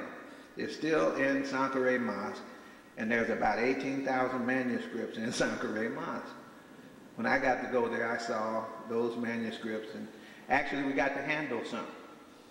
And then recently, New York Times said that they discovered, they didn't discover, but they noticed or were told that uh, there were about 100,000 manuscripts in Timbuktu, not in the archives, in the homes of the children and grandchildren of the professors at that university. They preserve those. Man, most people keep those books in their houses. Yeah, well, that's not strange because to Africans, books were the most precious thing you could have. And that, according to Ahmed Baba, the, he had the smallest library on the campus. And there would be 1,600 and more books in the libraries. That meant in the houses of the professors, in their personal library, so that you didn't have to have all your stuff in the university library. And then the New York Times, in the same article, says there are a million manuscripts in Mali. That means all over Mali, the other two university towns, Djenné and Gao, and other places where scholars were. That means scholars all over Mali. That meant literacy all over Mali. Almost everywhere you went, Mali was the one place where you have literacy in terms that we understand now. Most places had literacy in other terms, symbols and things like that. So that's, I remember that we forgot that and that this is a shock. So Last week, into my office walked a preacher from the Interdenominational Theological Seminary and a young man from Mali. And they had a suitcase with 25 of the manuscripts from the library of Timbuktu. Because they're right now trying to, he had lots more, and he's trying to, he had a letter from the Antiquities Department indicating that he had the permission, these were authentic, and so forth. And then they told me something that they, they had not done. They said in, in their, they had a lot of people want to give them bunches of money, but they want to, they're not us, and they want to take the manuscripts and do what they want to do with them. You know those manuscripts need to be digitized, for example, and translated and then taught, because some of them are really important. Like one manuscript that we saw they told us, the librarian said, this was a manuscript written by Ahmed Baba and that the manuscript was taking issue with Machiavelli's The Prince, which is the book that the Bush administration and the corporate people in America, for the most part, you can buy it right now. You can buy the Machiavelli The Prince in the bookstores in the airport. Why? Because that's the value system in a dog eat dog world. Now you can see why Ahmed Baba would take issue with it. That's why I wish that they hurry up and translate that document so we can see what his arguments were. This is pretty important. You know, not only were these Africans literate, and I just read the other day where some of them came from Spain, having been driven out when Ferdinand and Isabella drove the Moors out of Spain, that some of those Moors went to the library. They'd been university professors in Spain and had been driven out, and some of them went obviously to Timbuktu and served as professors there. And there's whole bunches of stories. I've always wondered how they built such an expertise to be literally a world class. They try to minimize what Timbuktu was. It was just a little country college. No, it was a world class university. And now the manuscripts tell you that. So what they gave me when I when they left after we talked and tried to brainstorm what we could do to support the effort without having people lose their rights to control the material and ownership and things like that. They said, well, here, we've not done this before, but I'm going to give you this manual. They gave me a manuscript out of the library for nine months. I mean, sorry, six months. I get to hold it for six months. So last night I spent three hours, and that's why I missed my flight trying to get here to see you. I spent three hours on my computer starting I thought I was going to be done in about an hour. I started at 11.30 a.m. and I didn't finish until three hours later, scanning the pages, 290 pages of a little bitty book like this. Brilliantly written and with lots of diagrams and a whole, obviously a whole bunch of subjects. It looked like math and everything, written by a woman. Written by a woman. Somebody is worried that we will remember. Somebody's worried about a value system where men and women are scholars. Somebody's worried about a value system that's anti the prince. Somebody is worried about a value system that brings the people into consciousness of themselves and allows Africans not to be ashamed from diaspora to their home base. So that's the forgetting so we didn't know how many, we didn't know how great the writings were. And all of a sudden, all this stuff is coming to life. Just like DNA is bringing connections of Africans to light. Oprah has now found out that she's Zulu. Andy Young has now found out that he's Mende. See? People are finding out things that will make them stand still at least for a moment. And if they got any consciousness whatsoever, they got to start asking questions again. You know, Andy tried to. He asked me, you know, a lot of little things in terms of history when uh, uh, the infusion conference was held, and a couple times when Dr. Ben came. I tried to get books over to Andy so he could read. I gave him some of Dr. Ben's books, some of Dr. Clarke's book, and a whole bunch of other books. I must have bought three or four hundred dollars worth of books that I presented to him. He got all fascinated and started lecturing on the books. He was running, I think, for governor at the time, went down to Tulane and was making a speech, and they almost ran him out of town. And so he decided he couldn't do the lectures anymore, but he kept reading. He used to read, he used to listen to the tapes you buy right here, and so forth. So he got fascinated and said, well, if I'm Mende, who are the Mende people? you know, and I was trying to point out that the Mende people, like all the people in West Africa, are East Africans who move. You know, and so therefore, you know that you have East-West merger in the West, and some other things. Linguistically, we know this. Now you can find out through DNA. There's a lot of things. In other words, the ISIS function needs to be performed. I said picked up the pieces of the body of African people in this case, Asar, her husband, representing the people, really. And she found that you could bring that body back to life, including its creative principle, the penis, so that you could procreate. Can you imagine taking a dead body, dismembered, and remembering a dead body, and then revivifying a remembered body and put it, what a model. That's how we are as African people, a body torn apart, taken everywhere in the world, needing to be remembered. We use the word Sankofa for that. And now, of course, we're being assisted in this attempt to remember. So I want to do a little remembering by going, if I can make the technology work. Um, and I apologize to you for um,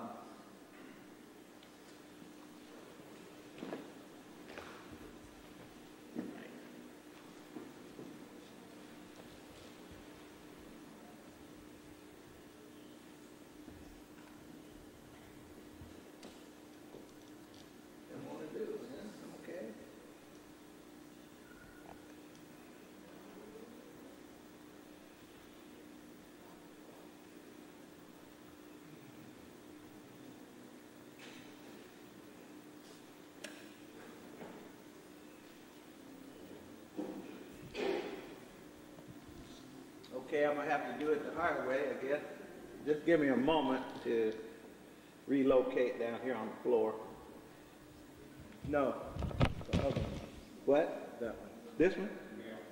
That's yours here that I'm taking? No, that's the house side. That's, that's, Oh, yeah, yeah, yeah, yeah, yeah, yeah. so I should take this one? Yeah, that's the house side. This one?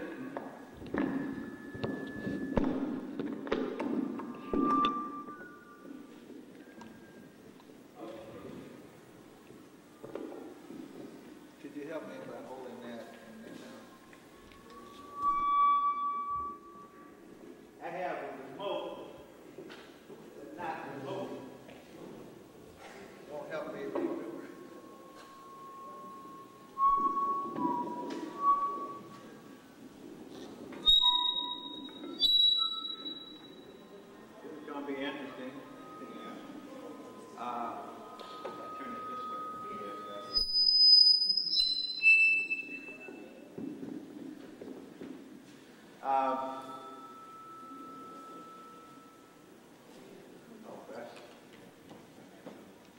Anybody see any of that? It makes it worthwhile for me to go on. Yeah, there's five people. There's uh, Dr. Clarke. That's it.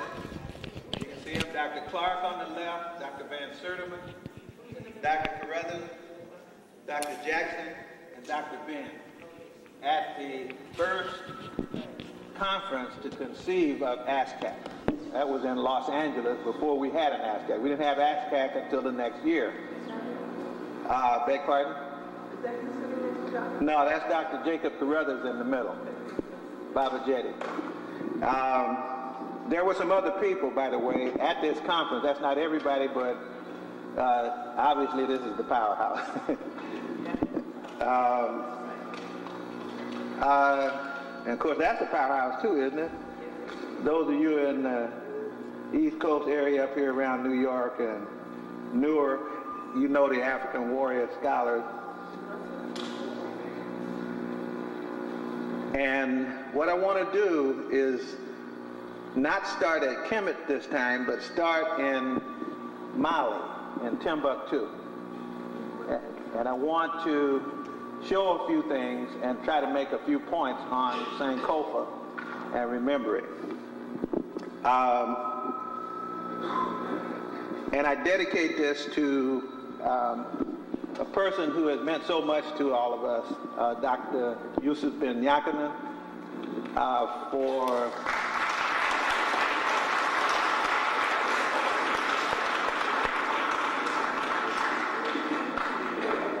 for a lifetime. And it would, it would take me years, as you all know, to describe the sacrifices, the number of innovative ideas. All you have to do is go through Dr. Ben's books. And ju- you don't even have to read the book, just read the titles of the books. And those titles were earth shaking by themselves. Black Man of Nile. Just go back to the year it was published and say Black Man You can say it now. It was hard to say then. And of course, my favorite, I've said this every time, cultural genocide and the black and in the black and African studies curriculum. That's what we were talking about, where people try to cause us to forget and prevent us from remembering. The African origin of the world's major religions.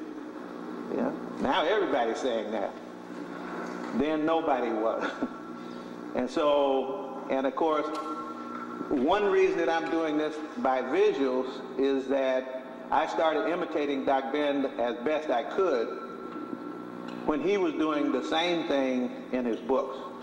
If you remember, his books had text and photographs sprinkled all through the books so that you went not just to the interpretation but to the evidence.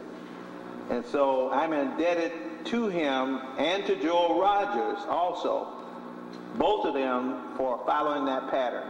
And uh, it's made a big difference in terms of the ability to get certain types of points across. Um, I made mention of the fact, and I'm sorry you can't see the writing on this, that all West Africans and East Africans who moved, cradle of humanity as far as we know it, is um, in uh, from Chad all the way over to Ethiopia and Kenya and places like that. And so that everybody in the world came out of that navel and then moves to other places. And so you can never forget the connections of the West to the East. And therefore, you can never forget the connections of West and East to diaspora, so that all Africans are related. And uh, these were some of the books. That one says The Strong Brown God. That's the story of the Nile, uh, I'm sorry, the Niger.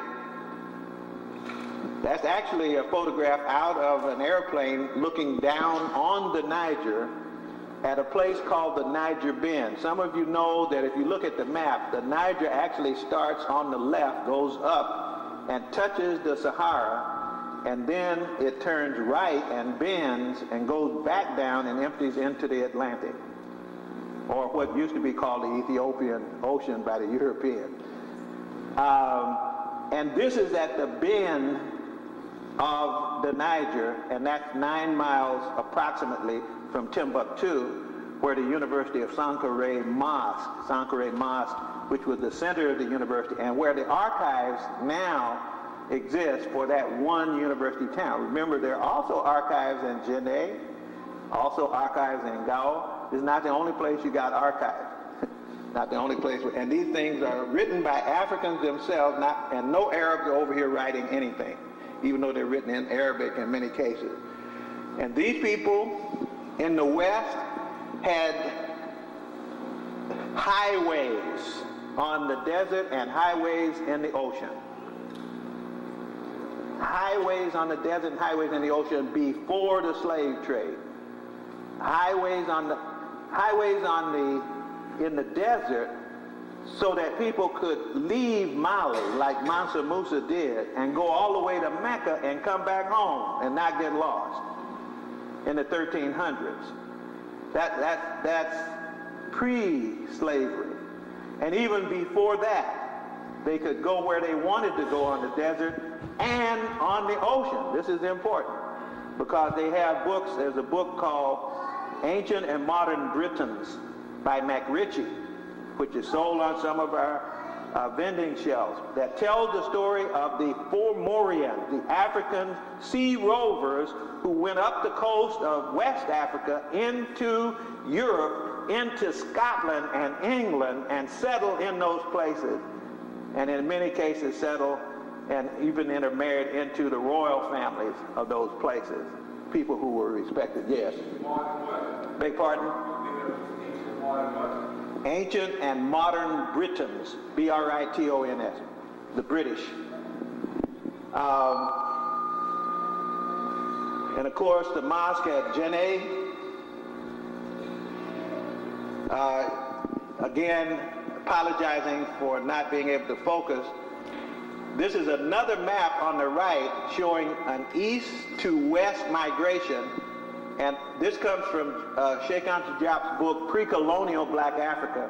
And on the left, you have a listing of all the languages of West Africa that have an East African kinfolk origin.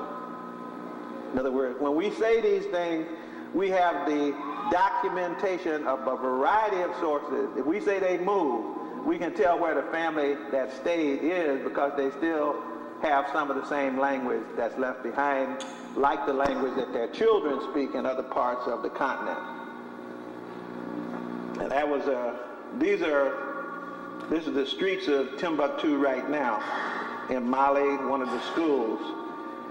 And this is the Mosque of Sankore, which we've seen so many times. By the way, they are still conducting their services in this mosque at this time. It's, a, it's an operating mosque. And mosques in the African world were also schools. So you had a church, but you had a school at the same time. And the schools in this case were schools. If you get uh, Obenga's book on the bio of the uh, of Ahmed Baba, he has a, a, a if you email me, I'll send the bio to you. You'll want to know it because it lists the publications that are known by name that Ahmed Baba wrote about. You know, the publications in philosophy, publications in theology, publications in mathematics, and, and so forth. And many of these publications still exist, by the way. Um, and that's the actual home of Ahmed Baba, which is uh, still standing in Timbuktu. And of course, the person who is in charge of our remembering is a professor at the University of Indiana named Hunwick, John Hunwick. He's the one getting all the money, millions of dollars to go to Timbuktu and to digitize and to organize and to classify and to preserve the materials in that, uh, in that city. And it's only recently that Africans have organized to take charge of a part of that process so we could do that for ourselves.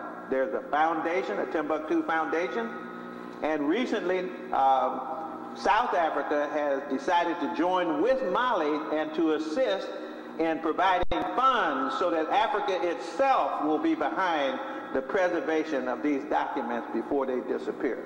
Millions document ready to follow. If you see the one that I have, in fact, I have a picture of the one they brought to me, a couple pages of it in. Again, what did we forget? Here, I, I got so excited when I first saw this book, The Social History of Timbuktu. The Social History of Timbuktu. What is that? That's a, a, book that gives the names of the faculty members who taught in the university and who they taught to be faculty members and who they taught. In other words, the genealogy of the faculty at Timbuktu. That's what this is. So it's not just one year that they happen to have a few visiting professors. They had an organized major international class institution, so much so that people would come from Egypt and try to get work at Timbuktu and they would reject them because the quality of their work was too low.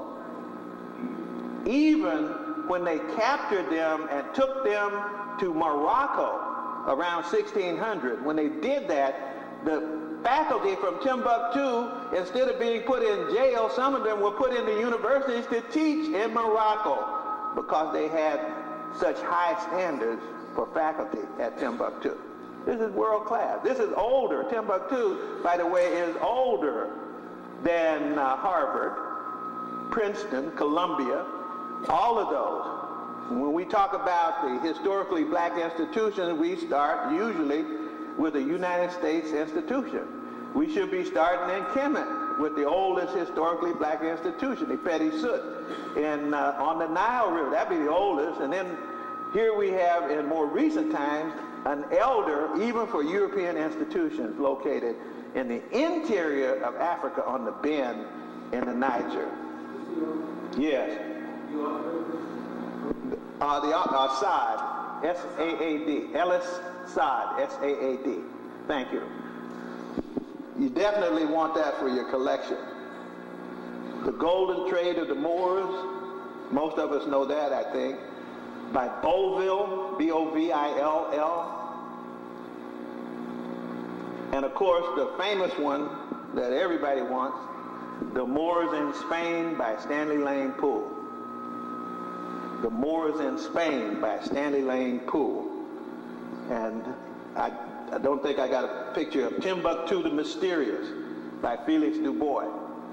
Uh, there's a whole Timbuktu historical literature that's worthy of keeping inside our houses for our children so that they will know what was going on there. Some of these stories are absolutely awesome. This Paths in the Rainforest that talks about how linguists trace the migration of people from one part of Africa to the other. And this is Christopher Ehret's book, An African Classical Age, Eastern and Southern Africa and World History from 1000 BC to 400 AD, the antecedent of the migration that go to West Africa. And remember I told you that Hunting, Hun, Huntwick, Hunwick, H-U-N-W-I-C-K, is the professor at the University of Indiana who now has cornered the market on Timbuktu's money, money from this country that goes into finding and preserving manuscript. Of course, if you find and preserve manuscript, if you translate manuscript, then the manuscripts say what you say they said. Now, I was in Timbuktu talking to the keepers of the manuscripts, and they told me that the manuscript that we had our hands on was the manuscript written by Ahmed Baba countering Machiavelli's The Prince. And when Hunwick was told that that manuscript existed, he said it didn't exist. He said it didn't exist, yeah. 15 minutes? Okay, all right.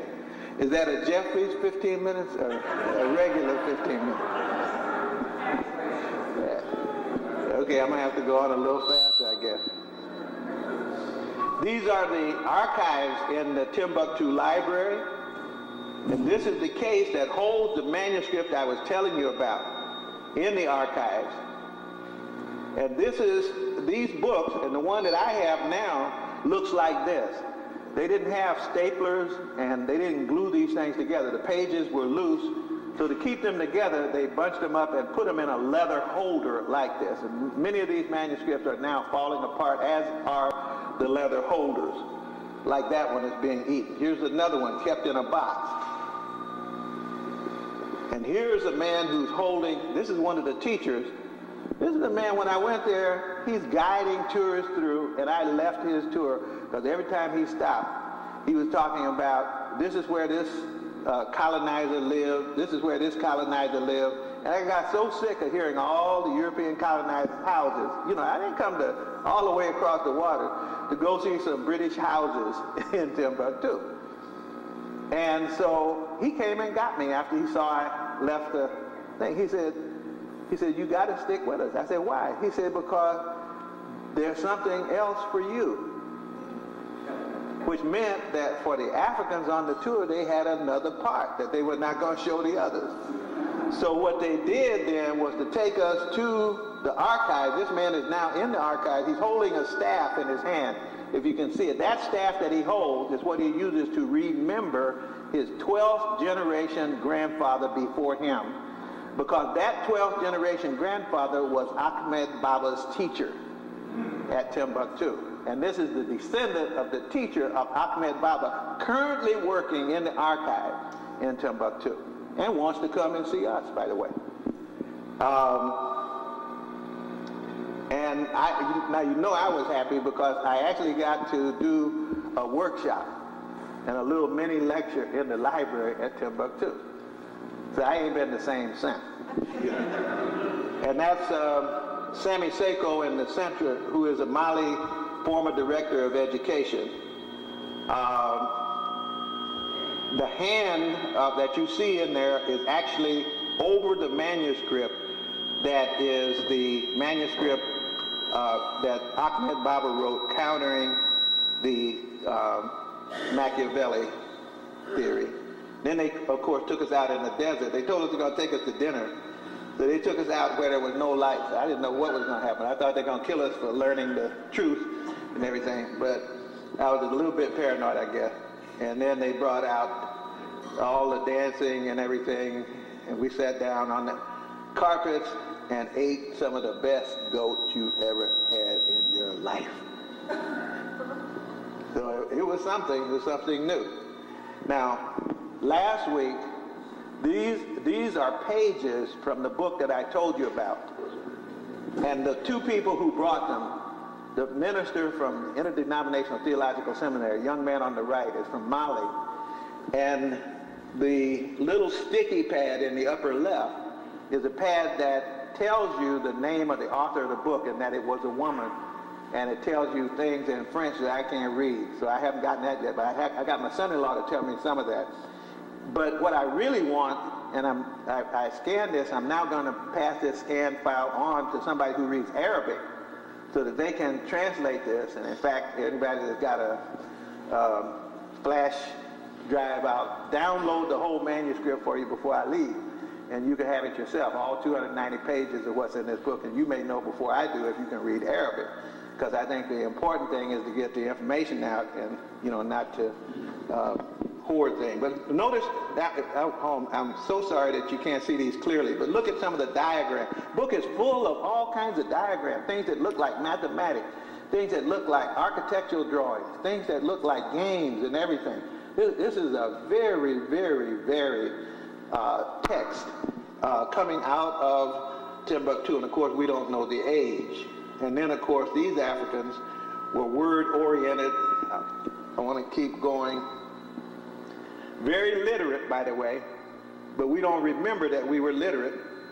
We don't remember that Timbuktu is in Dogon territory, so that not only did our people join the Muslim faith and learn the language of Arabic and write in Arabic, some kept their own systems like Dogon, 256 mother signs and 11,000 other signs to write the Dogon script, living now having migrated to these caves in uh, some parts of Dogana, as they prefer to be called. And those are, these are houses of words. The first building that Africans build when they build a town is not the sewer system. They build a house of words. That's where elders sit and solve the problems and build harmony in the community. Wouldn't that be something if we always had a house of words? Um, and of course, these are some of the the Dogana elders. And I always like this picture. I wish you could see how regal these men are and that none of them are in prison. prison is not the natural state for us. We're supposed to be thinkers, deep thinkers, models. Um,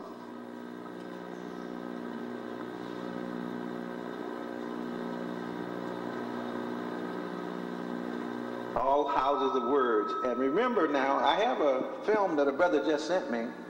Some of you know among the Dogon, there's a ceremony that happens every 60 years. And what that's tied to is a lineup of the stars between Sirius, which is the same star in Egypt, in, in Kemet. That star is the one that told them when the floods were coming. That star, that same star, is what the Dogon keep. I have one paper that has about 42 comparisons between Dogana thought and Kemetic thought. But uh, this particular thing emphasizes the astronomy, the astronomical knowledge, and the movie that I have is when uh, an observer managed to get in on the last Sigi festival, the 60-year festival, when people come out and dance in imitation of what the stars are doing. That alignment, you know, when that's supposed to be on sacred space at a sacred time in memory of their ancestors, celestial and local. And then, if we remember, we'll remember this star, the main star, and we'll remember Benjamin Banneker. And all we know in February is that Benjamin Banner helped lay out Washington, D.C. But if we really remember, we remember that Benjamin Banneker's best academic area was not surveying and architecture. his best academic area was astronomy. And Benjamin Banneker was Dogon. That's the part that most of us never got. And to remember and to put him back in the context of his grandfather and father and mother from Dogana. And then we see that he had every right because the kind of knowledge that the Dogon have of astronomy, they possessed before anybody else on earth, on earth possessed it, such as the knowledge of a star that you can't even see with a telescope. You can only infer it's there by what it's doing gravitational wise to the big star that you're watching. And these people knew where it was, described it, described its weight, which is a star so big, so, so dense that it draws everything into it. And they say that's where we came from, our ancestors, the water spirits now. And these are some of their writings, and that circle in the top, that's the, those are really, that's a text on astronomy if you know how to read it. But if you're a missionary and you determine that you know God and nobody else does, then you would call the people who are writing illiterate and you'd call yourself literate. Isn't that interesting? We still have things to learn. These are the Dogana, and I learned more and more about the symbolism, what they're dancing, and how they actually imitate that spiral around Sirius in their dance, and how they wear on their head things that represent the configuration of stars, and how the real glory for a young man is to be present at the Sigi festival and be the one who wears the grand Sigi mask. That's the tall one, which is the star that actually goes around and represents the coming to the point that denotes the date. Do you think our children know anything about what I'm talking about right now? Do you think they would be interested in knowing anything? Do you think it would change their image of who they were? Do you think it would give them a different sense of destiny to be able to see themselves in terms of longitude and latitude, in terms of time, space, and change? What we've done is to be so dismembered that we become episodes rather than epics. It's time for us to remember ourselves so that we are epics again rather than simply episodes again. And of course, ASCAC is devoted to the recovery and reconstruction of the memories through Sankofa.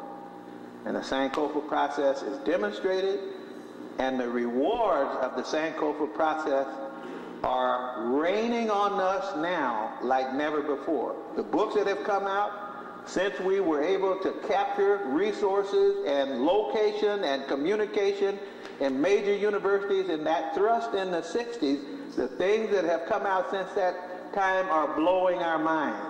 There are so many that we can't even get them around fast enough. One of the newest books, that's two minutes, isn't it? I'm already over 15.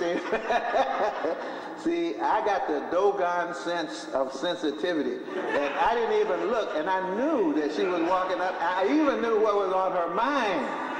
So in order that I don't have to look back and, oh, I got five minutes. Oh, shoot. I guess I don't know everything. I'll show a couple more slides and then I'll, I'll shut it down. I thought I was already over.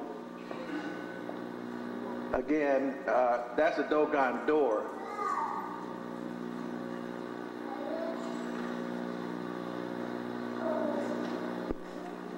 When that young man put that mask on, that particular mask, I've never felt energy like that anywhere on earth.